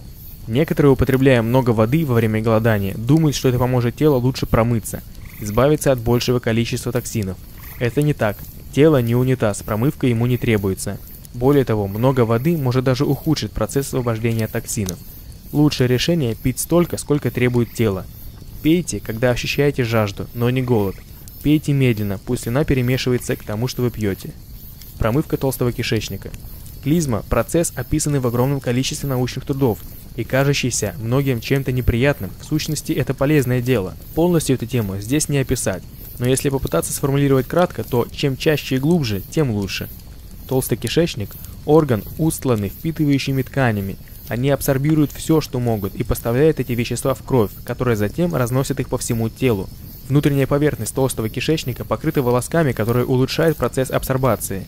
Но с годами слизь и отложения в кишечнике блокируют волоски, кишечнике возникают зоны, в которых начинают накапливаться неустранимые залежи всевозможных отходов, под которыми могут зреть очаги воспалений. Но даже чистые, эти волоски – отличная среда для размножения всевозможных микробов, бактерий, грибных культур и иных паразитов. Жизнедеятельность паразитов измеряет химическую структуру кишечника, и та флора, которая нужна человеку, погибает. Отравляется кровь, а за ней и все тело, в этом кроется большинство причин болезней, которым поврежден современный человек. Доктора, практикующие гидроколонотерапию, клизму, говорят, что после нескольких хороших промывок кишечника можно увидеть то, что человек съел несколько лет назад. Неустраняемые отложения с годами нарастают, нарастают, увеличиваясь в объеме, часто превращаясь в фекальные камни. Внутренний просвет кишечника в таких местах сильно уменьшился, что является причиной запоров. Попутно эти отложения травят человека через стенки кишечника и кровь. В конечном итоге печень перестает справляться со своими обязанностями, и токсины начинают беспрепятственно блуждать по телу. Человек испытывает непрекращающееся отравление. В конечном итоге печень перестает справляться со своими обязанностями, и токсины начинают беспрепятственно блуждать по телу. Человек испытывает непрекращающееся отравление. Это часто видно по лицу и даже по коже человека. Часто болезни, хроническая усталость, головные боли, быстрое старение, мутные или желтые глаза – вот признаки отравления всего тела, которое началось с толстого кишечника. Очистка кишечника изнутри возвращает ему его функции и оздоравливает тело. Когда человек прекращает есть, кишечник замедляет работу, а потом и вовсе останавливается. Остатки пищи, тем не менее, остаются внутри вместе с невыведенными фекалиями и слизью.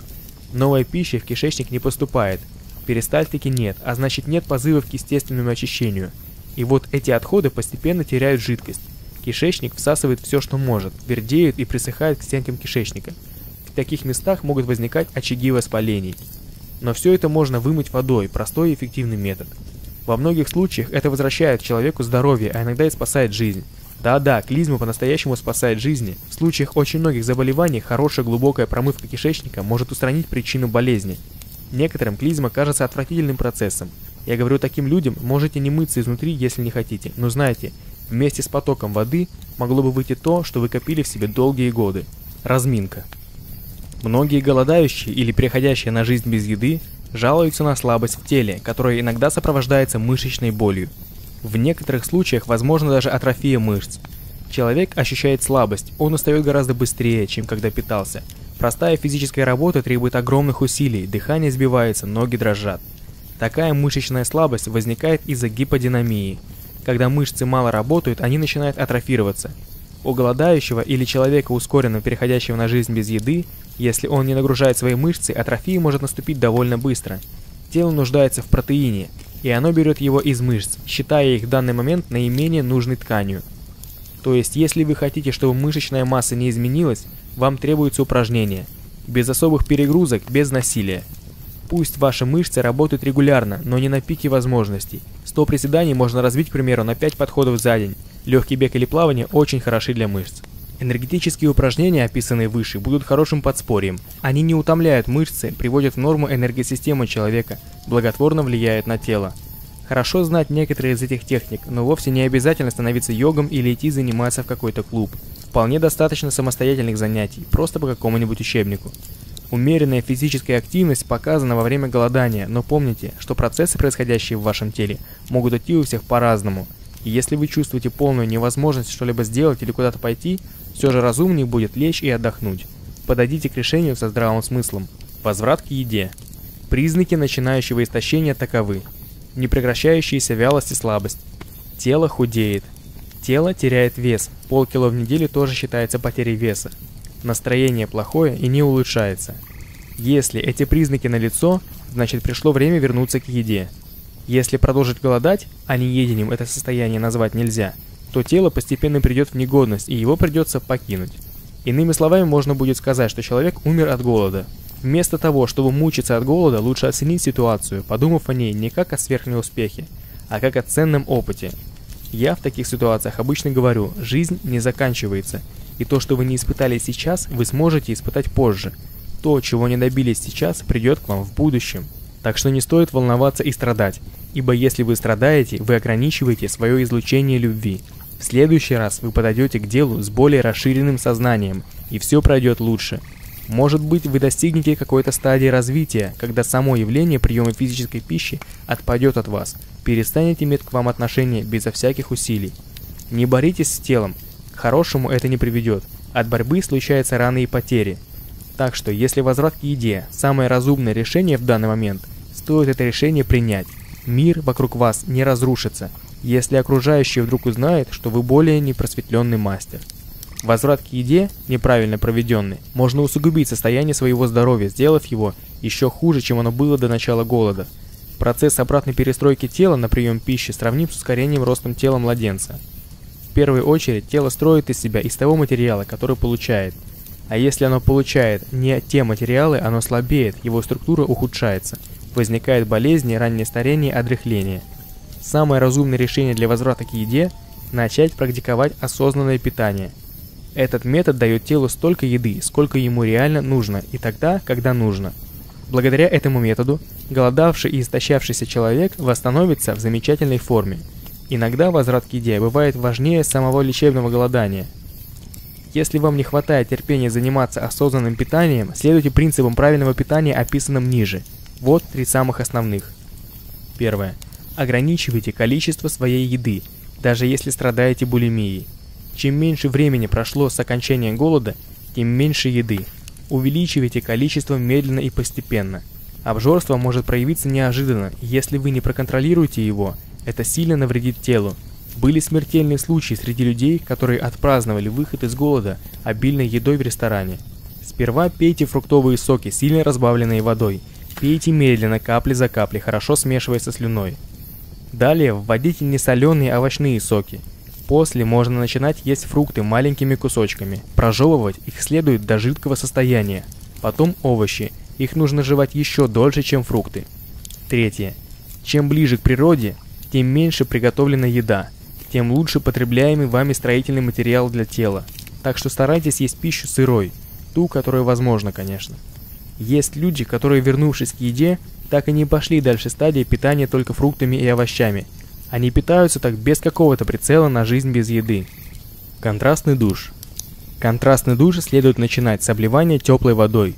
В какой-то момент резко сделайте воду такой горячей, которую сможете стерпеть а затем резко настолько холодный, который стерпите. Обливайтесь ею в течение 10 секунд и снова очень горячее. Обливайте тело несколько десятков секунд и опять холодное. Повторите это несколько раз. Заканчивая следует холодной водой. Она закроет поры тела и заставит течь энергию изнутри наружу. Контрастный душ стимулирует капиллярное кровообращение. Капилляры под воздействием контрастных температур будут сжиматься и расширяться – это позволит им очиститься от наслоений, накопившихся на внутренних стенках. То же происходит и с порами кожи. Они открываются и закрываются, это их очищает от сала и грязи. В этом случае можно даже не пользоваться мылом и гелем, не отравляя тело. Заканчивать контрастный душ горячей водой целеобразно, если после душа вы собираетесь идти спать. Можно даже не вытираться, пусть кожа подышит открытыми порами. Поначалу, когда выходишь из холодного душа, ощущается холод, но через некоторое время он сменяется чувством тепла из-за повышения энергетической активности тела. Тепло приходит сразу после обтирания – Особенно хорошо это ощущается, если сразу после душа начать заниматься энергетическими упражнениями. Если горячая вода недоступна, постарайтесь проявить смелость и окатите себя ледяной водой или примите холодную ванну. Это очень благотворно влияет на тело, в особенности если вы устали или простужены. Это отличный метод подстегнуть иммунную систему. Правда, для тех, кто все время мерзнет, это, пожалуй, не лучшая идея. То, как человек ощущает температуру окружающей среды, зависит от его внутренней энергии – от ее количества и качества.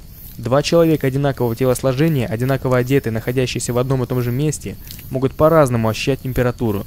Когда энергия течет снаружи внутрь, внешние факторы, внушение, свет, температура влияет на человека, сильнее влияет на человека, чем в обратном случае. Ток энергии изнутри наружу делает человека менее подверженным влиянием извне. Некоторые люди так дают проявиться активности своего «я», что все их действие можно сравнить с солнечным теплом – от таких людей исходит тепло, душевность, доброта, любовь, и это ясно чувствуется. Вокруг тел таких людей, в особенности вокруг головы, можно наблюдать свет. Эти люди не ощущают тепла или холода, только если сами не захотят. Неудачи.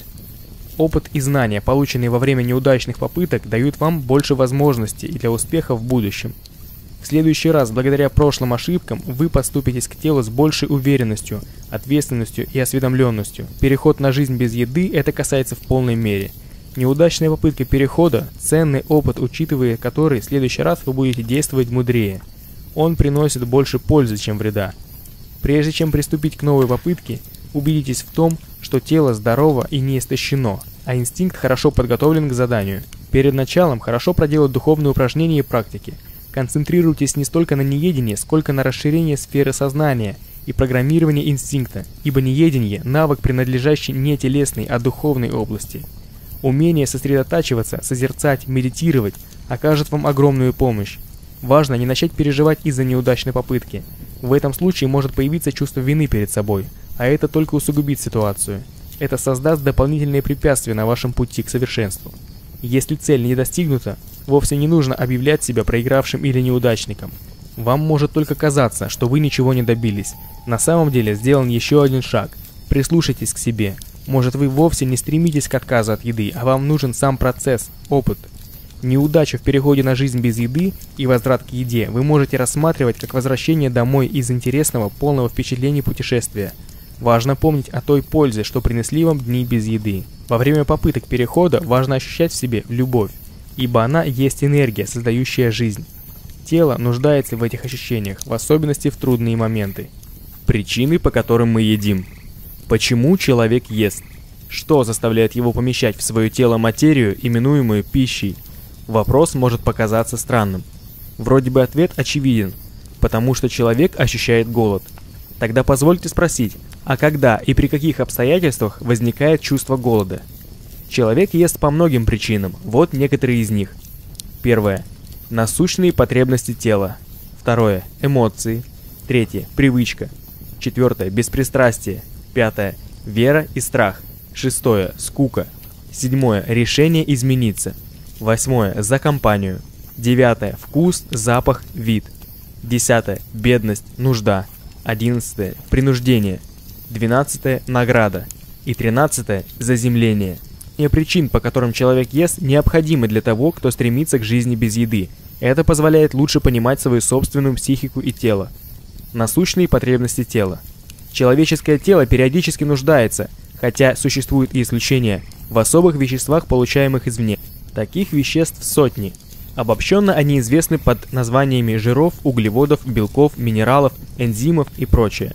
Тело хорошо работает, если эти вещества своевременно и в должных количествах поступают в него. Но позвольте спросить, кто точно знает, сколько, чего и когда должно поступать в тело?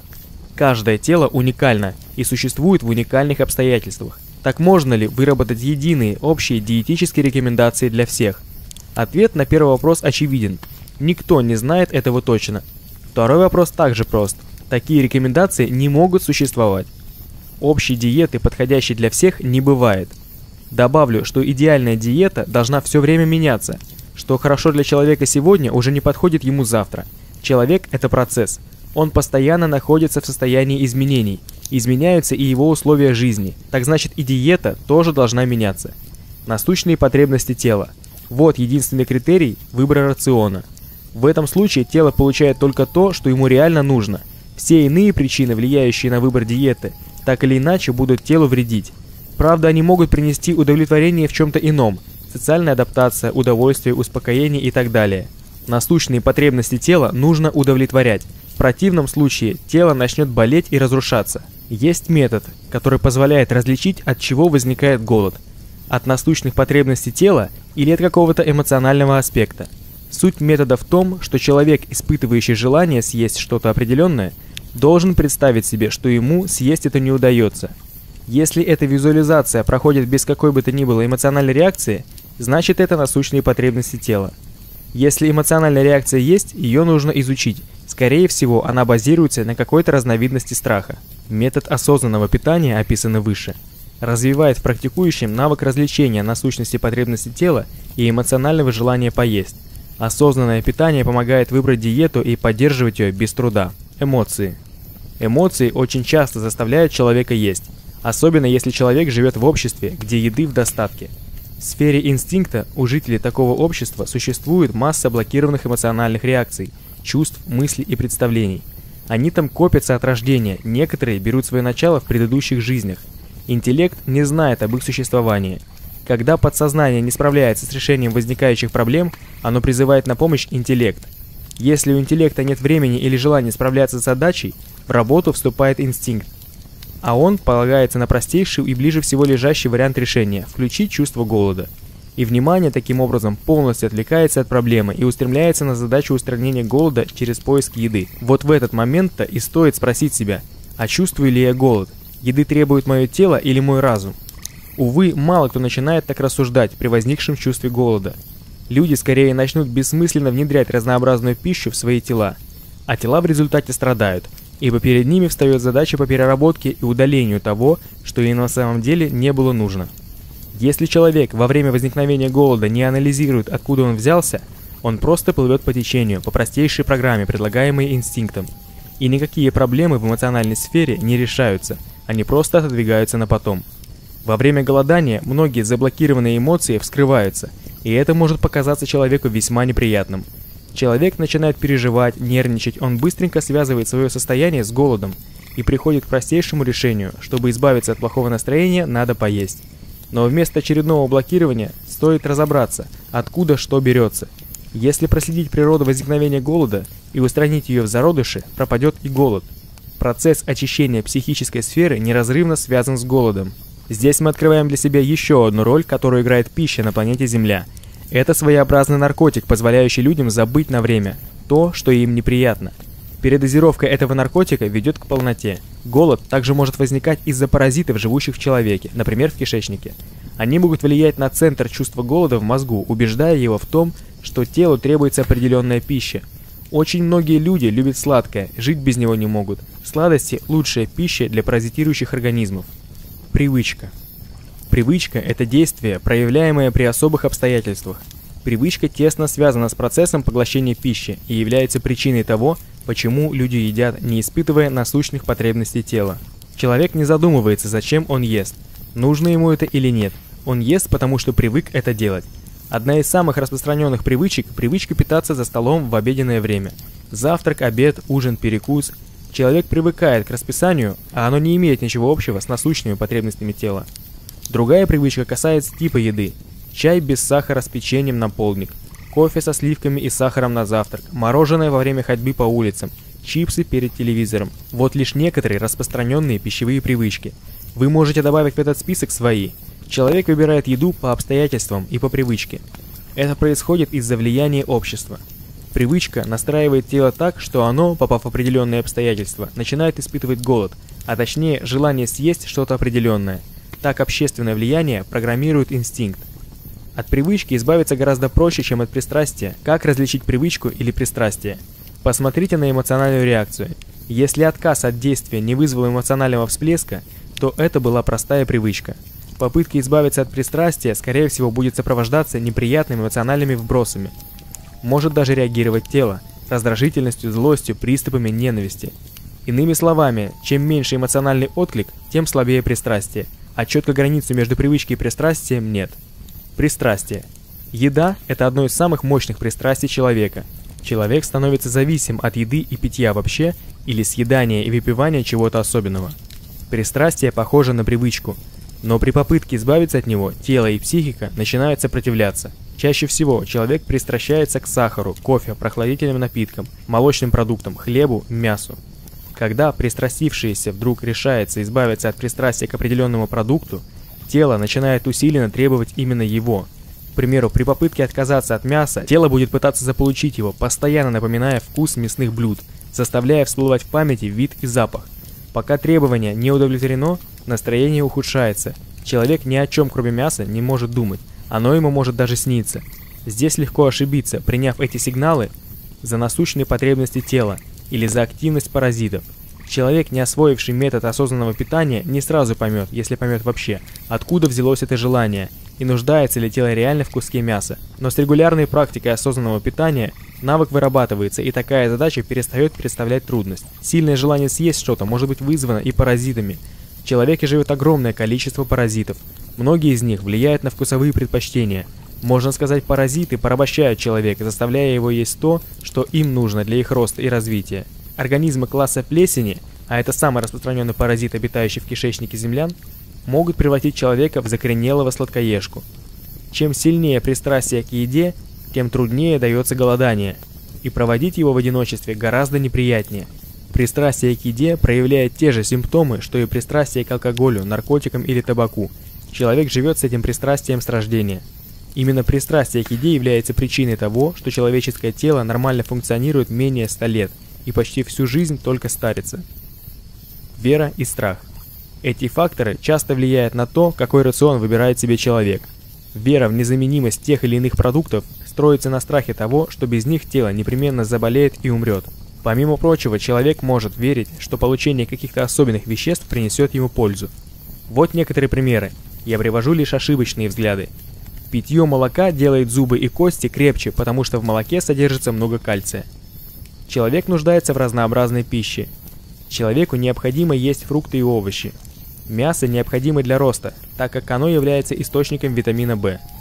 Каждый должен выпивать не менее 2 литров воды в день. Нужно есть часто, но понемногу. Тому, кто тяжело работает, следует усиленно питаться. Ешь побольше и вырастешь большим и сильным. Эти и многие другие убеждения передаются из поколения в поколение. Им следуют вслепую и подчиняют свой рацион. Люди, верящие в это, едят только потому, что верят, что еда оказывает влияние на их тела. Отсюда же берутся всевозможные диеты, очистительные для похудения, оздоровительные и так далее.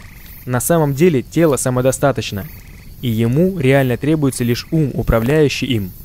Чем сильнее человек верит в то, что телу требуется что-то извне, тем больше он ставит тело в зависимость от внешних факторов. Каждый человек – это отдельный мир, и нужды у всех одинаковыми быть не могут. Поэтому не может существовать общих правил рациона. Единственно правильный рацион – это насущные потребности тела. Очень распространено убеждение, что человеку нужно побольше есть, чтобы обеспечить себя силой и энергией для тяжелой работы. Человек, предполагающий, что пища – это что-то вроде топлива для двигателя, наиболее предрасположен к перееданию. Это утверждение не лишено оснований, ибо недополучение того, что требуется для насущных потребностей тела, действительно может привести к ослаблению тела. Но это не значит, что чем больше съешь, тем сильнее будешь. Однако и насущные потребности тела поддаются регулировке и управлению инстинктом.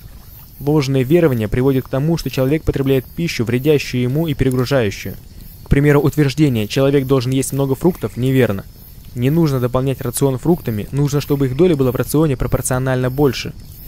Вы сами видите, что верования и страхи, связанные с пищей, больше вредят, чем приносят пользы. Особенно страдают беззащитные дети, так как они не в состоянии сами регулировать свой собственный рацион и вынуждены подчиняться заставляющим их есть родителям. Есть еще мнение, что недоедание предложенной порции – оскорбление судьбы, и она обязательно в будущем отомстит за это недостатком еды. Люди верят, что кальций, содержащийся в молоке, укрепляет костную ткань, и поэтому нужно пить молоко. Увы, все обстоит иначе. Питье молока в больших количествах, особенно произведенного промышленным способом, лишь негативно влияет на тело. Подробное объяснение процесса потребовало бы отдельного разговора, касающегося влияния разных продуктов на человека. Так или иначе, питание, спровоцированное не насущными потребностями тела, а страхами или убеждениями, вредно. Скука. Скука и еда часто бывают связаны. Вспомните, вы когда-нибудь начинали что-то есть только потому, что было нечего делать, в ожидании чего-то, для того, чтобы убить время. Занятость, поглощающая человека во время приготовления еды, поглощение ее и после уборки со стола, мытья посуды, дает иллюзия заполненности жизни, когда больше нечем заняться. Если вам скучно, вместо еды можно помедитировать, заняться энергетическими упражнениями. Еда из-за скуки перегружает организм, становится виновником потери времени, денег и энергии. Человек, решивший съесть что-то от скуки, как правило, выбирает продукт из-за вкуса. Выстраивается цепочка. Скука, желание от нее избавиться, временное повышение настроения. Как вы сами можете заключить, такая зависимость не может не быть пагубной. Часто это приводит к полноте и возникновению всевозможных болезней, и до пристрастия здесь недалеко. Решение измениться. Оно, как правило, базируется на предполагаемой пользе – которое принесет изменение диеты.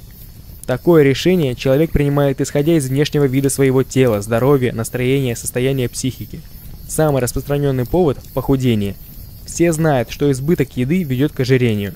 Значит, снижение ее потребления и изменение качества приведет обратный эффект. Решившись, человек выбирает что, когда и в каких количествах ему есть. Во время составления диеты человек руководствуется своими знаниями и верованиями. Решение изменить диету как правило, принадлежит людям, заинтересованным в сознательном саморазвитии. Человек выбирает из массы продуктов те, которые будет потреблять. Он выбирает время приема пищи. И если это происходит согласно насущным потребностям тела, такая диета позитивно влияет на человека.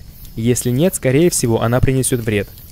Особое решение – отказаться от еды навсегда. Собственно, о чем эта книга.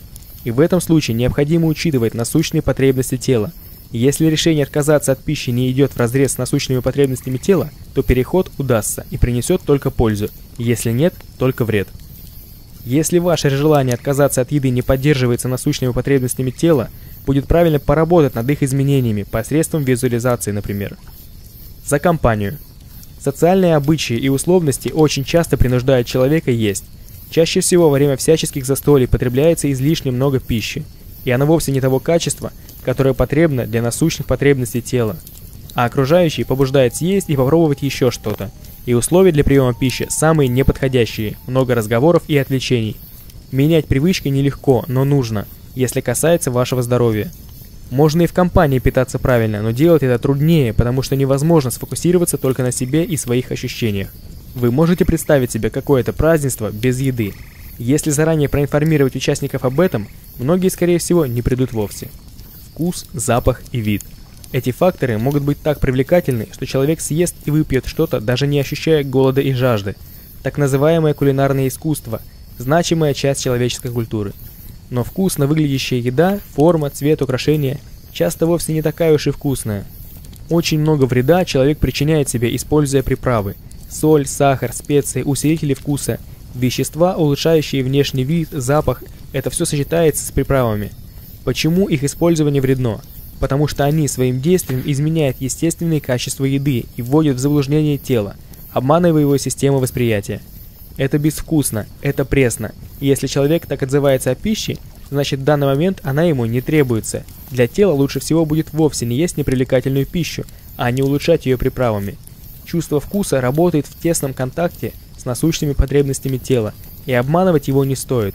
Если телу что-то действительно требуется, Чувство вкуса отзовется о еде, как об изумительной, прекрасной и даже если она недосоленая и без перца. Может даже быть так, что если пищу чем-то приправить, она перестанет быть привлекательной. Картошка без соли может быть замечательной на вкус, если она правда нужна телу в данный момент. Но если она не требуется, то вкус ее будет пресным и непривлекательным. Лесные ягоды, клубника, земляника, смородина вкусны сами по себе. Но если они телу не нужны, нам кажется, что они недостаточно сладкие, и мы начинаем добавлять сахар, взбитые сливки и так далее. Приправы, обманывающие тело вкусом, заставляют человека съедать больше, чем нужно, и это не то, что нужно для насущных потребностей тела. В итоге человек ест только из-за вкуса, а не из-за насущных потребностей тела. Приправы делают человека зависимым. Соль, сахар, перец – самые распространенные пищевые наркотики. Отказ от приправ очень благотворен для человека. Так можно более полно полагаться на чувство вкуса, лучше понимая, что именно требуется телу в данный момент. Принцип прост. Если пища без приправ кажется нам невкусной, она нам не нужна. Есть люди, которые на приправах сделали особое состояние. Фастфуд весь построен на скрупулезно разработанных вкусовых композициях. Вкусная в кавычках еда продается хорошо. Обман вкуса приобрел поистине планетарные масштабы, оборачиваясь ожирением, болезнями и смертями. Бедность, нужда. Это заставляет людей жалеть о недоеденной пище. Лучше съесть или оставить на потом, чем выкинуть. В обществе не принято выбрасывать еду, это зазорно. Считается, что такое поведение может привести к нищете. Это явление целиком проистекает из человеческих страхов. Повторный разогрев пищи ухудшает качество пищи. Приготовленная пища портится быстрее, чем сырая, а разогретая еще быстрее. Люди, испытывающие тяготы голода во время войны, всевозможных катастроф, имеют особое отношение к еде. Они убеждены, что пищу ни в коем случае нельзя выбрасывать. Они постоянно помнят о миллионах голодающих по всему миру, и выбрасывание еды вызывает у них сильное чувство вины. Мой дедушка, очень сердечный человек, был таким. Он предпочитал съесть вареную картошку, пролежавшую в холодильнике несколько дней, а не выбросить ее. Даже если не был голоден. Он даже держал свинью, чтобы не выбрасывать пищу, а хоть кого-то, но кормить отходами. Принуждение. Что касается еды, принуждение – самый распространенный и самый серьезный вред, наносимый родителям детям. Принуждение детей съедать больше, чем они хотят. Есть то, что они не хотят. Кто с этим не сталкивался? Дети должны быть свободны в вопросе количества съедаемой еды. Ребенок себя голодным не оставит. Разумеется, родителям следует ограждать детей от свободного выбора таких продуктов, как сладости, чипсы, пицца, фастфуд и так далее. Также не стоит злоупотреблять молочными продуктами и выпечкой. Часто родители идут на различные уловки, чтобы заставить детей поесть. Им говорят, что может случиться что-то плохое. Если тарелка не будет чиста, что их кто-то заберет или что-то в этом роде. Это принуждение в чистом виде, это вредит психике ребенка и впоследствии может проявиться каким-то нарушением взаимоотношений уже повзрослевшего ребенка с пищей. Вопрос времени приема пищи тоже часто становится поводом для принуждения. Ребенку не дают есть тогда, когда он хочет, и заставляют дожидаться момента, когда еда будет приготовлена. И, соответственно, в полагающееся для еды время, если ребенок не оказывается голоден, его заставляют есть все до последней крошки. Так называемый пищевой режим, которому человек старается следовать и к которому пытается приучить своих детей, вполне может не согласовываться с насущными потребностями тела. Запреты на какие-то продукты – это тоже насилие. Вполне возможно, если человек точно знает, что он хочет съесть, так проявляется его потребности тела. Награда. Награда в виде еды, как поощрение самого себя или кого-либо. Веская причина покушать. Вам случалось утешать себя или баловать чем-то вкусненьким.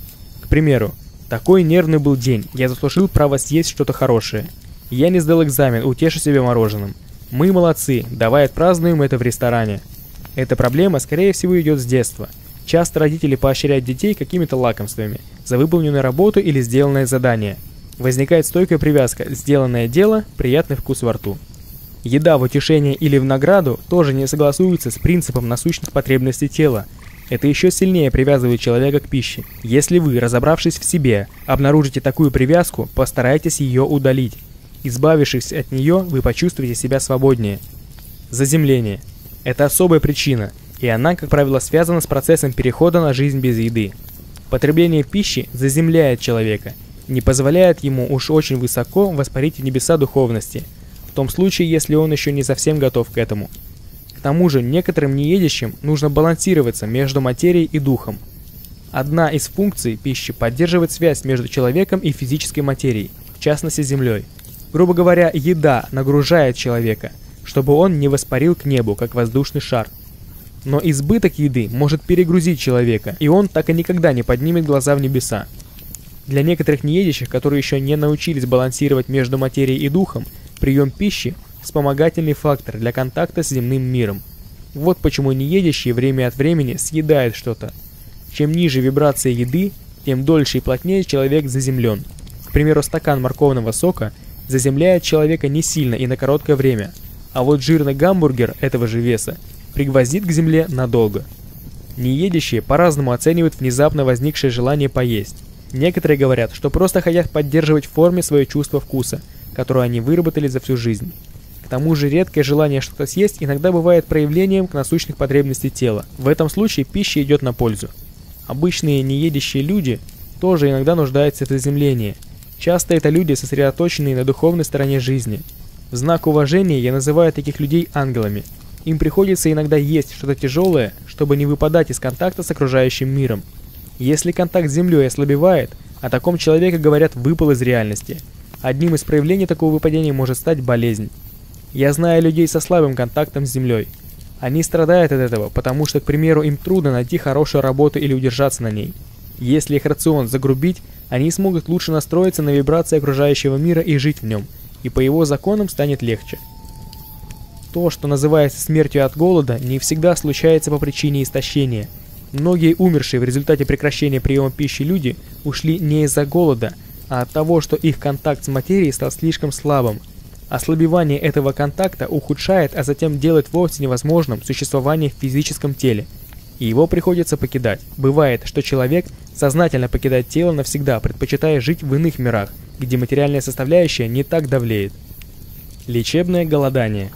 По статистике, голодание является эффективнейшим физиологическим методом лечения – это самый быстрый и самый дешевый метод для избавления от большинства серьезных заболеваний, таких как рак, диабет, сердечно-сосудистые заболевания, гипертония, экзема, астма и так далее. Постоянного улучшения здоровья, омоложения, избавления от токсинов и паразитов, подъема уровня энергии, улучшения состояния психики. Множество людей в мире страдают так называемыми болезнями цивилизованного общества. Зачастую такие болезни считаются неизлечимыми. Лечебное голодание может справиться с ними каждом индивидуальном случае срок лечебного голодания может варьироваться от одного дня до, иногда и нескольких месяцев и лет.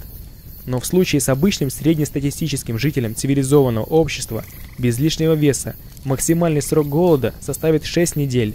Чаще всего выбирают сроки от 7 до 28 дней. Практически каждый психически здоровый человек может голодать, если только он не боится этого и его не заставляют. Эмоции, а не недостаток еды, просыпающиеся в человеке, Страх – вот что убивает. Вот несколько основных методов лечебного голодания. Первое. Сухое голодание. Ничего не попадает в тело, ни пища, ни вода, ни одной капли. Второе. Обычное голодание. Единственное, что человек может в себя принять, это чистая вода. Третье. Голодание с травяными настоями и отварами. Можно употреблять только их. Четвертое. Голодание на соках. Хотя вернее это было бы назвать жидкостной или соковой диетой. Человек пьет только соки, фруктовые или овощные сухое голодание.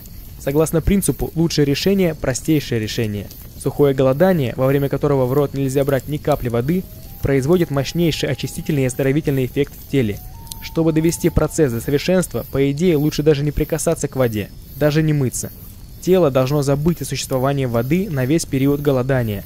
Можно утверждать, что одна неделя сухого голодания по эффективности равна двум или трем неделям обычного голодания с водой. Такое голодание может длиться от 1 до 14 дней. Это зависит от некоторых факторов. Чем суше воздух и чем больше его температура, тем меньше человек сможет обходиться без воды. Чем больше физической активности, как и вследствие испарения через поры, тем меньше срок без воды. В нормальных условиях температура, влажность, физическая активность средний человек в умеренном климате может голодать в сухую до 7 дней. Тело может слегка обезводиться во время такого голодания – это не страшно, но нужно следить, чтобы обезвоживание не стало слишком сильным. Сильное обезвоживание – необратимый процесс, и без функционального повреждения тела уже не восстановиться. В критических случаях обезвоживания наступает смерть. Обычно в первые 4 дня человеку не требуется никакая помощь, но в последующие дни нужно пристально следить за уровнем гидратации тела, например, по состоянию кожи.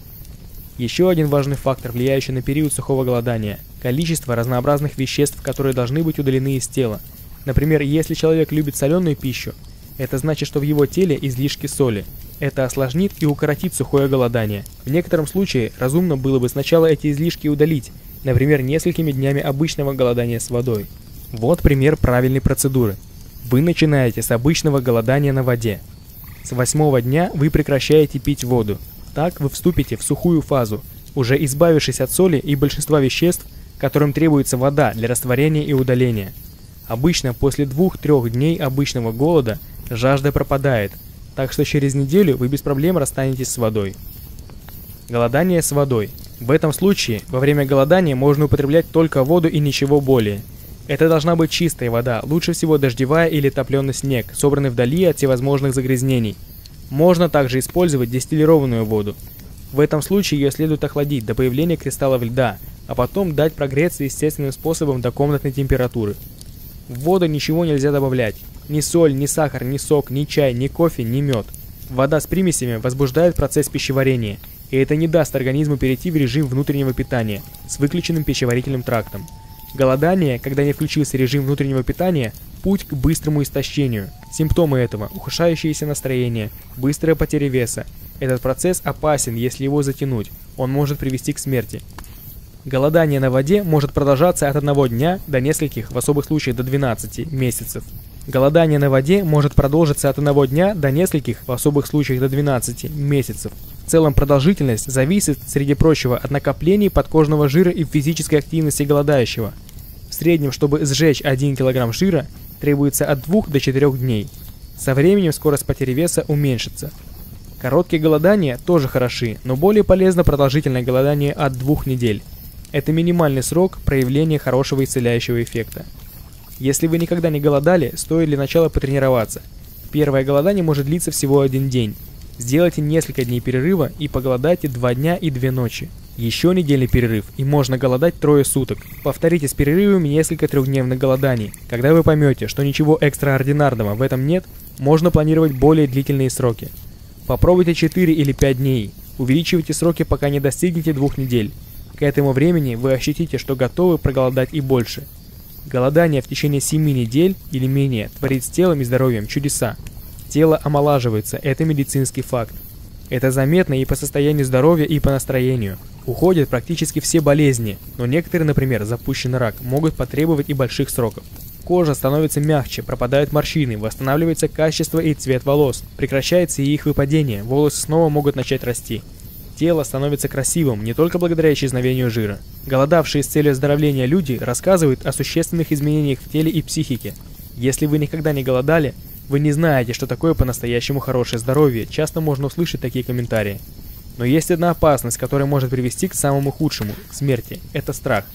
Общественное мнение, под гнетом которого живет большинство людей на Земле, диктует нам истину о том, что человеку необходимо питаться, и что без пищи человек страдает – заболевает и умирает. Что ж, если вы в это верите, вам не стоит сразу проводить 40-дневное голодание.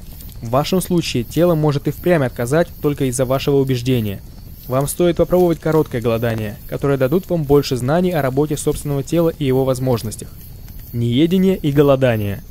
Тело человека может существовать без пищи довольно долгое время. Продолжительность зависит от нескольких факторов. Сфера сознания человека, количество мышечной и жировой ткани, состояние психики, температура окружающей среды, физическая активность и так далее. Самый долгий период голодания, не неедения, зафиксированный документально, длился более 15 месяцев. Голодавший выпивал лишь по 2 стакана воды в день. Голодание длительностью в 3 месяца Голодание длительностью в 3 месяца не представляет из себя ничего экстраординарного и опасного для здоровья человека. Неедение отличается от голодания следующим. Изменение веса тела, состояние, Способ питания тела. Изменение веса тела. Когда человек прекращает вводить в тело пищу и воду, стартует процесс очистки. Он длится в первые несколько дней, а в некоторых случаях может растянуться на несколько недель. Тело освобождается от веществ, препятствующих его нормальному функционированию. Тело человека нуждается в воде, как в растворителе для многих этих веществ, которые успели приобрести кристаллическую или иные связующие формы. Сколько воды нужно? Немного, одного литра или даже одного стакана в день вполне достаточно. Разумеется, это зависит от физической активности, климата и индивидуального строения тела. После завершения процесса очистки тело снижает свою потребность в воде до нескольких граммов в день. Питье может стать совсем ненужным, если условия окружающей среды являются подходящими. Питье влияет на вес тела. Если голодающий пьют столько, сколько требует его тело, вес снижается до состояния наивыгоднейшего для конституции человека – этот уровень может умеренно отличаться от того, что в обществе принято считать нормальным, и от того, что указано в специальных таблицах. Тело обладает правильным весом в том случае, если нет явного перебора или дефицита, и вид и форма этого тела приятны глазу окружающих. Вряд ли вы скажете, что у человека все в порядке с весом, если его тело представляет собой скелет, покрытый кожей. Человек с правильным весом ощущает себя очень хорошо, ибо все системы его организма работают безупречно. Разница в правильном весе двух людей одинакового роста может достигать 15%. Это индивидуальные особенности Конституции. Во время голодания вес человека, не находящегося в состоянии истощения, стремится к правильному весу. Этот уровень будет достигнут за время, которое зависит от количества жира, воды, мышечной ткани человека, его физической активности и сферы сознания. Если человек обладает большими излишками жировой ткани, такой период может растянуться до нескольких месяцев. Что происходит с телом после того, как оно достигло правильного веса? Если человек может жить без пищи, то есть он является потенциальным неедящим, то вес тела останется стабильным. Но если человек еще не готов к жизни без еды, вес его тела продолжит уменьшаться, и тело будет демонстрировать признаки истощения. Это происходит от того, что тело не переключилось на иной образ питания и начинает пожирать само себя – так можно довести себя до голодной смерти. Состояние. Первые несколько недель без еды ваше состояние будет меняться. Не нужно особенно беспокоиться по поводу головокружения, слабости, тошноты и невыразительных болей, и невыразительных болей, возникающих в этот период. Это признаки самоочищения тела. Через 2-3 недели, в зависимости от начального веса человека, может быть и больше, состояние придет в норму. Более того, вы только тогда, может быть впервые в жизни, ощутите, что такое настоящее совершенное здоровье. В вашем распоряжении окажется недостижимый ранее уровень энергии, воли к жизни, физической и психической активности и творчества. Что происходит дальше? Если вы можете жить без еды, ваше состояние не изменится и будет продолжать вас радовать.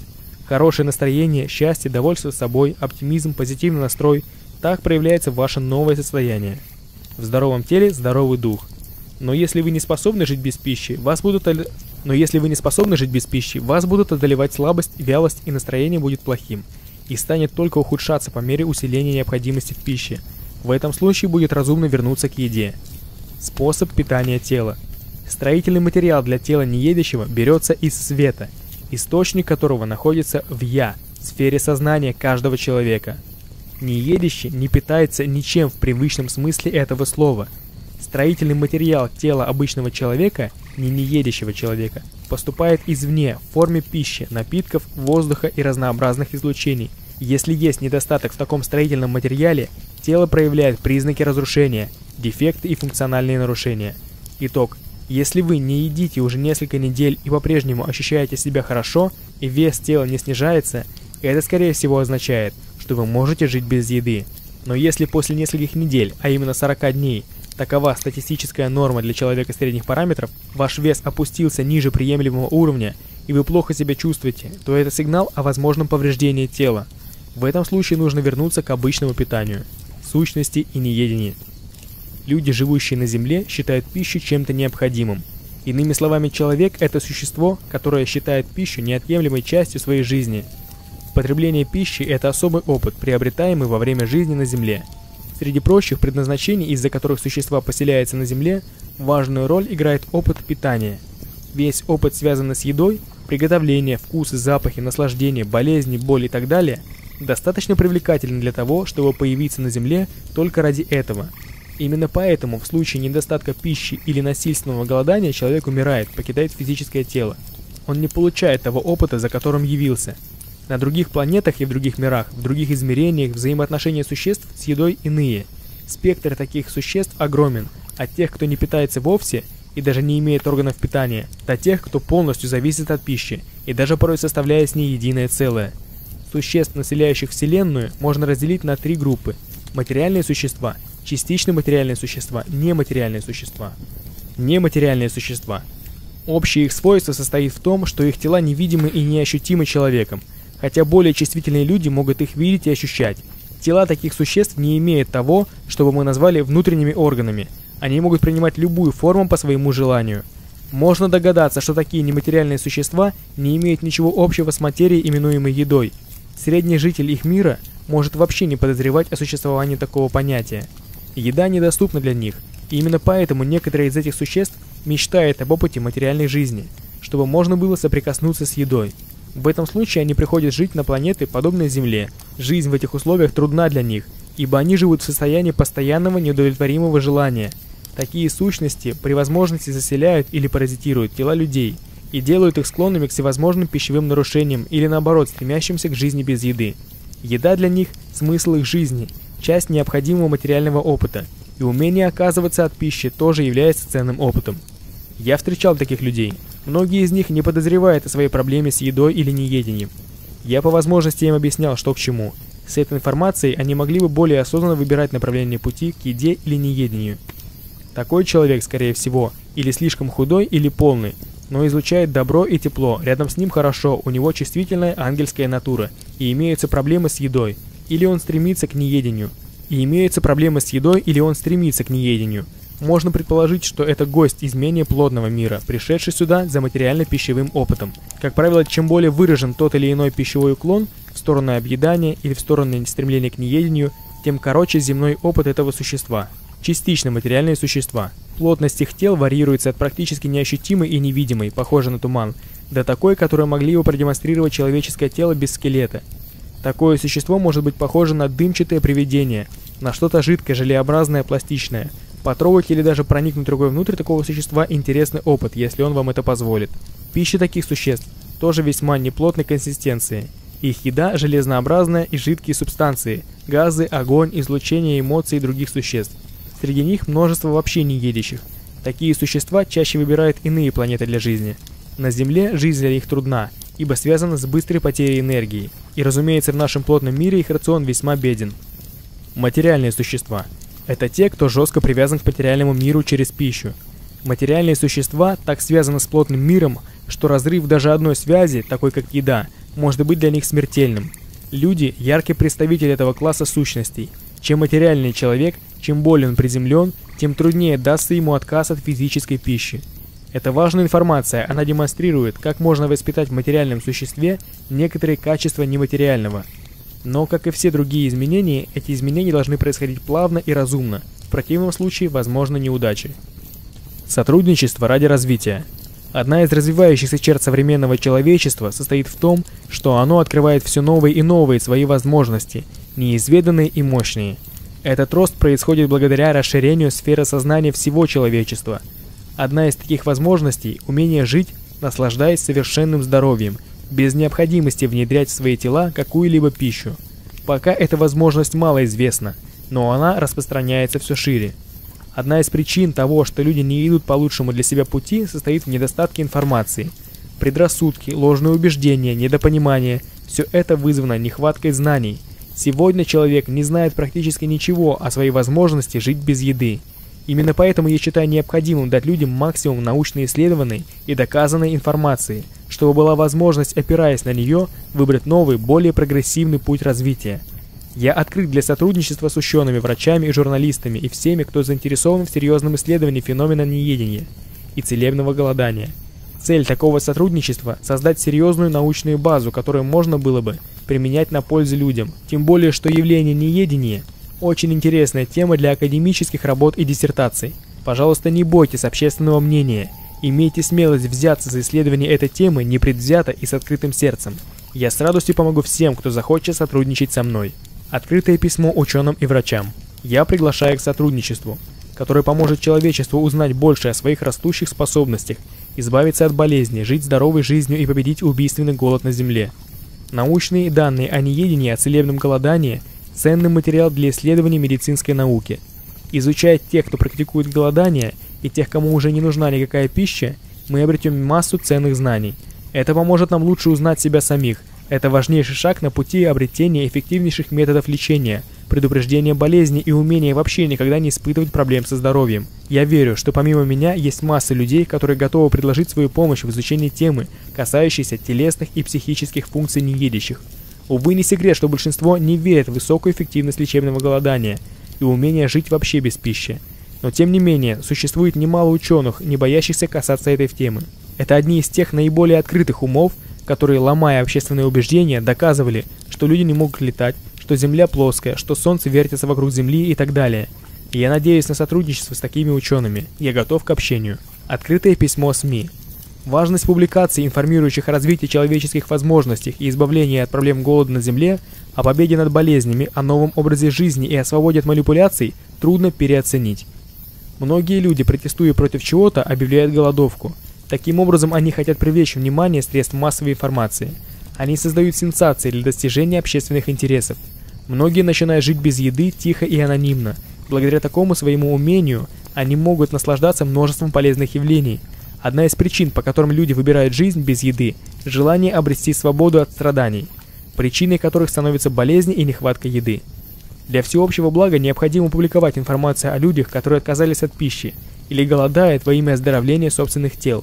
Очень важно, чтобы СМИ публиковали правду об этих явлениях и разрушили общественно ложные представления, которые ограничивают людей. Таким образом, СМИ внесут вклад в освобождение людей от манипуляций. Многие неедящие, которые не таят своих умений, готовы с радостью о себе поведать СМИ. Главная цель такого сотрудничества – проинформировать людей об их потенциальных умениях и о той силе, которая в них таится – и которая способна позволить по-настоящему самостоятельно управлять своей жизнью. Часто задаваемые вопросы. Зачем нам дан пищеварительный тракт? Ответ очевиден, чтобы переваривать и удалять все, что попадает в тело. Человеческое тело – это машина, управляемая в основном инстинктом и работающая по так называемым законам природы, набор программ, составляющих их материальный мир. Человеческое существо обладает свободной волей, которая проявляется в творческом начале интеллекта – так что мы можем примерить на себя любой жизненный опыт, такой, какой решит испытать наше «я». Человеческое тело – инструмент, с помощью которого мы исследуем материальный мир. Инстинкт, творящий и поддерживающий тело, попадает под влияние социального внушения, и получается так, что большинство из наших установок и правил не наши, а чужие, создаваемые массами других людей задолго до нас. И если тело родилось в обществе, где принято есть, то оно обретает все органы и системы, необходимые для полной адаптации в этом обществе. Если тело рождено в обществе неедящих, оно либо не станет запускать эти системы вовсе, либо не будет их развивать. Набор функций человеческого тела определяется тем обществом, где родилось это тело. Человеческое тело очень гибко и хорошо приспособляемо к разным условиям. Именно это дает нам широкие исследовательские возможности для изучения физического мира. Тело – самая сложная, самоуправляемая машина в природе, и наши исследовательские инструменты чувства с легкостью могут адаптироваться к тем условиям, которые нам встречаются – Система пищеварения и выделения – инструмент, который позволяет нам исследовать часть материального мира, именуемую едой. Покуда человек ведет это исследование, испытывает вкусы, свойства, переживает болезни, связанные с пищей, алкогольное опьянение и прочее, инструмент работает. Но как только исследование заканчивается, пищеварительный тракт становится ненужным и вполне может выключиться, атрофироваться, как происходит у многих неедящих, или перестроиться на какую-то иную работу. Почему люди умирают от голода? Не голод сам по себе становится причиной смерти. Недоедание, плохая пища, страх – вот что убивает человека. Так работает программа инстинкта. Потенциально каждый человек на Земле может стать неедящим, но потенциал не означает, что у человека есть необходимый навык. Потенциал означает возможность, которую можно развить и реализовать. Если такой навык не развит, тело погибнет от недополучения пищи. Жизнь без еды открыта только для тех, кто правильным образом изменил функции своего тела, программы своего интеллекта, связанные с получением пищи. С рождения жить без пищи могут только те, кто появился на свет в обществе неедящих. У них эти программы уже изначально настроены на отсутствие какой бы то ни было еды. Инстинкт не умеет думать, он работает строго по программе. Если в вашей программе записано, что тело умирает без еды, то так оно и будет. Неедящий знает, что это не так, и поэтому его тело функционирует нормально. Почему неедящий не занимается распространением своих знаний там, где люди умирают от голода? Спрашивайте об этом каждого встречающего неедящего. И каждый ответит по-своему. Если вы спрашиваете меня, то вот вам мой ответ. Моя задача – ответы на вопросы. Я – источник информации. Я никого не ищу, никому ничего не навязываю. Спросите, я отвечу, если смогу. Поэтому я посещаю те места, куда меня приглашают, а приглашений из мест, где люди страдают от голода, у меня нет. Если бы было, я бы решил, ехать туда или нет. Вот еще информация. На Земле живут люди, которым выгодно держать других людей в состоянии голода, неизлечимых болезней, неграмотности, загрязнения природы и прочее. Это люди с большими деньгами и властью, которые готовы пойти на многое, чтобы масса зависящих от них людей оставалась в бедноте, ибо бедными и голодными всегда легче управлять. Они готовы сделать многое за плошку риса или кусок хлеба. Люди, распространяющие учение о неедении в таких местах, могут подвергнуть своей жизни опасности. Спросим лучше, а почему сильные и влиятельные организации – занимающийся спасением голодающих и беженцев, также не проявляет интереса в распространении знаний о неедении. Почему простые и эффективные методы, проверенные временем, не применяются в тех местах, где они могли бы спасти массу жизней? Вы сами найдете интересные и шокирующие ответы на эти вопросы, если копнете тему поглубже. Почему ваши семинары платные? Потому что я пока еще живу в этой иллюзии, где распространено убеждение, что кусочки металла и бумаги являются универсальным средством обмена, и иногда даже ими можно оценить человеческую жизнь. Деньги – наш бог, а мы его рабы. Мы сами себя такими сделали. Во время семинара лектор делится информацией, которую сам собрал. Информация была и есть в свободном доступе. Кто хочет, может ее найти. Но если вы не хотите искать сами, вы идете на семинар и покупаете ее в готовом виде, систематизированную, проанализированную, хорошо поданную. Лектор – человек, который что-то вложил в сбор информации, возможно, даже испытал ее на себе. Информация и знания бесплатны, но время и ресурсы, потраченные лектором, чего-то стоят – Переезды, переписка, аренда помещения для семинара – все это требует денег. Деньги – предмет обмена. Никто не обязан ими пользоваться. Кто-то может жить и без них, но если они у вас есть, вам выбирать, на что их обменять. Можно обменять их на участие в семинаре, можно придумать именное назначение. Есть такие учителя, которые дают информацию бесплатно, у них на это свои причины. Примеры. Кто-то настолько освободился от условности мира, что деньги для него более не имеют значения. Кто-то считает, что не заслужил денег. Кто-то сознательно обрекает себя на жизнь в нищете и служение людям. Многие верят в то, что духовные знания должны даваться бесплатно. Учителя строят особые кармические взаимоотношения со своими учениками, давая им знания бесплатно. Они делают это сознательно или бессознательно. Не беря денег, они делают студентов должниками, то есть их нынешние ученики должны будут как-то отплатить своему учителю в будущем, в этой, а возможно и в следующей жизни. Если вам кажется, что вы можете по какой-то причине получить важную информацию бесплатно, скажите об этом тому, кто ее дает, объясните свою позицию. Вы можете предложить в обмен какой-то предмет, услугу или еще что-то, у вас всегда есть выбор. Я не верю в то, что люди могут жить без пищи. Как вы это докажете? Я не собираюсь никому ничего доказывать. Я имею некоторый опыт, который я изложил в данной книге. Возможно, она кого-то убедит. Человек, живущий на Земле, собирает свой опыт самостоятельно – и каждый действует своим уникальным методом. Люди строят себе свои миры, и все они разные, несмотря на то, что могут иметь общие элементы. Доказать что-то можете только вы сами себе, невзирая на то, что говорят или пишут. Это для вас не может служить доказательством. Вы можете определить для себя какой-то уровень доверия, который будет для вас служить мерилом правдивости. Так что если вы не верите в жизнь без еды, вы правы. Это ваша правда. Что есть правда для одного, для другого может быть ничего не значит. То есть правда относительно. Если для кого-то жизнь без еды реальность, вовсе не обязательно, что для других все то же самое. Один живет без еды долго и счастливо, другой умирает при первой же попытке. Так один предмет может быть одновременно и правдой, и ложью, возможным и невозможным. Собирайте информацию, анализируйте ее, стройте собственный мир. Возможность строить собственные миры, оставаясь толерантным к окружающим, есть высшее проявление всеобщей взаимной свободы воли. Откуда неедящие берут энергию для жизни? Когда человек задумывается о жизни без еды, он часто спрашивает себя об этом.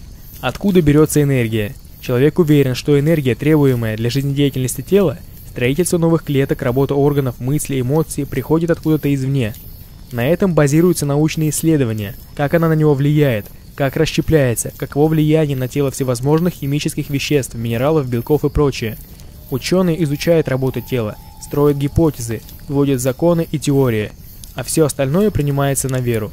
Не углубляясь в предмет очень сильно, можно сказать, что человек живет на том, что ему, как верится, дает энергию. Если вы верите в то, что картошка, хлеб и яблоки дают вам энергию, так оно и есть. Если вы уверены, что солнце поставляет вам жизненную силу, то в вашем случае это так. Если кто-то верит, что живет воздухом, питается праной или светом, так и происходит. То, во что верит человек, то его и питает – для неедящих это тоже справедливо. Кто-то берет энергию от солнца, кому-то необходимо прана из воздуха. А если вы уверены в том, что вы сами по себе являетесь источником энергии, то так оно и есть. Но одной веры мало, нужно точное знание и чистое ощущение. Только в этом случае вы не нуждаетесь ни в чем извне. Высшее Я, как представитель сознания, создает все. Это главный мотив данной книги. Я есть сознание, и все вокруг есть мое творение – я знаю, что я – источник моей жизни. Это не просто объяснить, хотя я попытался как смог. Это не просто понять интеллектом. Интеллект не чувствует, он только думает, анализирует, сопоставляет, создает. И ему не понять вышеописанного. Пока вы не почувствуете это, ваш интеллект будет сильно или слабо протестовать. Все зависит от сознания и от опыта. Физики изучают физический мир и описывают его в понятиях интеллекта. Они создают больше всевозможных гипотез, чем было в самой смелой фантастике еще несколько десятилетий назад. Если вы интересуетесь физикой, элементарными частицами, волнами, энергией, квантовыми излучениями, вы получаете интеллектуальное объяснение. Об авторе этой книги. Я появился в материальном мире 2 июня 1963 года в 6.45 утра. Еще в подростковом возрасте я начал интересоваться всевозможными паранормальными феноменами. Сфера моих интересов, включая йогу, биоэнерготерапию, духовное развитие и все, что с этим связано, как следствие я заинтересовался темой здорового питания, самооздоровления и лечебного голодания. Когда я был подростком, Польше было нелегко достать литературу эзотерического толка. Я смог найти лишь несколько безумно дорогих скопированных книг.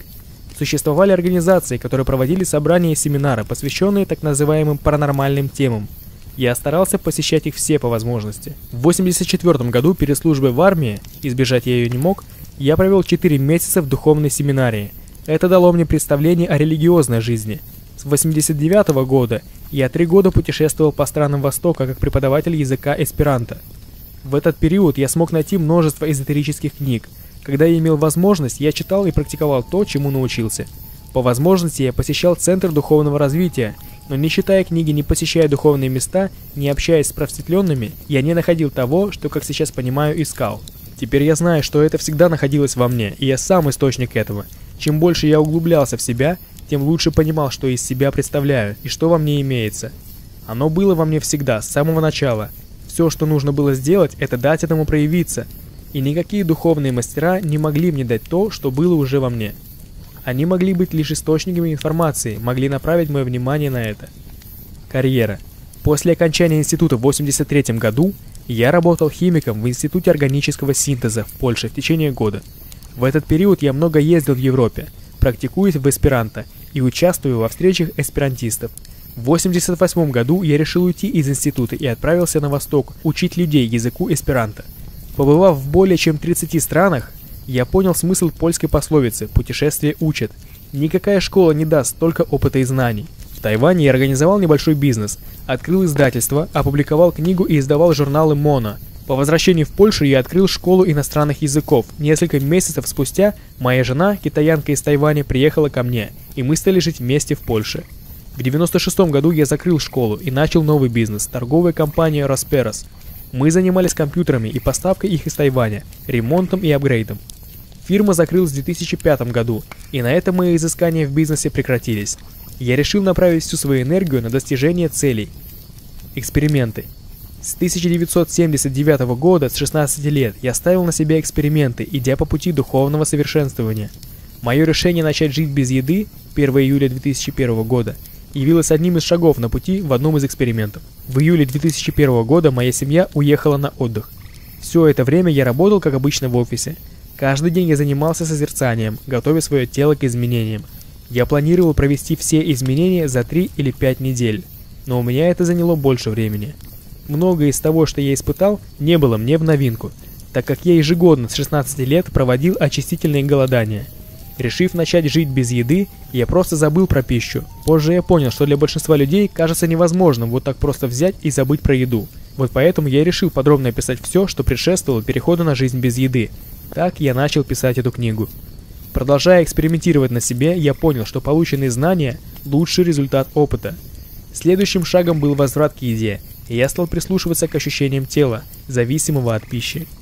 Так я накапливал знания, чтобы поделиться ими с людьми. Ко времени первого издания книги я не решил, когда я начну переход снова. Я оттягивал решение, пытаясь кооперироваться с учеными, врачами, ясновидящими и прочими, которых могла бы заинтересовать эта тема, Некоторые заинтересовались, но либо их интерес оказался поверхностным, либо их остановило общественное мнение. Для меня жизнь без еды видится наиудобнейшим вариантом. Она принесла мне много пользы.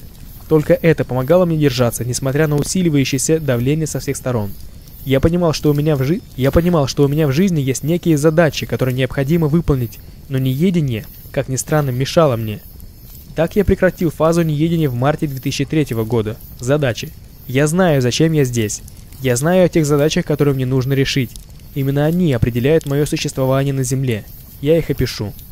Распространять знания о работе некоторых частей человеческого тела, о потенциальных возможностях человека в физической и психической сфере, о решениях, которые помогут людям жить более осознанной жизнью, продемонстрировать возможности самооздоровления и перепрограммирования тела, продемонстрировать решения, как суметь жить более чистым образом, близким к природе – Рассказывать о сознании, любви и свете, о связях людей и иных сущностей.